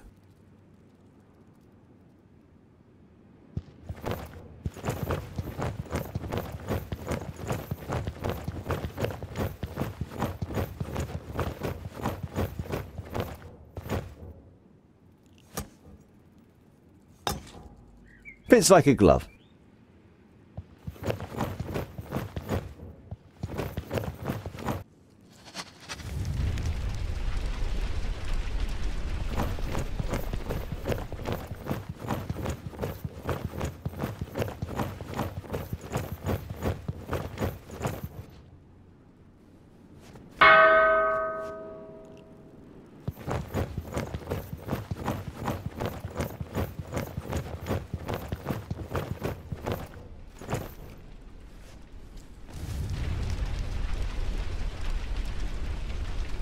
Loud and powerful music follows the fog and the figures, crushing over your head in roaring waves. The force of the music clouds your senses, and it seems as if the statue of the blind guardian rises from his throne. You want to draw your companion's attention to it, but then you suddenly realize that you have a tankard of ale in your hand. You instinctively try it, and are happy to note that you haven't drunk such good ale since Ogre's death. The night becomes a colourful whirl of ale, music, dance, and ecstasy. You can no longer remember why you're here or who you're celebrating with. For a few hours, you forget what was and what is to come. You are completely in the here and now. You wake up the next morning. You're lying on your back and staring into a sky that is much too bright. You turn onto your side with difficulty and see your companions all around you, but no one else. The remains of a wild party, campfires, tents, and ale tankards are still there, but the magic has gone. You stand up, muttering curses, and try to suppress the taste in your mouth and the pain in your head. To your great surprise, you see that the stony figure of the blind guardian has revealed a tunnel that leads into the rock of the mountain.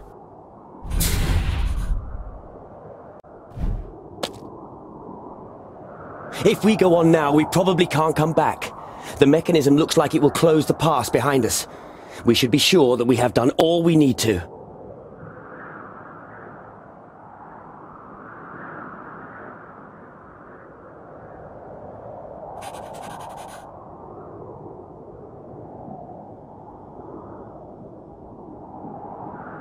While you rest under a ledge at noon, Rodario and Furgas decide to go ice fishing, and the dwarves immediately pronounce their opposition. Ice and water are both treacherous. They entice you to them.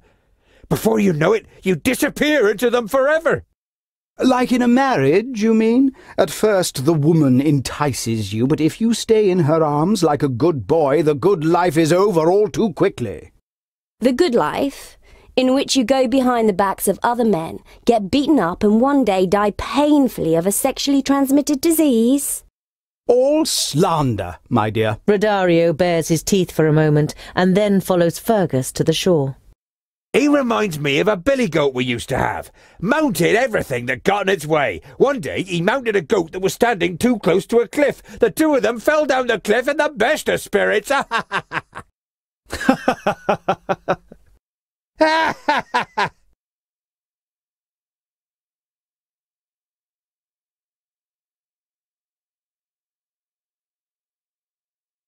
Your path leads you over a snowy, hilly plain, and as you scale a particularly steep hill, you falter. A crevasse opens out in front of you. You look around, but there isn't any point nearby where you could cross over the gap.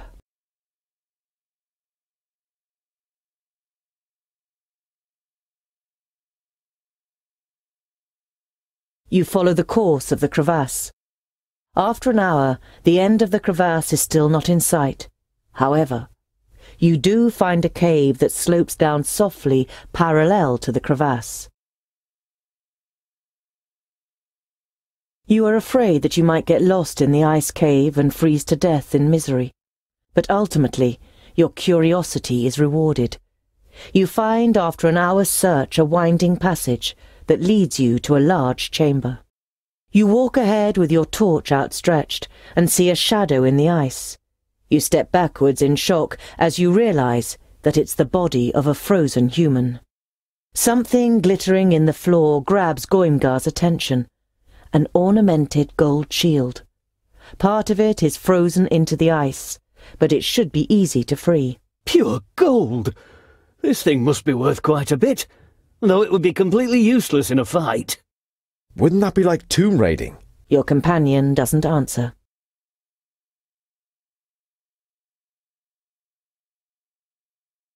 It doesn't feel right. We'd best leave the shield with its owner. You take a short break and then look for a way back to the surface. You find it quickly and continue on your way without any further delay.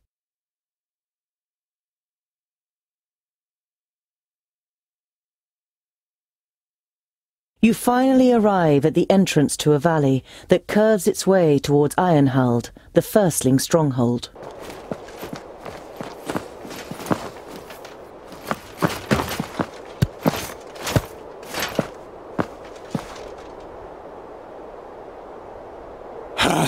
By Vraccas, we've done it! Ah! Get down!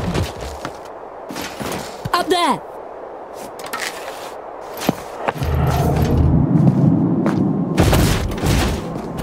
Run! I can't maintain the spell for long! Put him on Goïmgar's shield. To the gate. Quick!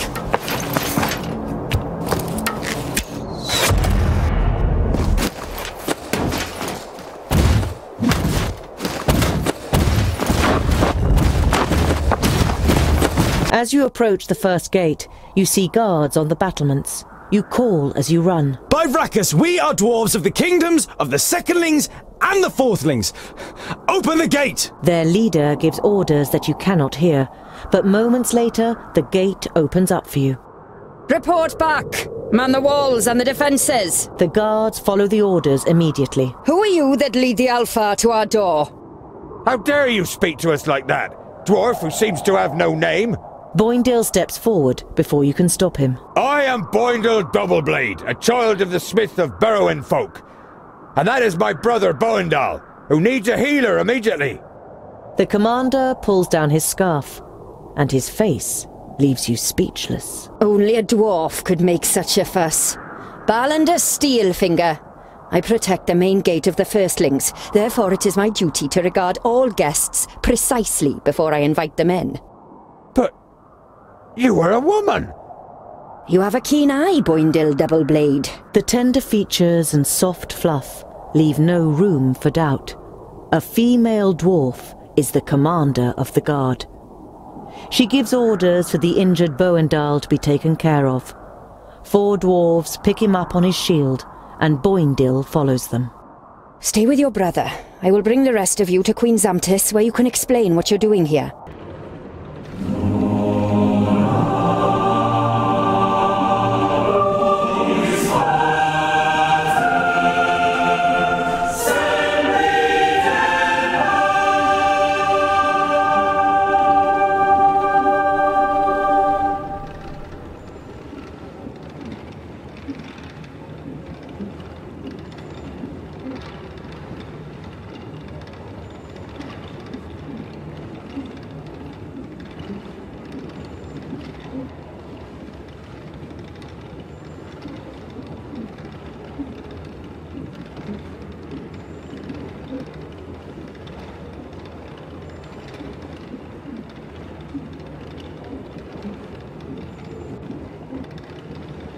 Closer, and be welcome to the kingdom of the firstlings.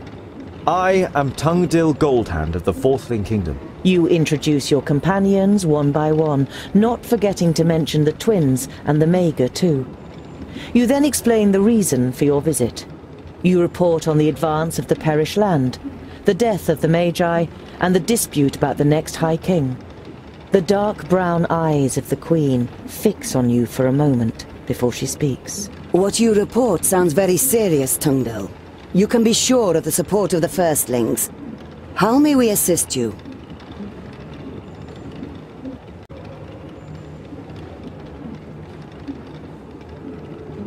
There is only one way to defeat Nôd'onn.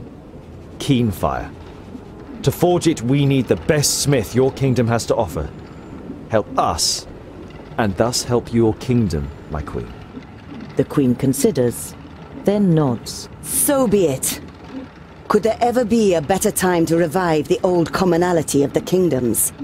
Balyndis here is not only my best warrior, she is also my best smith. She will accompany you. Your eyes fall upon Balyndis, and you notice the blood rushing to your cheeks. I will do my best.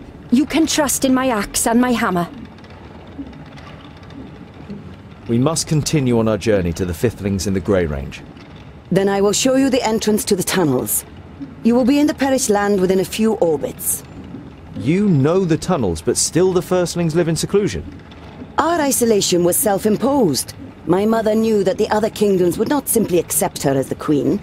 She wanted to give them time to get used to it. Your Highness, in the name of the Council of the Kingdoms, I request that you send a delegation to the Blue Range to take part in the discussions. We all have a common enemy. There has never been any enmity between my kingdom and the others. It was more neglected friendship and habit that has made us strangers to one another. As soon as you set off for the Grey Range, we will head east to see our brothers and sisters again. I will have rooms prepared for you and your companions so that you can rest. It has been some time since we have had guests, but we still know what hospitality means. Come to me when you are ready to depart.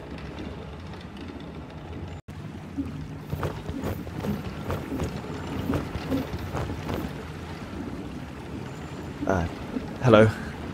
What is it, Tundo? What is it like living with the Firstlings? I haven't seen much yet, but many things seem to be different to life with the Secondlings in Ogre's Death. I can't make any real comparisons either. I grew up here and have never left our kingdom. I can hardly wait to see the halls of the Fifthlings. They were the best smiths before we took on the mantle. Don't expect too much. Their halls have been in the hands of the enemy for over a thousand cycles. I read that the orcs avoid the stronghold, as if there were a curse on it. Even reading doesn't seem to be frowned upon among the firstlings. You feel at home here.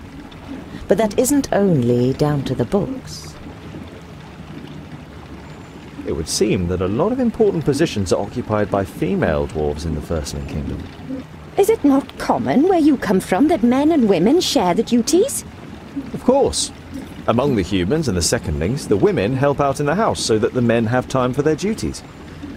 That's how it is written in the books, too. Here, posts are assigned according to the skills of the applicant, not gender. It's only natural that the most important posts are occupied by women. She winks at you and gives you a knowing glance, although the whole thing still befuddles you. See you later.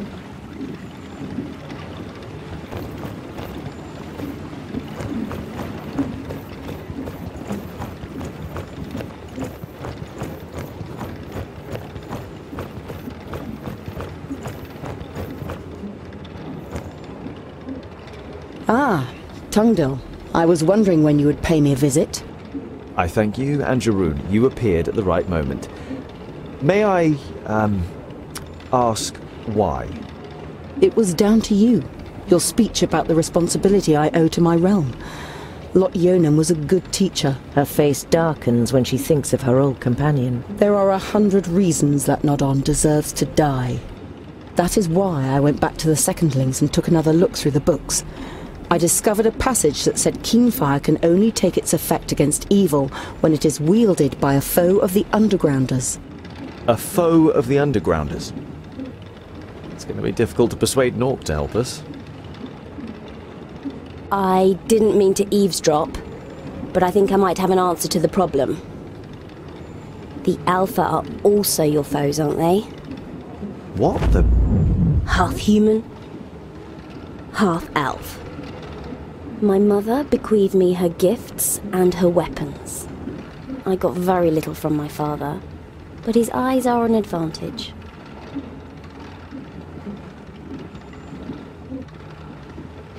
And you're sure that only a foe of the Undergrounders can use Keenfire? Anyone can use it like a normal axe, but only a foe of the Undergrounders can command its magical powers. I don't know much about her, but a half-elf should pass as a foe of all dwarves. We should keep your parentage secret, especially from Geralda. I'm in no doubt that the Älfar did terrible things to her. And I'm not keen on letting her kill me. If what Narmora told me earlier is true, this Geralda could be just as great a danger as Nôd'onn. She could take control of generals or kings, maybe even me. You are aware of the danger, but you don't have the energy to think about it right now. You push the problem aside. Then that's agreed. We will keep Narmora's secret to ourselves. All right then. You will wield Keenfire in the battle against Nôd'onn. But we're going to have to make it first. You said it. The actress takes her leave with a little nod.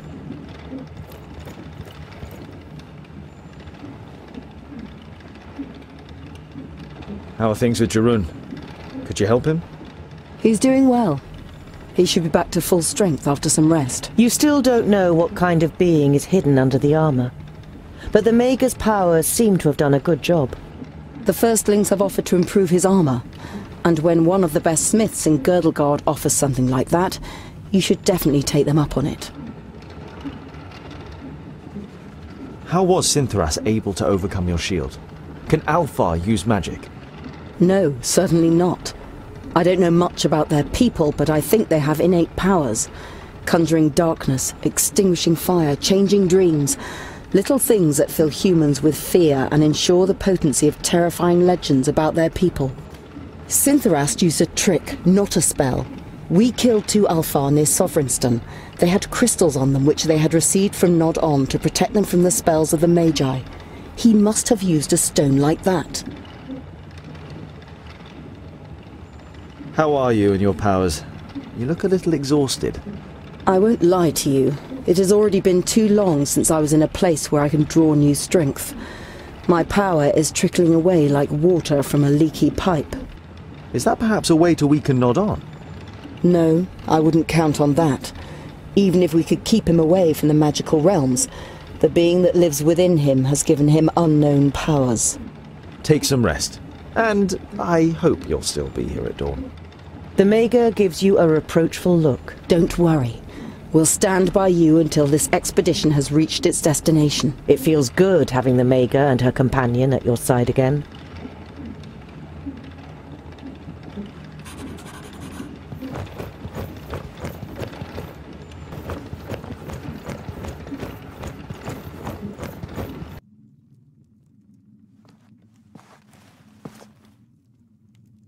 Ah, Tungdil. How is he? He's lost a hell of a lot of blood. The crazy glint in Boïndil's eyes has given way to serious concern. Ha! I'm doing fine. Ah. You must rest, brother.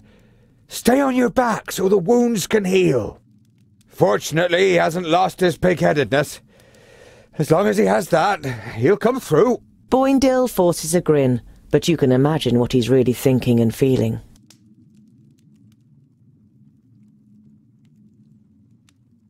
I thought Andôkai was going to look after him. Didn't her magic help? We don't want her help.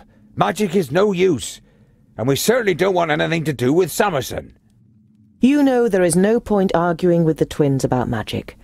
There is too much of a fine line between conviction and stubbornness. Boëndal would rather die than be healed by the Maga. We'll have to go on without him. He won't manage more than a hundred paces without dropping down dead the state he's in. No! I'll manage, Scholar. Just give me two orbits, then I'll be fine. It's, it's just a scratch. Boëndal tries to stand up, but he doesn't have the strength. You shake your head. Stay here and recover, Boëndal. We'll meet you again in time for the big battle against Nôd'onn. You have done your bit. But where one of us is, the other is too. It is the greatest deed that has ever been carried out by our people. Oh. It would seem you are right, scholar.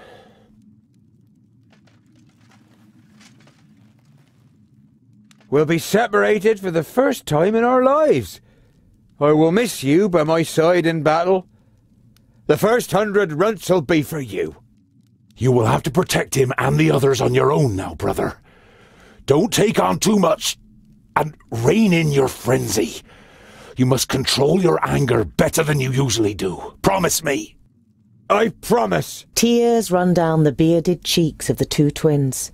They have never had to part like this before.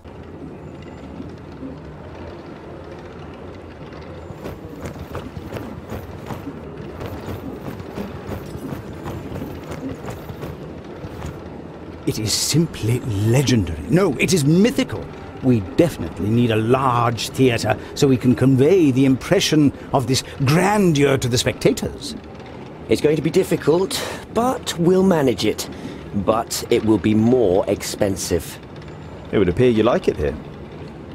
Like it? It is fabulous! I almost feel like giving up. Not even the best of illusions could possibly imitate this. But say, what brings you to us, Tungdil? Every step from here on is more dangerous than the last. Are you sure you want to continue on our journey with us? Of course. Every story needs an end. What kind of play would it be without a third act? There is no way I'm going to let Narmora ride into battle on her own. I will be there to assist her.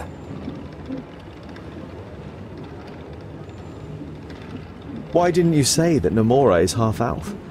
If our spectators knew, they would run away screaming. So I'm sure you'll understand that we couldn't tell a group of armed dwarves either. You have to admit that you don't know how you would have reacted if Narmora had revealed herself in Mifurdania. Fear and hatred of the Älfar is deeply rooted. You already know her, Tungdil. She has skills, but her lineage does not determine how she thinks and acts. She is the love of my life, and I would go crazy if I were to lose her. And how is your new play coming along? Good, very good.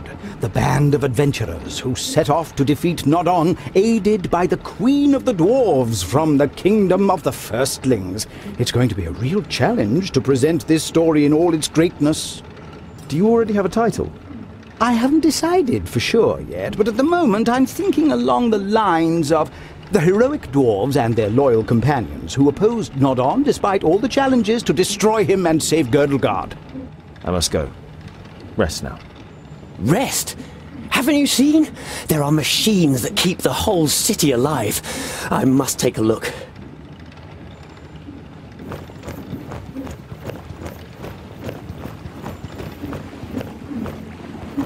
You guess that this water powers all the machines in the underground city.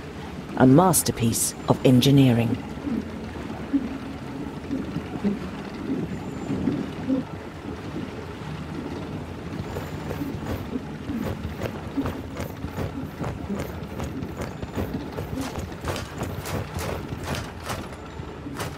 I've gathered all of the metal we need for Keenfire. I'm ready to depart. You nod and then look her solemnly in the eyes. Once we set off, stay in the background, keep out of fights, and avoid all danger. The female dwarf's expression darkens. Shall we engage in a trial fight, Mr. Dwarf? No, no, by Vraccas. No, I, I know that female dwarves can fight. It's because of the axe. You're the only one who can forge it. If something happens to you, we won't be able to stop Nôd'onn. The face of the smith relaxes, and then a smile appears on her lips. I can look after myself.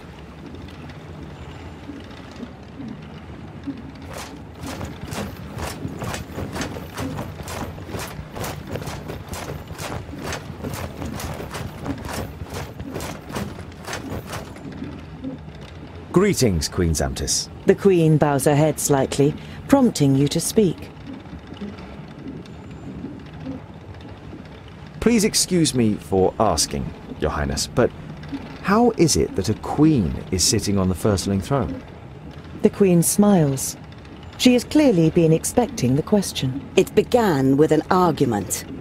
My father valued my mother's advice, but disputed her ability to lead the kingdom. This frustrated her, and she demanded the chance to prove the contrary. In the end, they agreed that my mother would govern the firstlings for 14 orbits. During this time, there was an attack by trolls, and my mother put them to flight with cunning and bravery. When my father demanded the throne again, she defied him, and the clans followed her. The other kingdoms were appalled and refused to receive my mother, but our kingdom saw that she was a good queen. And when she died 230 cycles ago, the people demanded that I should follow her onto the throne.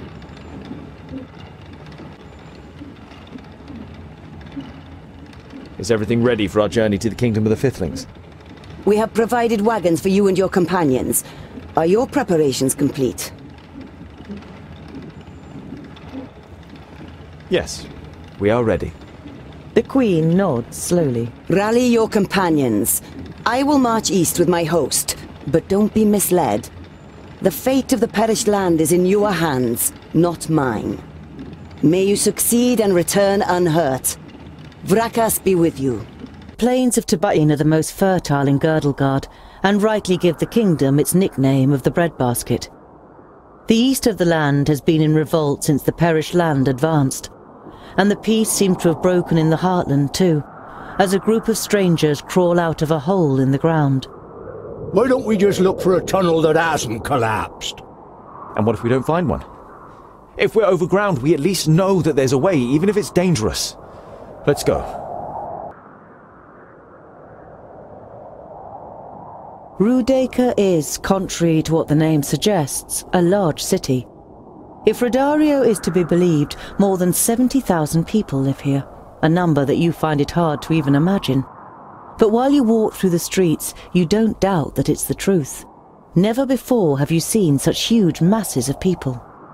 If we are looking for somewhere to quench our thirst or for a roof over our heads, then I would recommend the Golden Well Tavern. And we can find everything we need for the rest of our journey at the big market. Just say where you want to go, Tungdil, and I'll show you the way.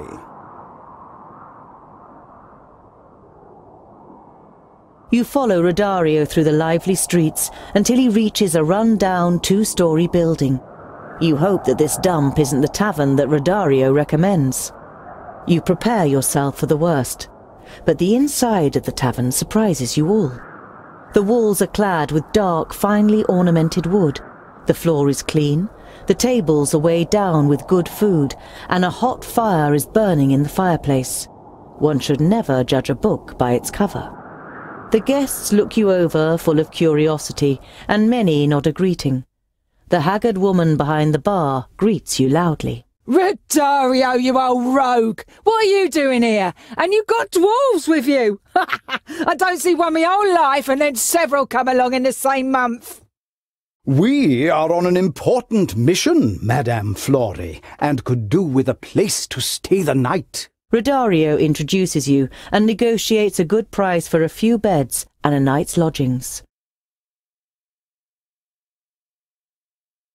Sorry for asking, but you said you'd seen some other dwarves recently. You're thinking of Gandogar's group and wonder whether they might have reached the kingdom of the Fifthlings already. Yes, a nice bloke from the west. Paid for his room for a month in advance and then disappeared. Travelling lights. The landlady's expression darkens. That was three weeks ago. If he doesn't come back soon, I'll have to release the room.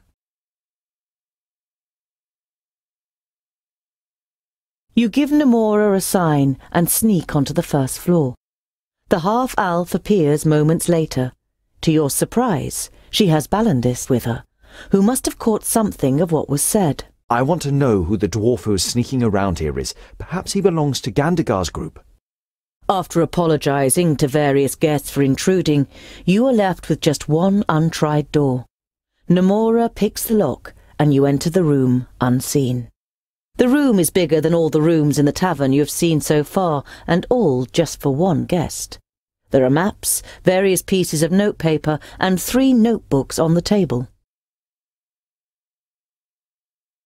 The notes are partly written in Dwarvish and partly in the language of humans. The three of you scan through them until Balyndis draws your attention to a map on which the route from the kingdom of the firstlings to the kingdom of the fifthlings is marked. What would make a firstling travel to the perished land, or even to the kingdom of the fifthlings? You believe you've found an explanation. Here, this letter.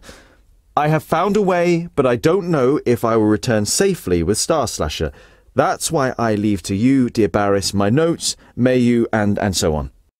Star Slasher? You have come across this name in the notes a few times already, but you just shrug your shoulders and throw the letter back onto the table in disappointment. You had hoped to have found out some news on the whereabouts of the other group. Uh, a sword. Apparently it was given to Giselbert Ironeye by a caravan travelling from the other lands. It seems we're dealing with a treasure hunter.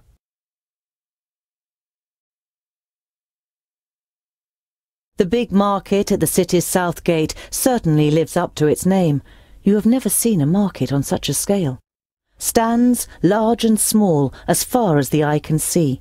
Everything you could possibly need can be found here, as well as plenty of things that seem to have no use at all.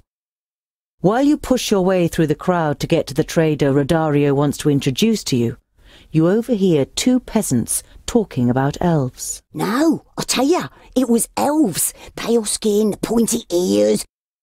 Yeah, something strange is going on these days. Old Trundlewood from down Acrehill way said he saw some pointy ears too. Come to think of it, where's he been all week? Here we are. Rodario's sudden announcement draws your attention away from the locals to the tent that you're now standing in front of. Welcome to Brand's Potpourri. Whatever your heart may desire, I can supply.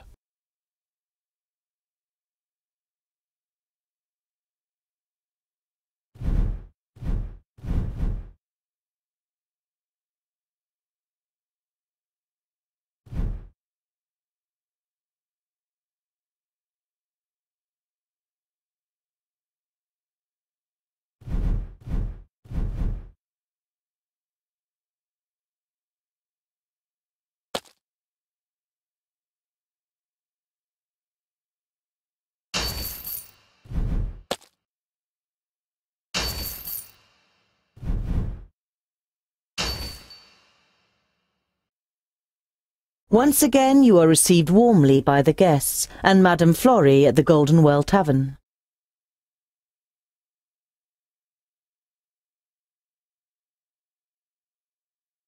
You are woken with a jolt in the middle of the night by a blood-curdling scream. You look around in panic and see that the others have been woken too, but only Geralda has beads of sweat on her brow. She is breathing heavily. Concerned, you go over to her. I can remember. The Älfar. They are doing experiments on the children of the Smith. We have to save them. Älfar? E experiments? What are you talking about? I can remember everything. Or at least some of it. I know that I was taken prisoner by the Älfar, along with other dwarfs. They experimented on us, and I somehow escaped. Where was this exactly? Uh, they are here, nearby. It was a, a village, I think. An Älfar village in Tabaîn doesn't sound very likely.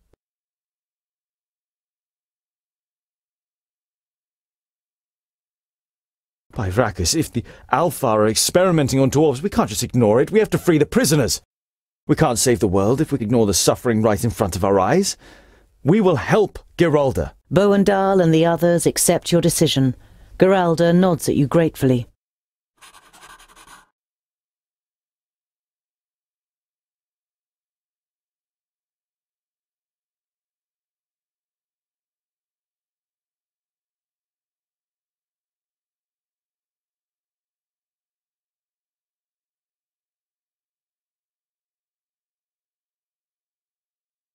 When you reach Acrehill, there isn't a single villager in sight.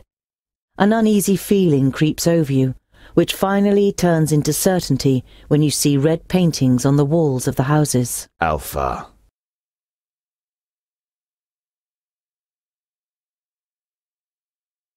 The pictures, painted in blood, tell the horrifying story of how the Älfar came to the village and killed the inhabitants. You also find a few elaborately carved bones, some larger ones, like those of humans, some smaller and stronger, like those of dwarves. When you reach the other end of the village, disgust is written in the faces of your companions. None of you says a word. As expected, you don't find any survivors, but there are also no undead. The perished land has not yet advanced this far. You discover some footprints on the northern edge of the village. It was orcs. Looks as though they waited here while the point ears wreaked havoc in the village.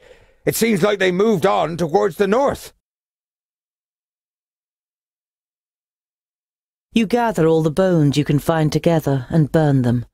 You wash over the paintings with water from the well. You weren't able to prevent this gruesome incident, but you don't want to leave a single trace of it behind.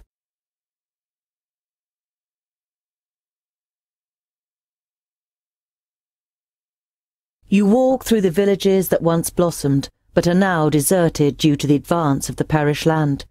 The colour has drained away from the wood of many of the houses, just as it has from the countryside itself. A carpet of withered plants rustles and crackles under your feet. You don't know if the perished land can ever be driven away again, and even if it can, it is questionable whether people will ever live here again. You sigh, and try to drive these dark thoughts away from your mind.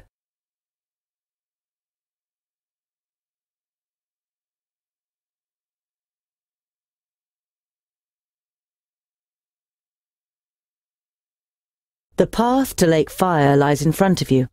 That is where the dragon Brambusil is said to have dwelt, before being killed by the Fifthlings, so they could light the Dragonfire Forge with his flames.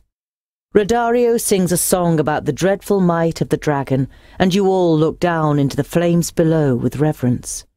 When you finally turn away, you think you can see a slight look of sorrow in Boïndil's face, sadness at the fact that the dragon has already been defeated by someone else.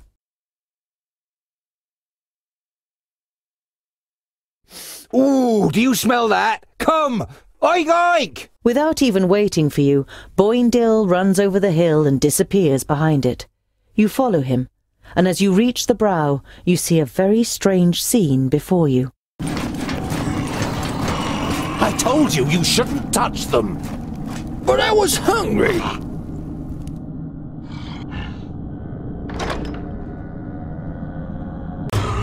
Yes? Come here, you. Earthlings!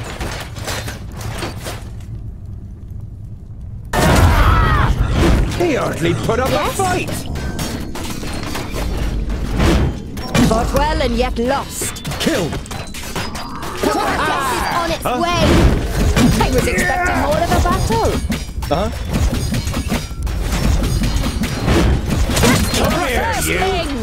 Oink, oink, little piggies! Emeritus! That was good training. What is it? Yes? Yeah! Uh-huh. Oink, little piggies! huh?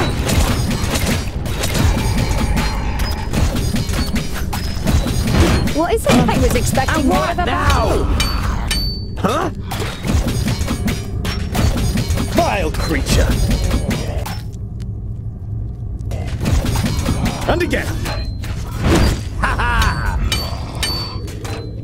And what now? Vile creature. Oink, oink, little piggies! yeah! Vile creature. Yeah! What is it? Huh? Who's next? Oink, oink, little piggies! Vile creature. Ah! He cheated! Yes? Uh-huh. Yeah! Vile creature. Understood. On my way. Attack! I need some assistance! I can't hold them back! Vile creature! Huh? Understood. At once. For! Yeah! End it! Yeah! For! On my way. Yeah! At once. On my way. On my way. Yeah! End it! Vile creature! At once. Yeah! Attack! Killed! End it! For Vraccas! Yeah! End it! Vile creature! For Vraccas! Attack! And again! End it!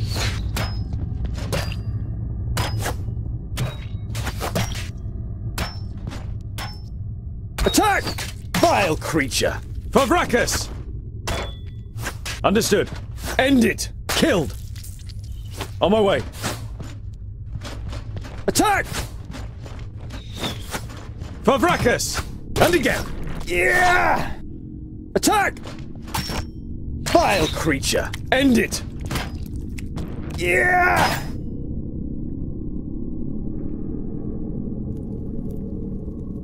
The chaotic battle between the orcs, the undead, and you comes to the best possible conclusion. No one else is standing but you. You decide to have a little look around. The closer you get to the murky pool, the worse it stinks of decay and death. At first you thought it was only dirty water, but for as much as you can make out through the gloom, it seems almost black and has wondrous streaks.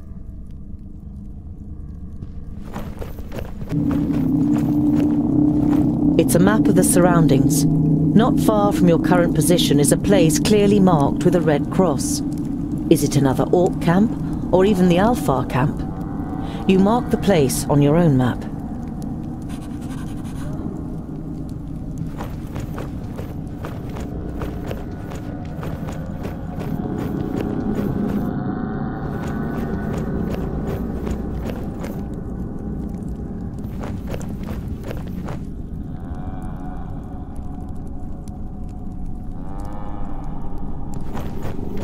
You tremble at the thought that you could end up the same way. You hope that one of your companions would have sympathy with you if you were to die in the Perish land.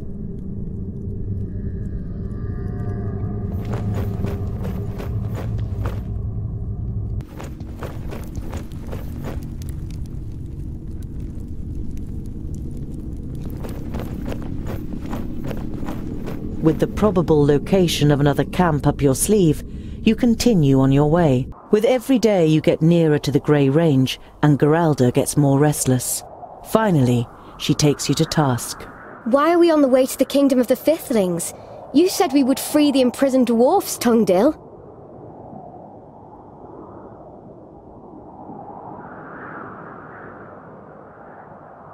Don't worry, Geralda. I just wanted to take a look around. We're still searching for the imprisoned dwarves.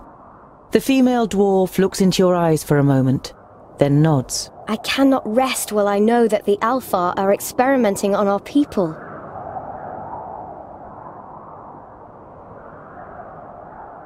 Geralda struggles to keep pace all day, and when you see her struggling, you give the order to set up camp for the night earlier than usual. Are you all right? The female dwarf looks ill, and as she's aware of the fact, she doesn't even try to make excuses. The potion! It's finished! I need more of it! She looks at you imploringly, as if you could help her. Over the next few days, Geralda's condition grows increasingly worse. She begins to shiver, and more than once you catch her muttering to herself and glancing at Andôkai surreptitiously. The Maga claims she does not know what kind of potion it is and why Geralda might need it. You believe her, But you also notice that Andôkai doesn't really seem interested in finding a solution to the problem either.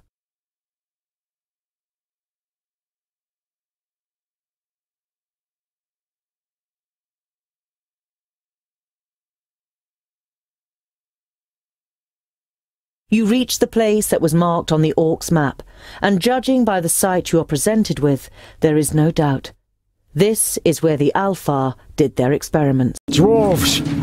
Oh, how glad I am to finally see members of my own race again. How glad I am to see anyone at all who doesn't want to kill me. We're here to save you. We've heard that Älfar are experimenting on dwarves. Where are the others? They. I am the last one. There's me too. You! Ah! So you escaped! Oh! I should have known it.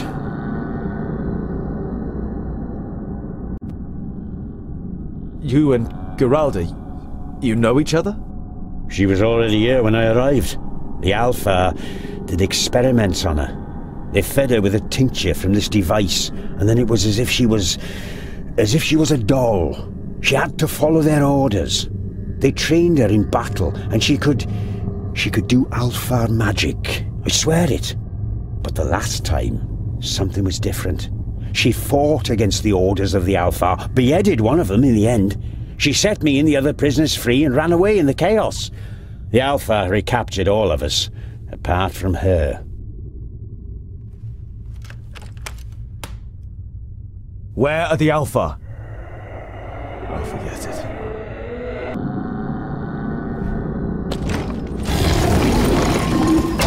Yes? That's a bad idea.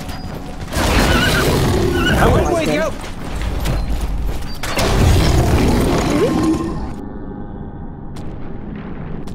What is it? What is it? Huh?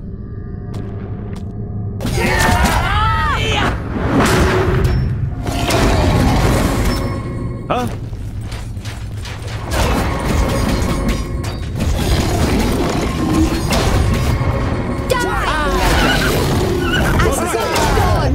That's a bad idea.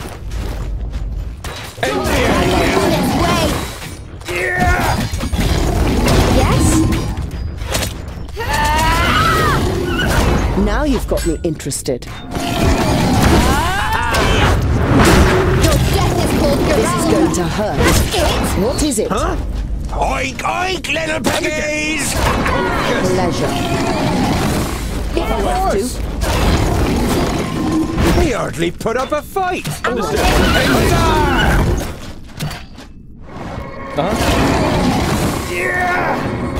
Yes? If I have to. As good as done! Ah! Yes? On its way!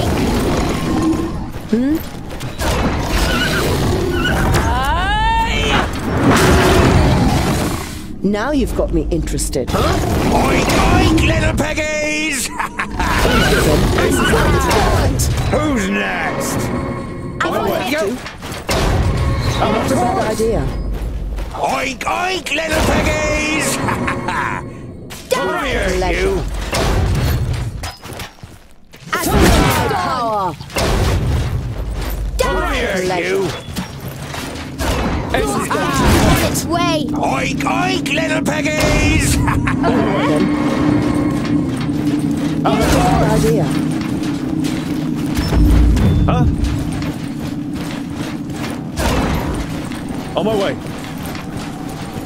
yeah! Uh huh? Pleasure. Feel my power. If I have to. I can't do that yet. Please wait a moment. For breakfast. Pleasure. Yeah! Yes? Hmm? What is it? What is it?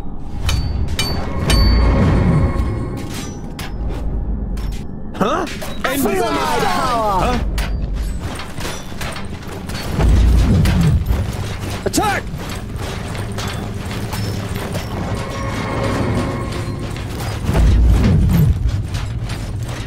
Yes? Creature. Oh, That's a bad idea. Of course! That's a bad idea. Oh, If I have to. Of course! Oh, If I have to. Wake up! That's a bad idea. Yes!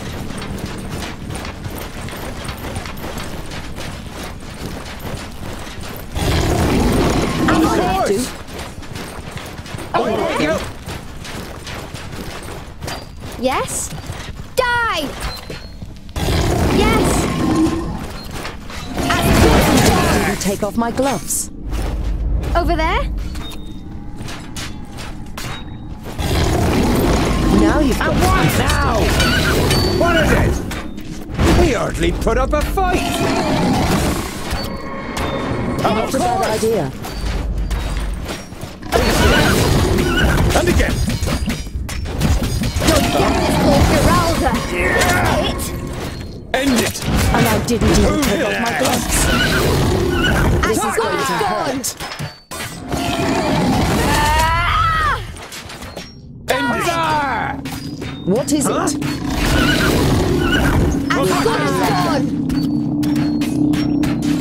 Yes? Yeah! Huh? That's a bad idea.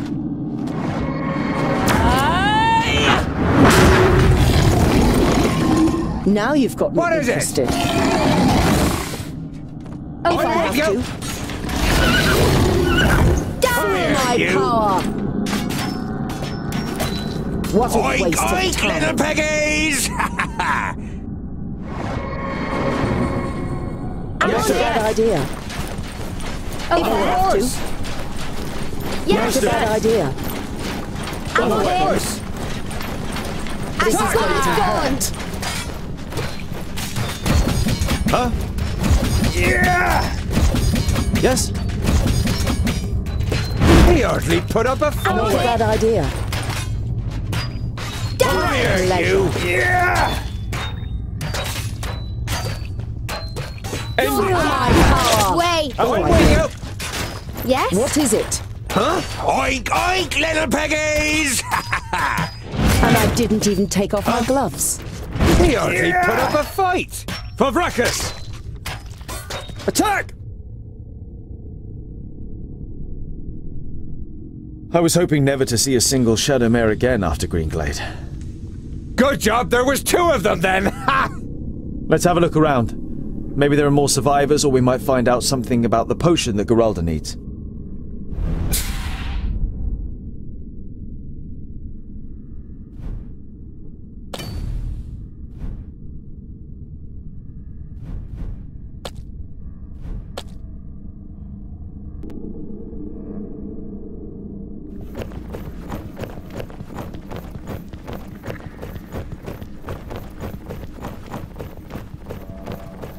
Even without having any knowledge of these things, you recognize a laboratory, similar to the ones you saw in Lot vaults.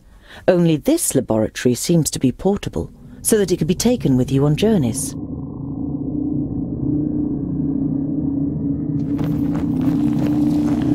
They must be some of the missing villagers. You wonder whether the älfar killed them for fun or through their experiments. You hope that they didn't suffer for long, even though you know better.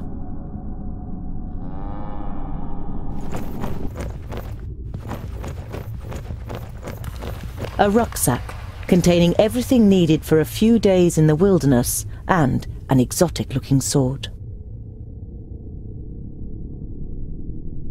A rucksack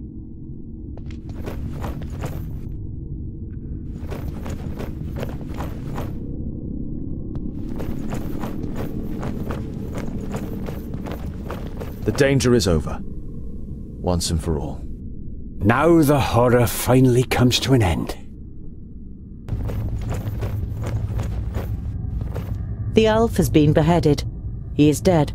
And even the perished land won't be able to make him rise again. Well, that's. that's him. I remember now. He forced me to drink a potion. That's what gave me my powers. I killed him and ran away. On closer inspection, you see a small rolled up note in the elf's hand.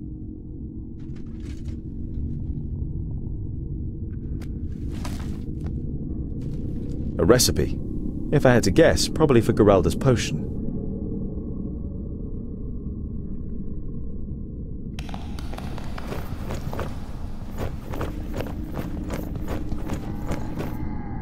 You have no idea what to do with the various devices and ingredients, but it should be easy for Andôkai, as an experienced Maga and alchemist, to brew Geralda's potion. You don't wish to spend the night amongst the dead, so you set up camp a little way off.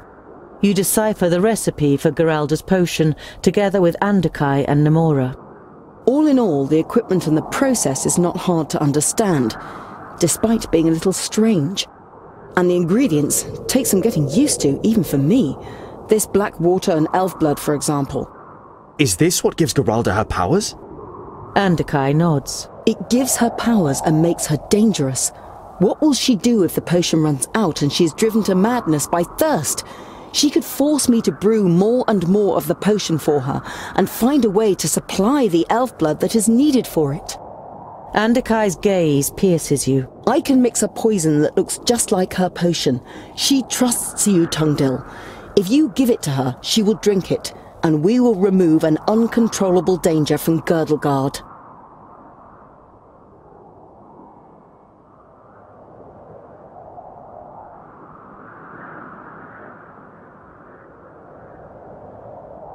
You can't bring yourself to say it, but you have to agree with the Maga. You glance at the floor, and a brief nod follows. And we should destroy the recipe. This should never happen again. Without another word, Andôkai gets to work. After two hours, the Maga is finished and comes to you. She's carrying two files that look just like the one Geralda has. The file on the right is the potion, the one on the left is the poison. Andôkai gives you the two files. Decide wisely. Before you can say anything, she has already turned away and is marching at a swift pace towards Djerůn. Tungdil, is the potion ready? You only just managed to hide the files from Geralda.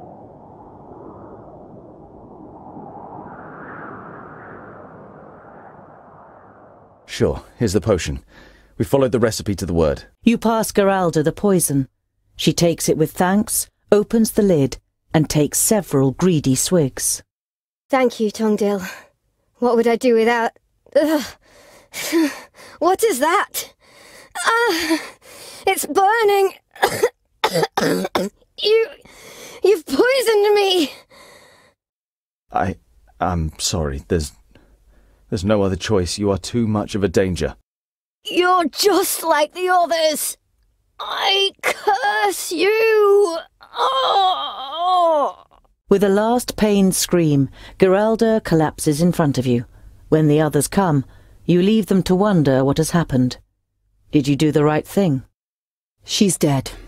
Take her away. Djerůn follows Andôkai's orders immediately. The Maga takes you by the shoulder and pulls you aside. Good decision, Tungdil. One has to be able to make tough decisions as a leader, and you have done so today.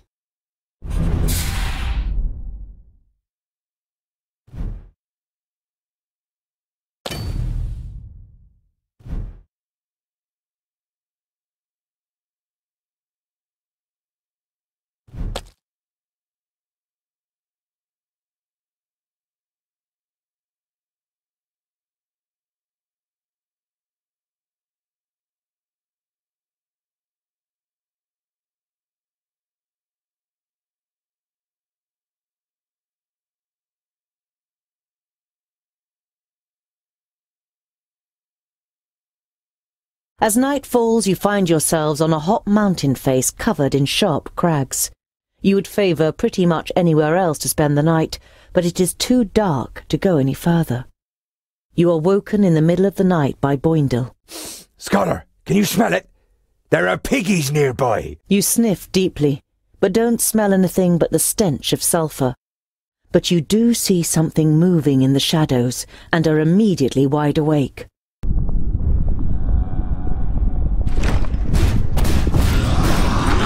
Yes?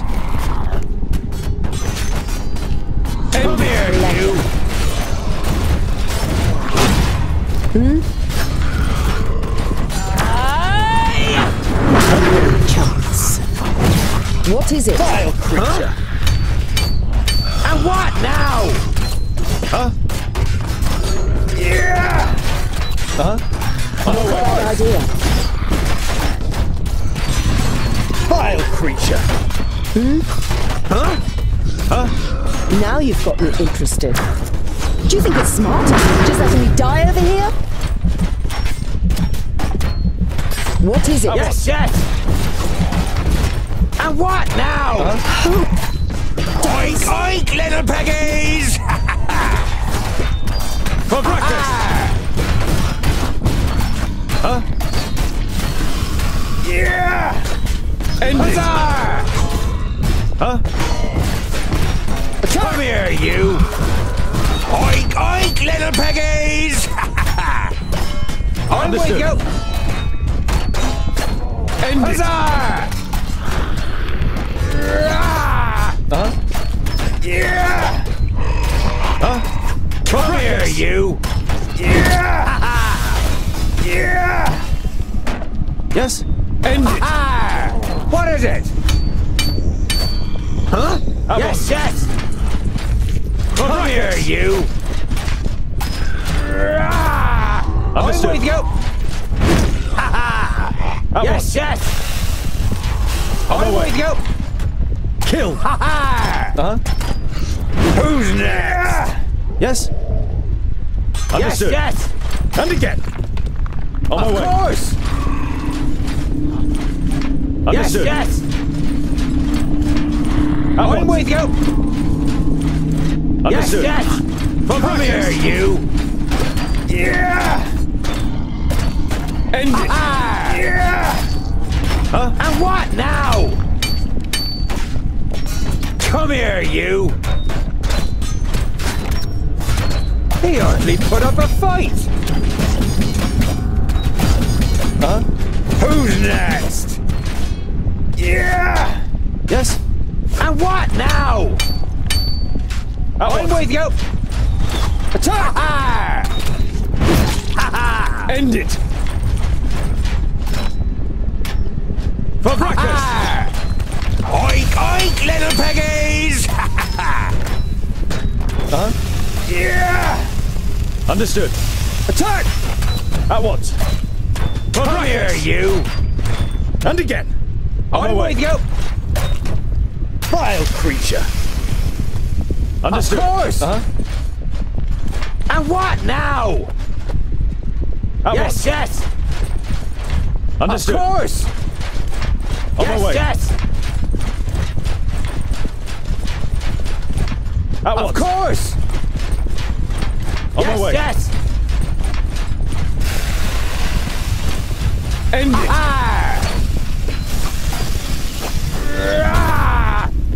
Huzzah! Huh? At Of course! Come here, you! Yes? Yeah! Huh? End it. Huzzah! Yeah! Attack! Ah! Who's next? Understood. I'm with you! On yes, my way. yes! Of course! On my I'm way. with you! Yes, yes! On my of way. course! End Come it. here, you! Yeah! For breakfast. Ah! Yeah! Huh? Come here, you! Yeah! Huh? At I'm once. with you! What is it? On my of way. course! At yes, once. yes! Understood. Of course! At yes, once. yes! Under- After the battle, you finally have time to catch your breath. You check the others one by one to see how they are. Bavragor seems out of it and is staggering with every step he takes. Bavragor, are you all right? Agonizingly slowly, he turns to face you. Blood is flowing from his mouth and through his beard. I made a mistake. All strength slips from his body and he falls forward. An arrow is protruding from his back. Andôkai, Bavragor has been hit! You immediately rush towards him. Balyndis, next to you, takes his hand. Too late. The arrow was poisoned. I can feel it. I hadn't planned to return to the kingdom of the Secondlings, but I did at least want to complete my task to die in glory. You won't die, Bavragor. Andôkai, can't you? You turn to the Maga, but one look at her face robs you of all hope. She shakes her head imperceptibly. We are in the perished land, aren't we? Let me die. Then I can at least complete my task. My defiance will be stronger than the urge to do evil. Before you can object, Boïndil lays a hand on your shoulder. You know yourself how stubborn we are, Scholar. We should grant him his wish. If he turns on us, then I will take care of him myself. You've heard about dead dwarves on expeditions in the Perish land defying the bloodlust for many days. But you want to find a better way. Bavragor's breathing is becoming shallower, until it finally stops completely. While Balyndis is still sobbing next to you, the stonemason rises suddenly. His face is pale and his eyes seem empty. Even death can't stop me. I told you. My defiance is stronger. None of you really know what to say, and finally Bavragor compels you to continue your journey. You can see the inner conflict in the stonemason's face, and you don't know how long he can resist it. You continue on your way with an uneasy feeling.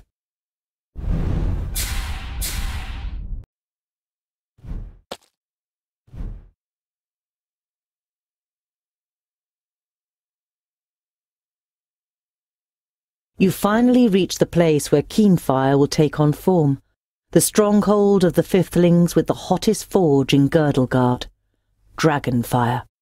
This is where evil first entered Girdlegard, a disgrace for the dwarves, who were given the task of protecting it by Vraccas. Since then the Perish land has spread. Älfar and Orcs have invaded, and the Elves almost eradicated. But you have decided to face up to the evil. You will forge Keenfire and stop Nôd'onn, or die trying. You enter the old stronghold with determination.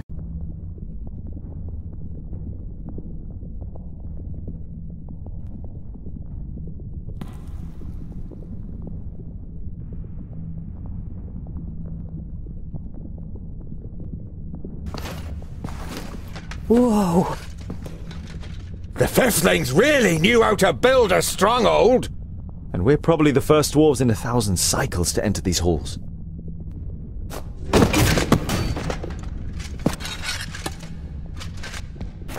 Come on, you beasts! I may be the last, but I will take at least four dozen more of you down with me! Gandogar! Hold on, my king!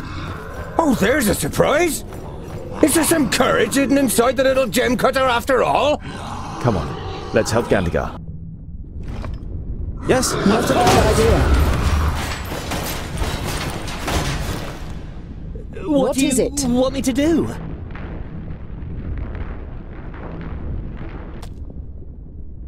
Huh?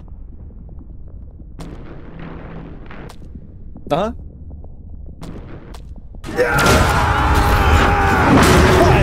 Wild creature! That'll be safe, will it? Yes? He hmm? has?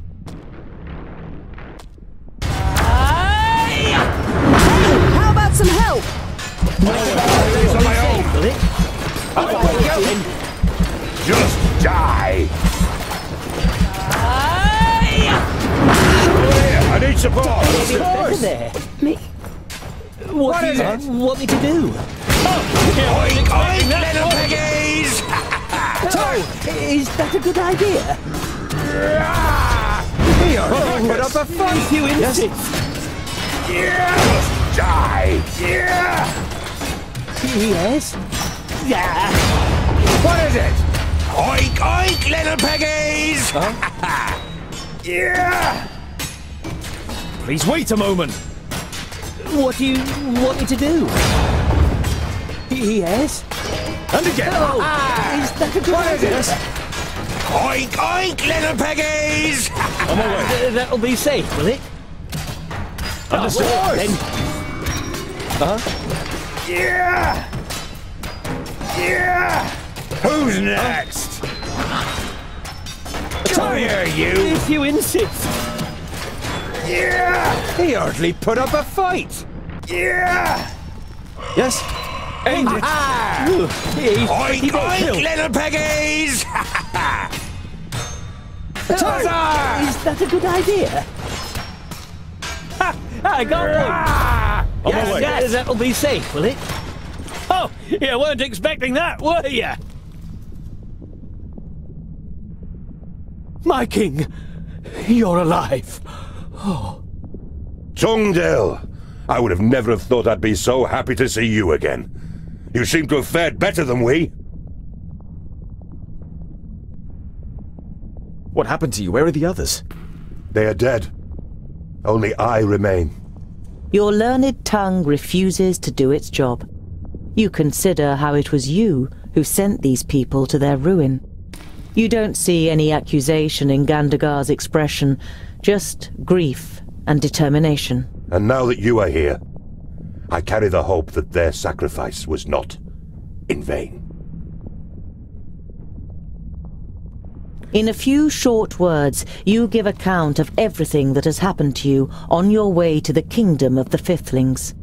Gandogar listens silently and nods now and then. You have done well. You appear to be a better leader than I expected, Tungdil Goldhand. I don't know. Half the time I was advised what to do next. It is our destiny to follow the untrodden path. Leaders take one step after the other. They never stand still. And if you look back and ask yourself, what if, you will never find the courage to take another step.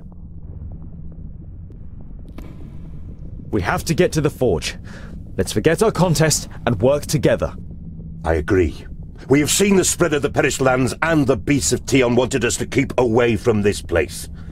Maybe there is some truth in your story about Keenfire. You tense your shoulders and strengthen the grip on your weapon. Let's find out. Not so fast, groundlings. Are you going to stop us, little man? Even greater armies haven't been able to stop us. An evil grin spreads across the Famulus's face. Oh, I know. But how about this?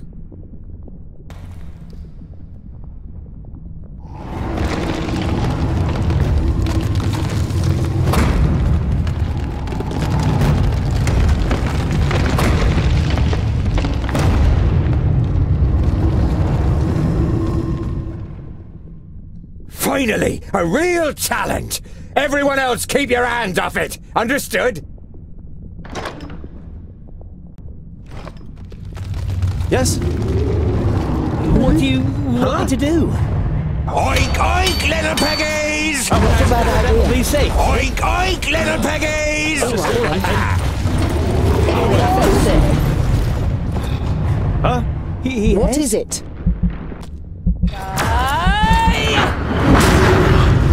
That'll be safe, will it? And what now? I'm with you! Yes, yes! Huh? I'm with you! Of course! That'll be safe, will it? Oink, oink, little piggies! I got one.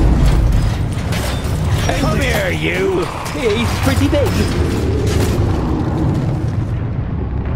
Yes? Is it something bad? Huh? Is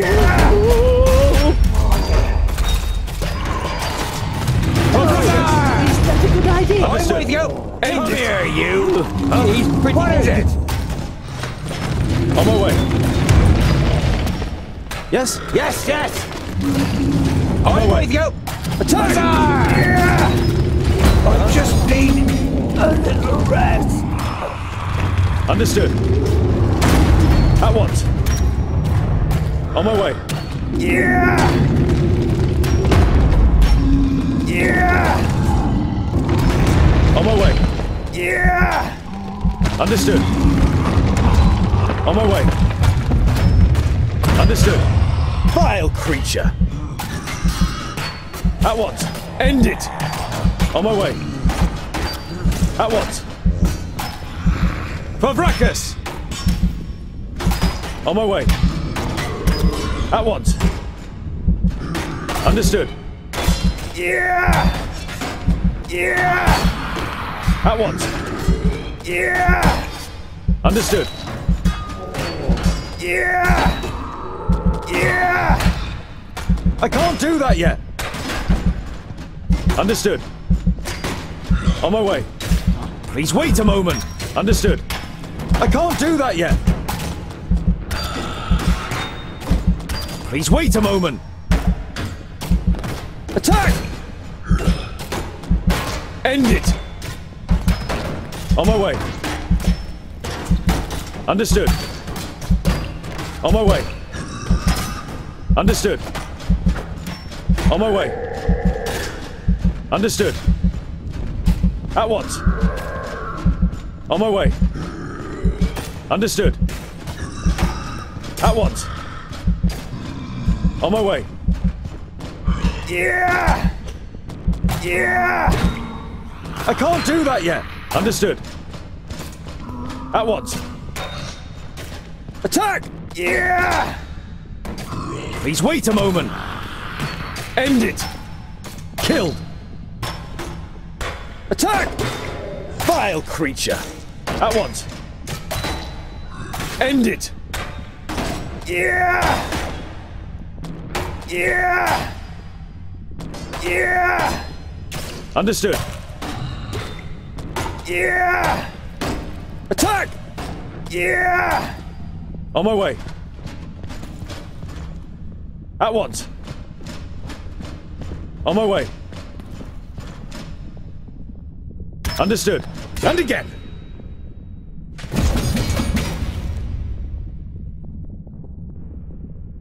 Tungdil, let's hope that was the last obstacle on the path to your victory. I've already said it once, but I will say it again. I don't want the throne, and I never did. All I care about is saving Girdlegard. If I don't manage, make sure that Keenfire is forged, and promise me that you will work with Narmora and Keenfire against Nôd'onn. Gandogar bows his head. By Vraccas and Giselbert Ironeye, in whose kingdom we now stand, I swear I will not rest until Nôd'onn is dead. But you will be by my side.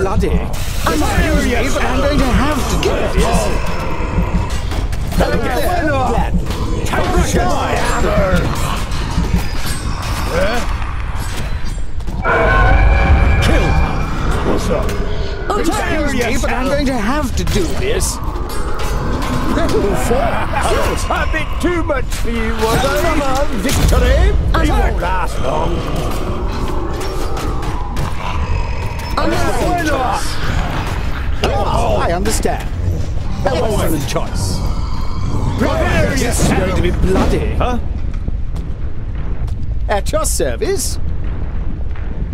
Yeah?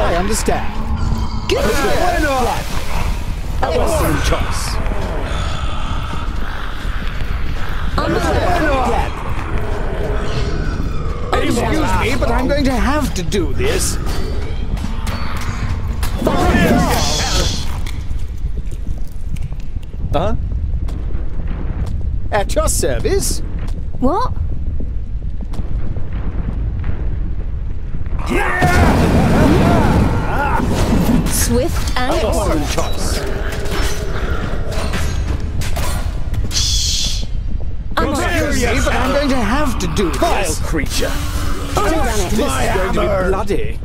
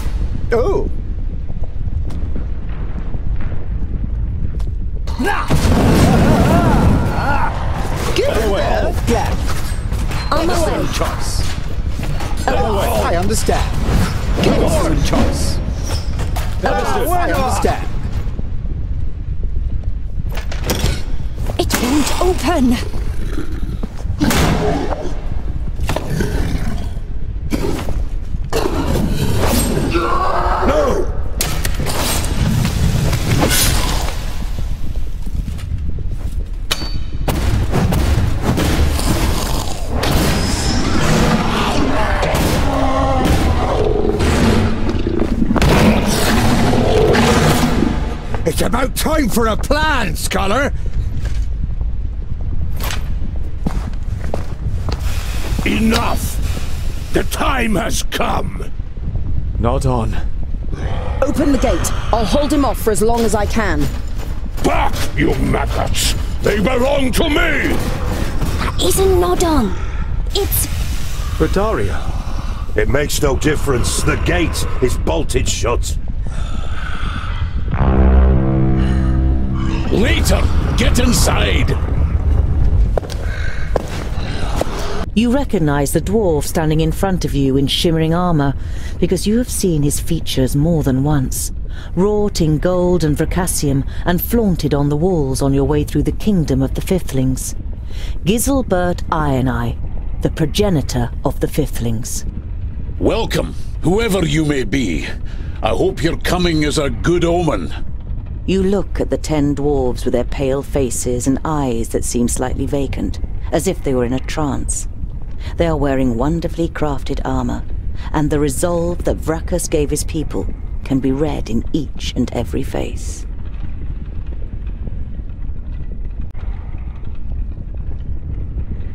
It. It really is you, isn't it? We are the last of the Fifthling clan. We have defied the hordes of evil since the downfall of my realm. We fell against the Älfar and were brought back to life by the perished land, but instead of serving it, we fought against it. We are rather hard to defeat, and each of my men has slain more monsters than any other dwarf before them. But such victories are a meager consolation after such a loss.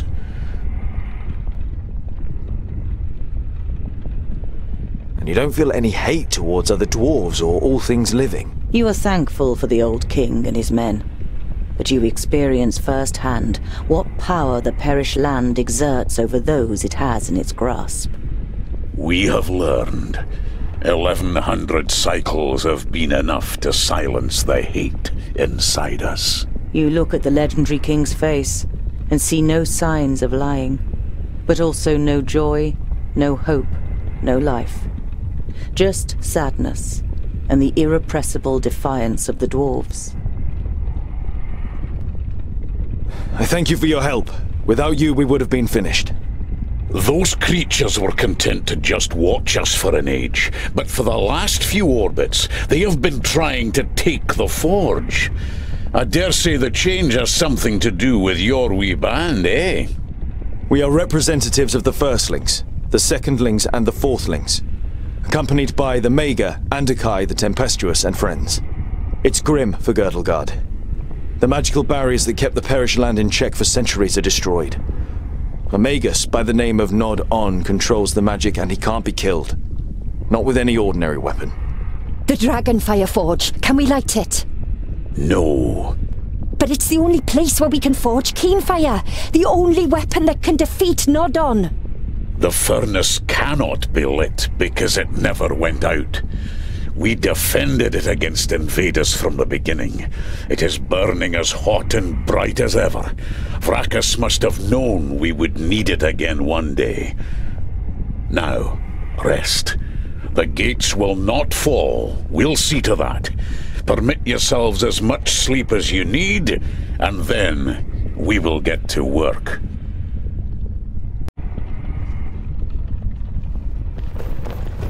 The sight of the undead dwarves who saved you makes you feel melancholy. You knew there were no living fifthlings left, but the fact that they had spent the last thousand cycles as undead makes this truth even more painful.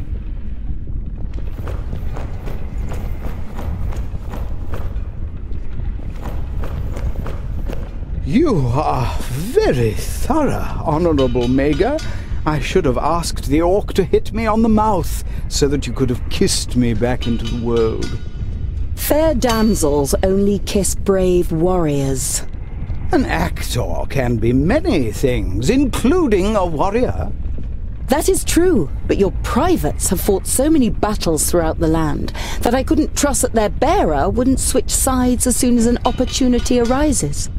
Stick with the women who adore you, actor. You smirk. It would seem that Rodario is in good health. You don't need to worry about him.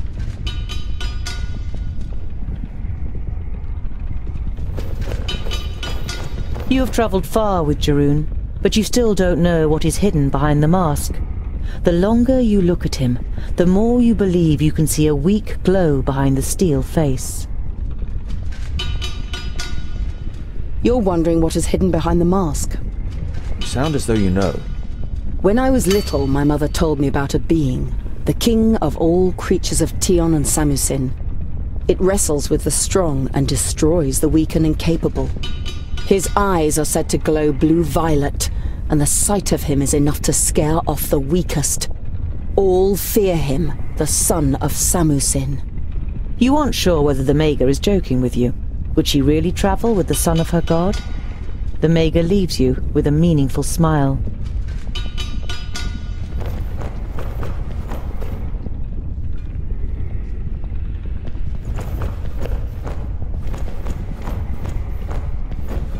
Several smiths could work on masterpieces of metalworking at the same time here.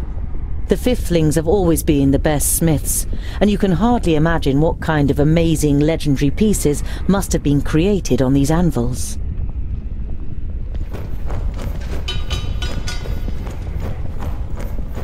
The hottest forge in Girdlegard, Dragonfire. The fire is said to originate from the dragon Branbusil, who was hunted by the Fifthlings. You are glad that you didn't have to overcome any dragons on your journey, although you know someone who would have been thrilled by the challenge. The Magister Technicus looks up from his work. Ah, Tungdil, look what I found. Here. There are narrow steps on the walls of the chimney, and if you look right up to the top, you can see the blue of the sky. Hmm. Very good. That could be our way out once Keenfire is finished. As you approach Narmora, she is lost in thought, massaging her wrists. She contributed a bracelet made of tionium to complete the unusual alloy needed for Keenfire. The bracelet was a present from my mother to protect me from the powers of good. Well, as it would seem, I am on the other side now. I've no use for it. Hopefully you won't become too good. Keenfire can only be wielded by a foe of the dwarves. You smile at her encouragingly, and she reciprocates your glance. Both of you know that the Älfar will always be enemies of the dwarves.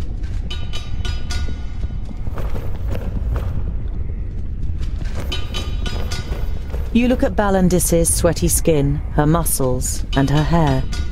When you become aware of what you are doing, you stammer. Um, can I help in any way? I think the knot is coming in. She indicates to her back with a short nod of her head.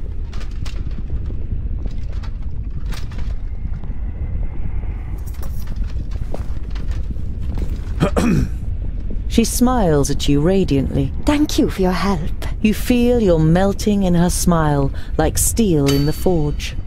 Of course, you're welcome. King Giselbert Ironeye. I still can't believe that I've met you in person. My time passed long ago. Do people still talk about me? You think for a moment about how to answer. Many blame the Fifthlings, and thus their progenitor, for the extent the Perish land has advanced. Your name is not forgotten. The nod of the king's head is barely noticeable. The beasts are preparing to attack. You look at the solid iron doors and their fittings, which are protected by the runes of Vraccas. Didn't you say the furnace is safe? Long enough. We will hold the gates for as long as necessary, at any cost. But you must be aware of what awaits us. Keep them at bay until we have forged the axe.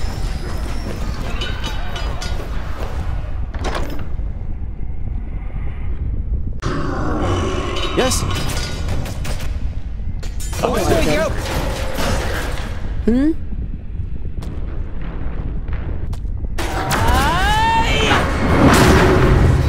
Not a bad idea.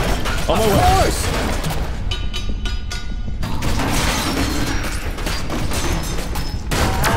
Vile creature! What a waste of time. And what now? At once.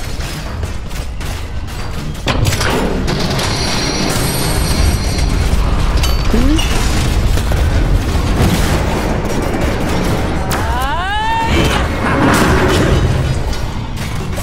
is it? This is. I didn't even take off my gloves. No chance.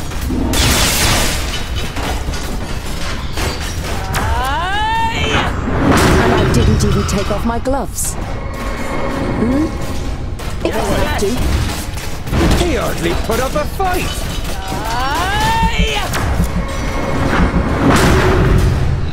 What a waste of time. Sammy's hint. This is the end. Who's next? Oink, oink, little piggies!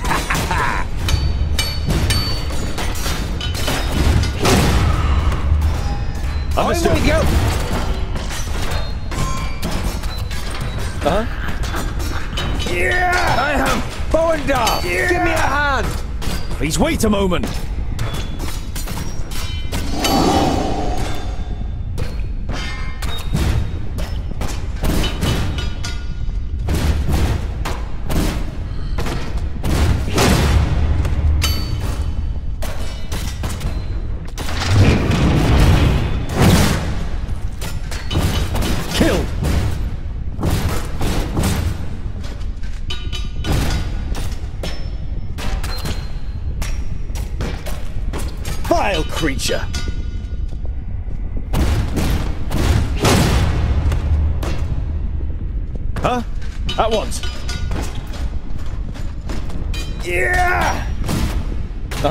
Understood.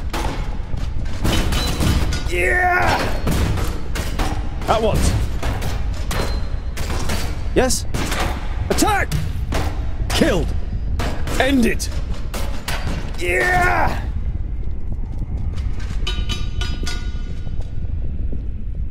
That's it. We've done it. May I? Of course. If it weren't for you, it would never have been forged.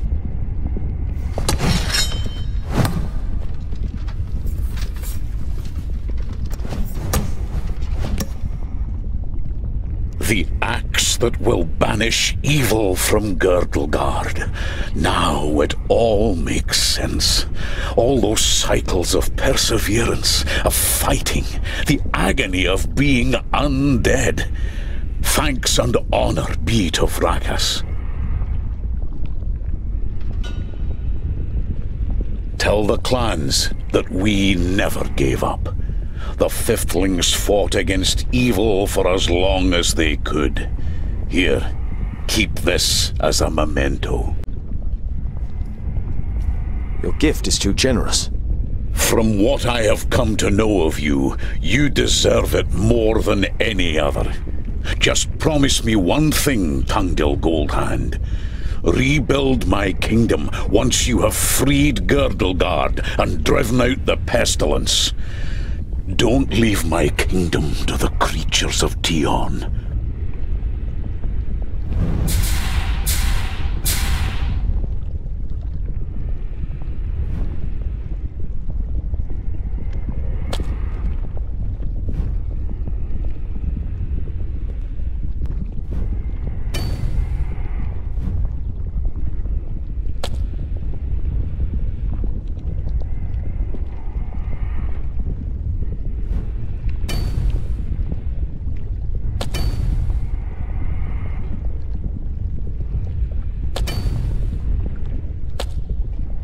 And if he's with the Firstlings or in Porista? I tell you, Nôd'onn is still trying to crack Ogre's death. We should go back there first. Why don't we ask them? Ha! Oink oink, little piggies!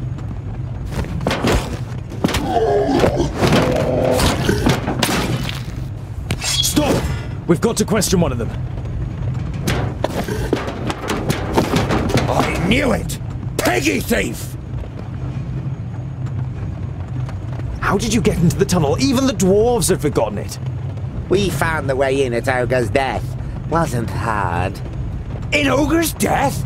That's impossible! Impossible! We've taken the stronghold a while ago. Been there myself. We've killed all of your friends. they were mm, yummy. Boëndal! I have seen Ogre's death myself. You could never have conquered the stronghold. Certainly not so quickly. Think again, Groundling. Was no problem once the bridge was lowered and the tunnel shown us. You're saying that you had help from inside? You're not as stupid as you look, Groundling. One of your kind lot helped us. A thirdling. Uh, where is your master, Orc? Where is Nôd'onn? Why should I tell you that, Groundling? The choice is yours. Either you discuss it with me, with Djerůn, or with Boëndal. Who's it to be? The master is at Black Saddle. He's going to destroy the groundlings hiding there. the stronghold on Black Saddle? There aren't any dwarves left there. There are. They fled there and the master has surrounded them.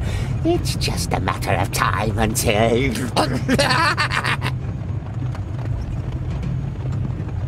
this all sounds very bad indeed, Scholar! We must go to Black Saddle. There's nothing for it.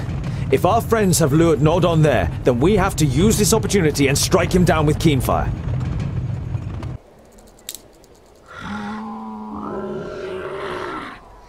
Ah, there he is! Nôd'onn!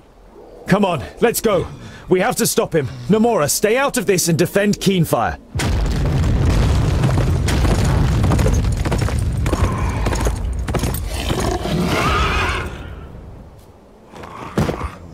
It is always a pleasure to run into you, Tungdil Goldhand. I've been waiting for you and your companions for a while now. And it would seem we have caused you a few losses. This ends here, Sinthoras. You took the words right out of my mouth. Leave none of them alive.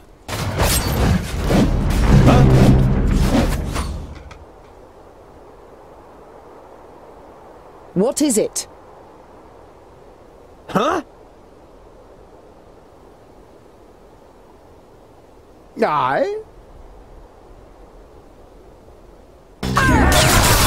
Your service. Power!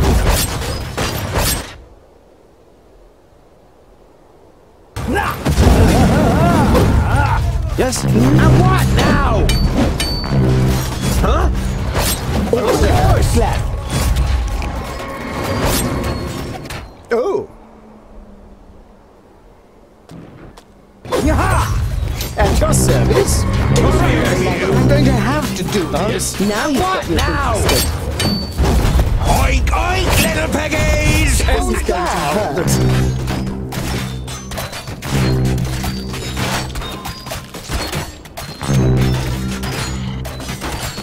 Who's next? For bloody. Is here, here? I'm going to have to do this. I understand. Understand. I do that. My God. That's a bad idea. Of If I have to. course. That's a bad idea.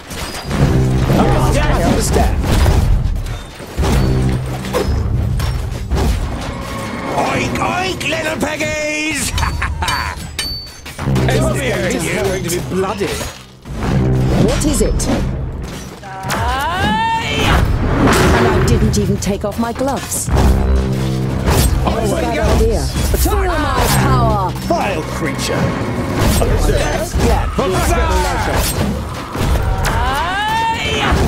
What a waste of time. Now you're interested. I'm with you! Yes, yes!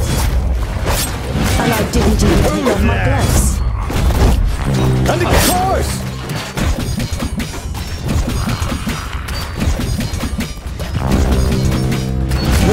Waste of time. I'm with you! Of course! Come here, you! I'm going to have to do this.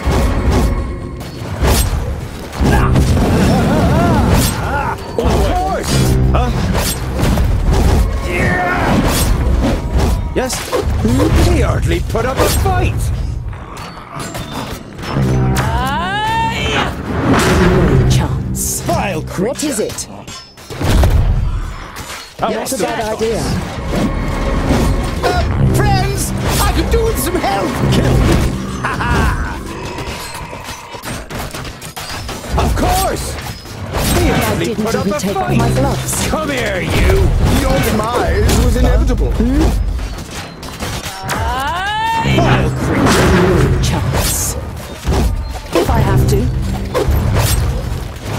Now you've got me interested. You're hitting me pretty hard. Comrade, this is dangerous. My power. Oink, oink, little piggies! what is it? Oh. Yes? What a waste of time. What is it? This Come is here, This is you! going to be bloody. I understand. Now you've got me interested. This is going to hurt. going to be bloody. That's a bad idea. I understand. That's a oh. bad idea. Another victory. Of course! And again! Come here, you! On my way. Ha ha! What is it? And what now? Oh.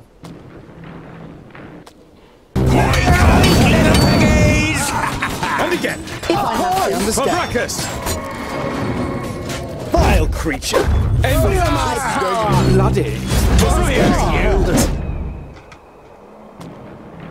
Huh?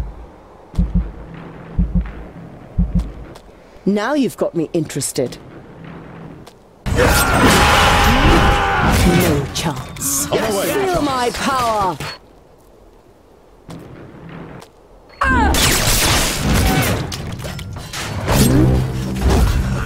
At your service. Oh. At your service.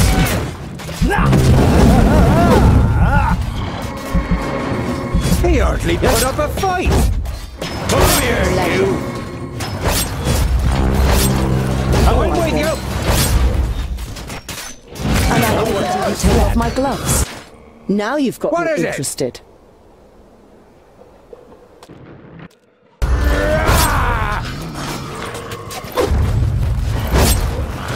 I understand. Understand. Glad. Vile creature. Huh? Kill. What a waste of time. I'm going to have to do this. I understand.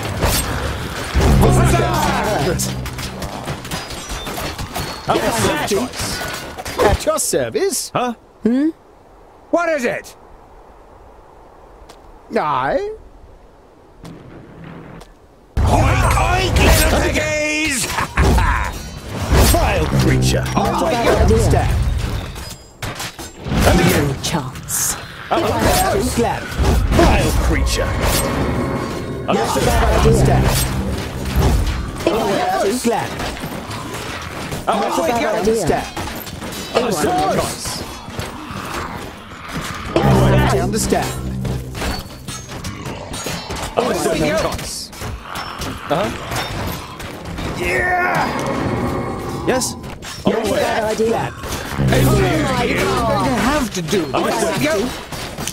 This is going to It's going to be bloody. I understand. Come here, you.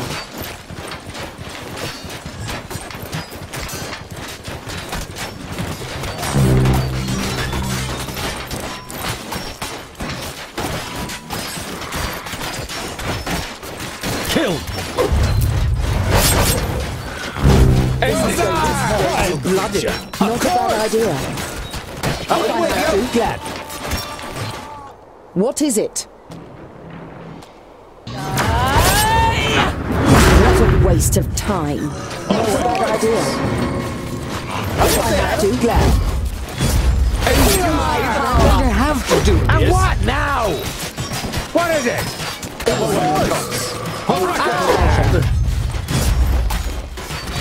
Fire, you. Bloody.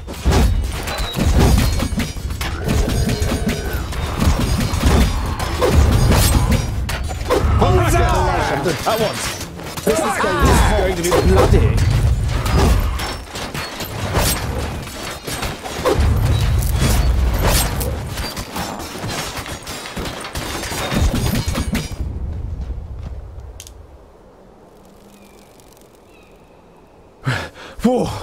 Keep going. We must reach the tower before more reinforcements arrive. Hold it.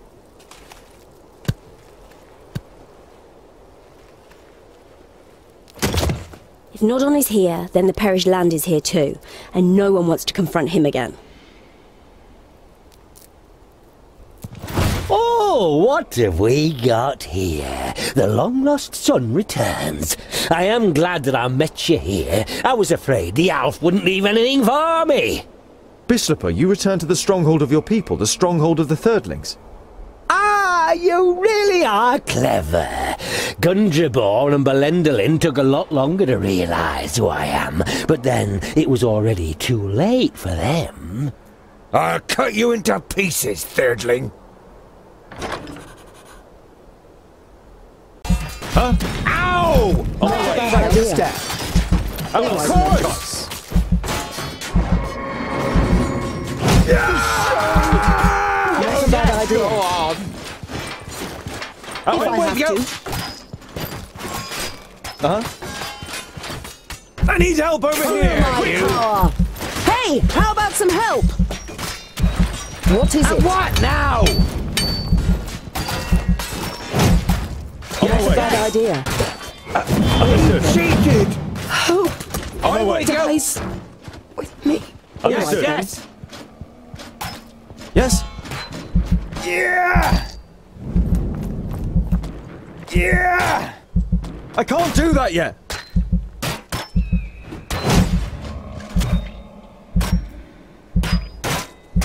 Yeah! On my way. Please wait a moment. At once. End it. Yeah! On my way. Understood. At once. Yeah! On my way. At once. On my way. At once. For Vraccas!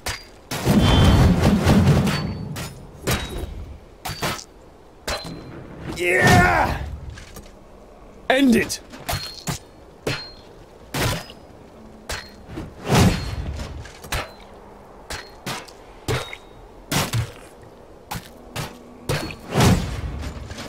Yeah!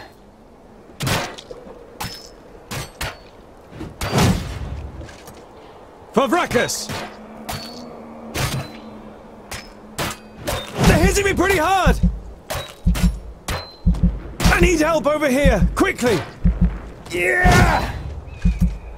Understood.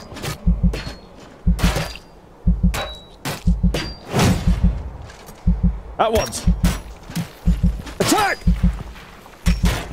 Yeah! It's over, Bislipur. If you submit, Gandogar will...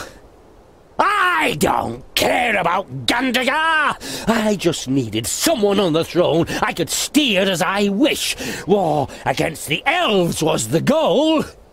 The kingdoms were to wear themselves out against the elves, then the children of Lorimbur would have had it easy. It was you who murdered Gandogar's father and brother, wasn't it? I would never do anything like that to another dwarf! Ah! Fool! You have no idea who you really are.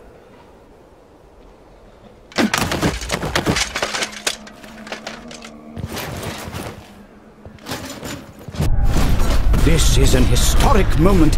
Faced with the ultimate evil, the races of Girdlegard join forces. I must write this down. There's Nôd'onn. We must take Narmora up there, clear the way for her, and then end it, Narmora. Kill! Huh?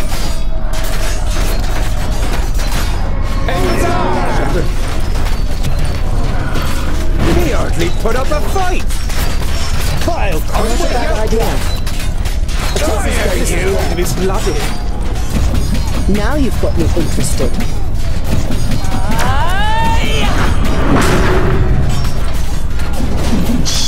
Do you think it's smart? Just letting him die over here?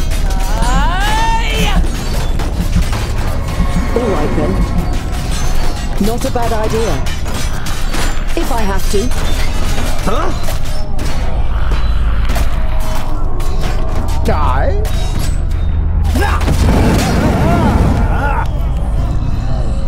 At your service? yes, ah, yes. I understand. Me, I'm going to have to do this. and quiet. Yes, I understand.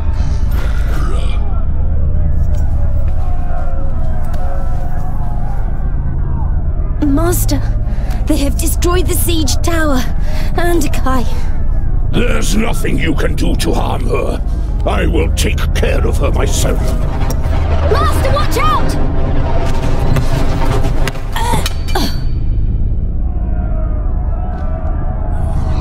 I'll get the axe! Kill!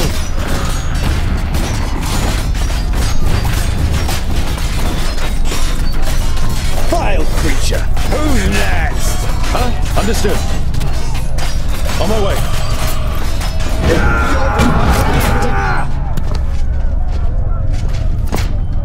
Do you want this axe? Brother? I am not your brother, traitor. We are both the same, Tungdil. We are both children, earthlings. I am not like you. You opened the gates of Ogre's death. You have murdered dwarves. I am not a thirdling. I am a fourthling. Not like me, oh! Ha ha ha ha! It is our destiny to avenge ourselves on the others, Tungdil. And in Nod On, we have finally found someone who can eliminate the other kingdoms for us. You have put Girdlegard in the hands of evil just to.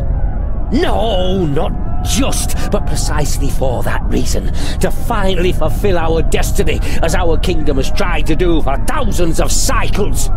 Enough! You are completely blinded. Kill! End it! Yeah! Understood. Vile creature! Attack! Yeah! Another victory! Die! For Vraccas! Yeah! Welcome End it. to the future!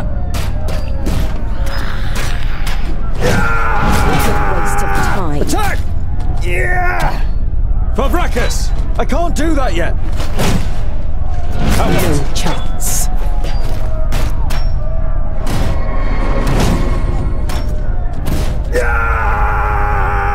On my way. Please wait a moment. A victory for technology! Girdlegard is ours! What a waste of time. Attack! End it! Yeah!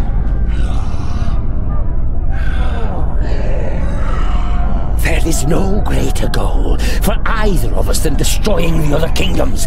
When they are gone, all of the ranges belong to us. Don't talk as if it relates to me. I set off to stop Nôd'onn and to save the Dwarven kingdoms in Girdlegard. And that is exactly what I'm gonna do. I can't be a thirdling. Yes, you are one of us. I saw it immediately in the throne room of the Secondlings. How did you learn to fight so well in such a short time if you hadn't inherited it? Listen deep inside yourself and you will recognize the truth.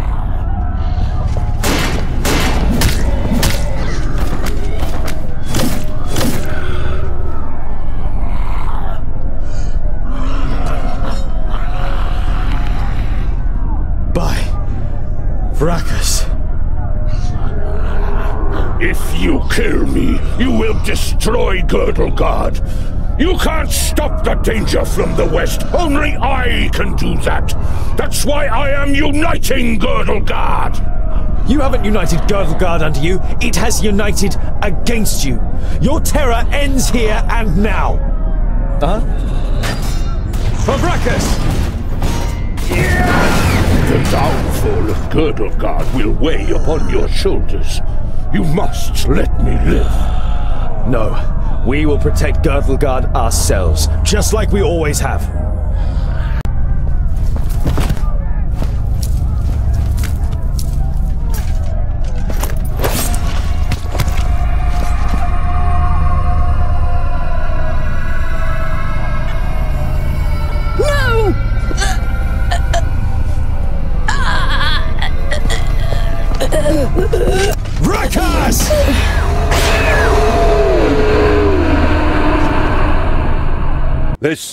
Is a day of hope and optimism. Nôd'onn is destroyed, and thus the power of the perished land is broken. We only managed to achieve this because the humans, the elves, and dwarven kingdoms forgot their hatred and stood strong together. Can there ever be a better sign for us to bury our feuds with each other? We have protected Girdlegard. Now, the hatred must be washed completely from our hearts. From this day on, we will write the chronicles of peace, compassion, and friendship. And here stands the dwarf who we all have to thank most of all. Tungdil Goldhand.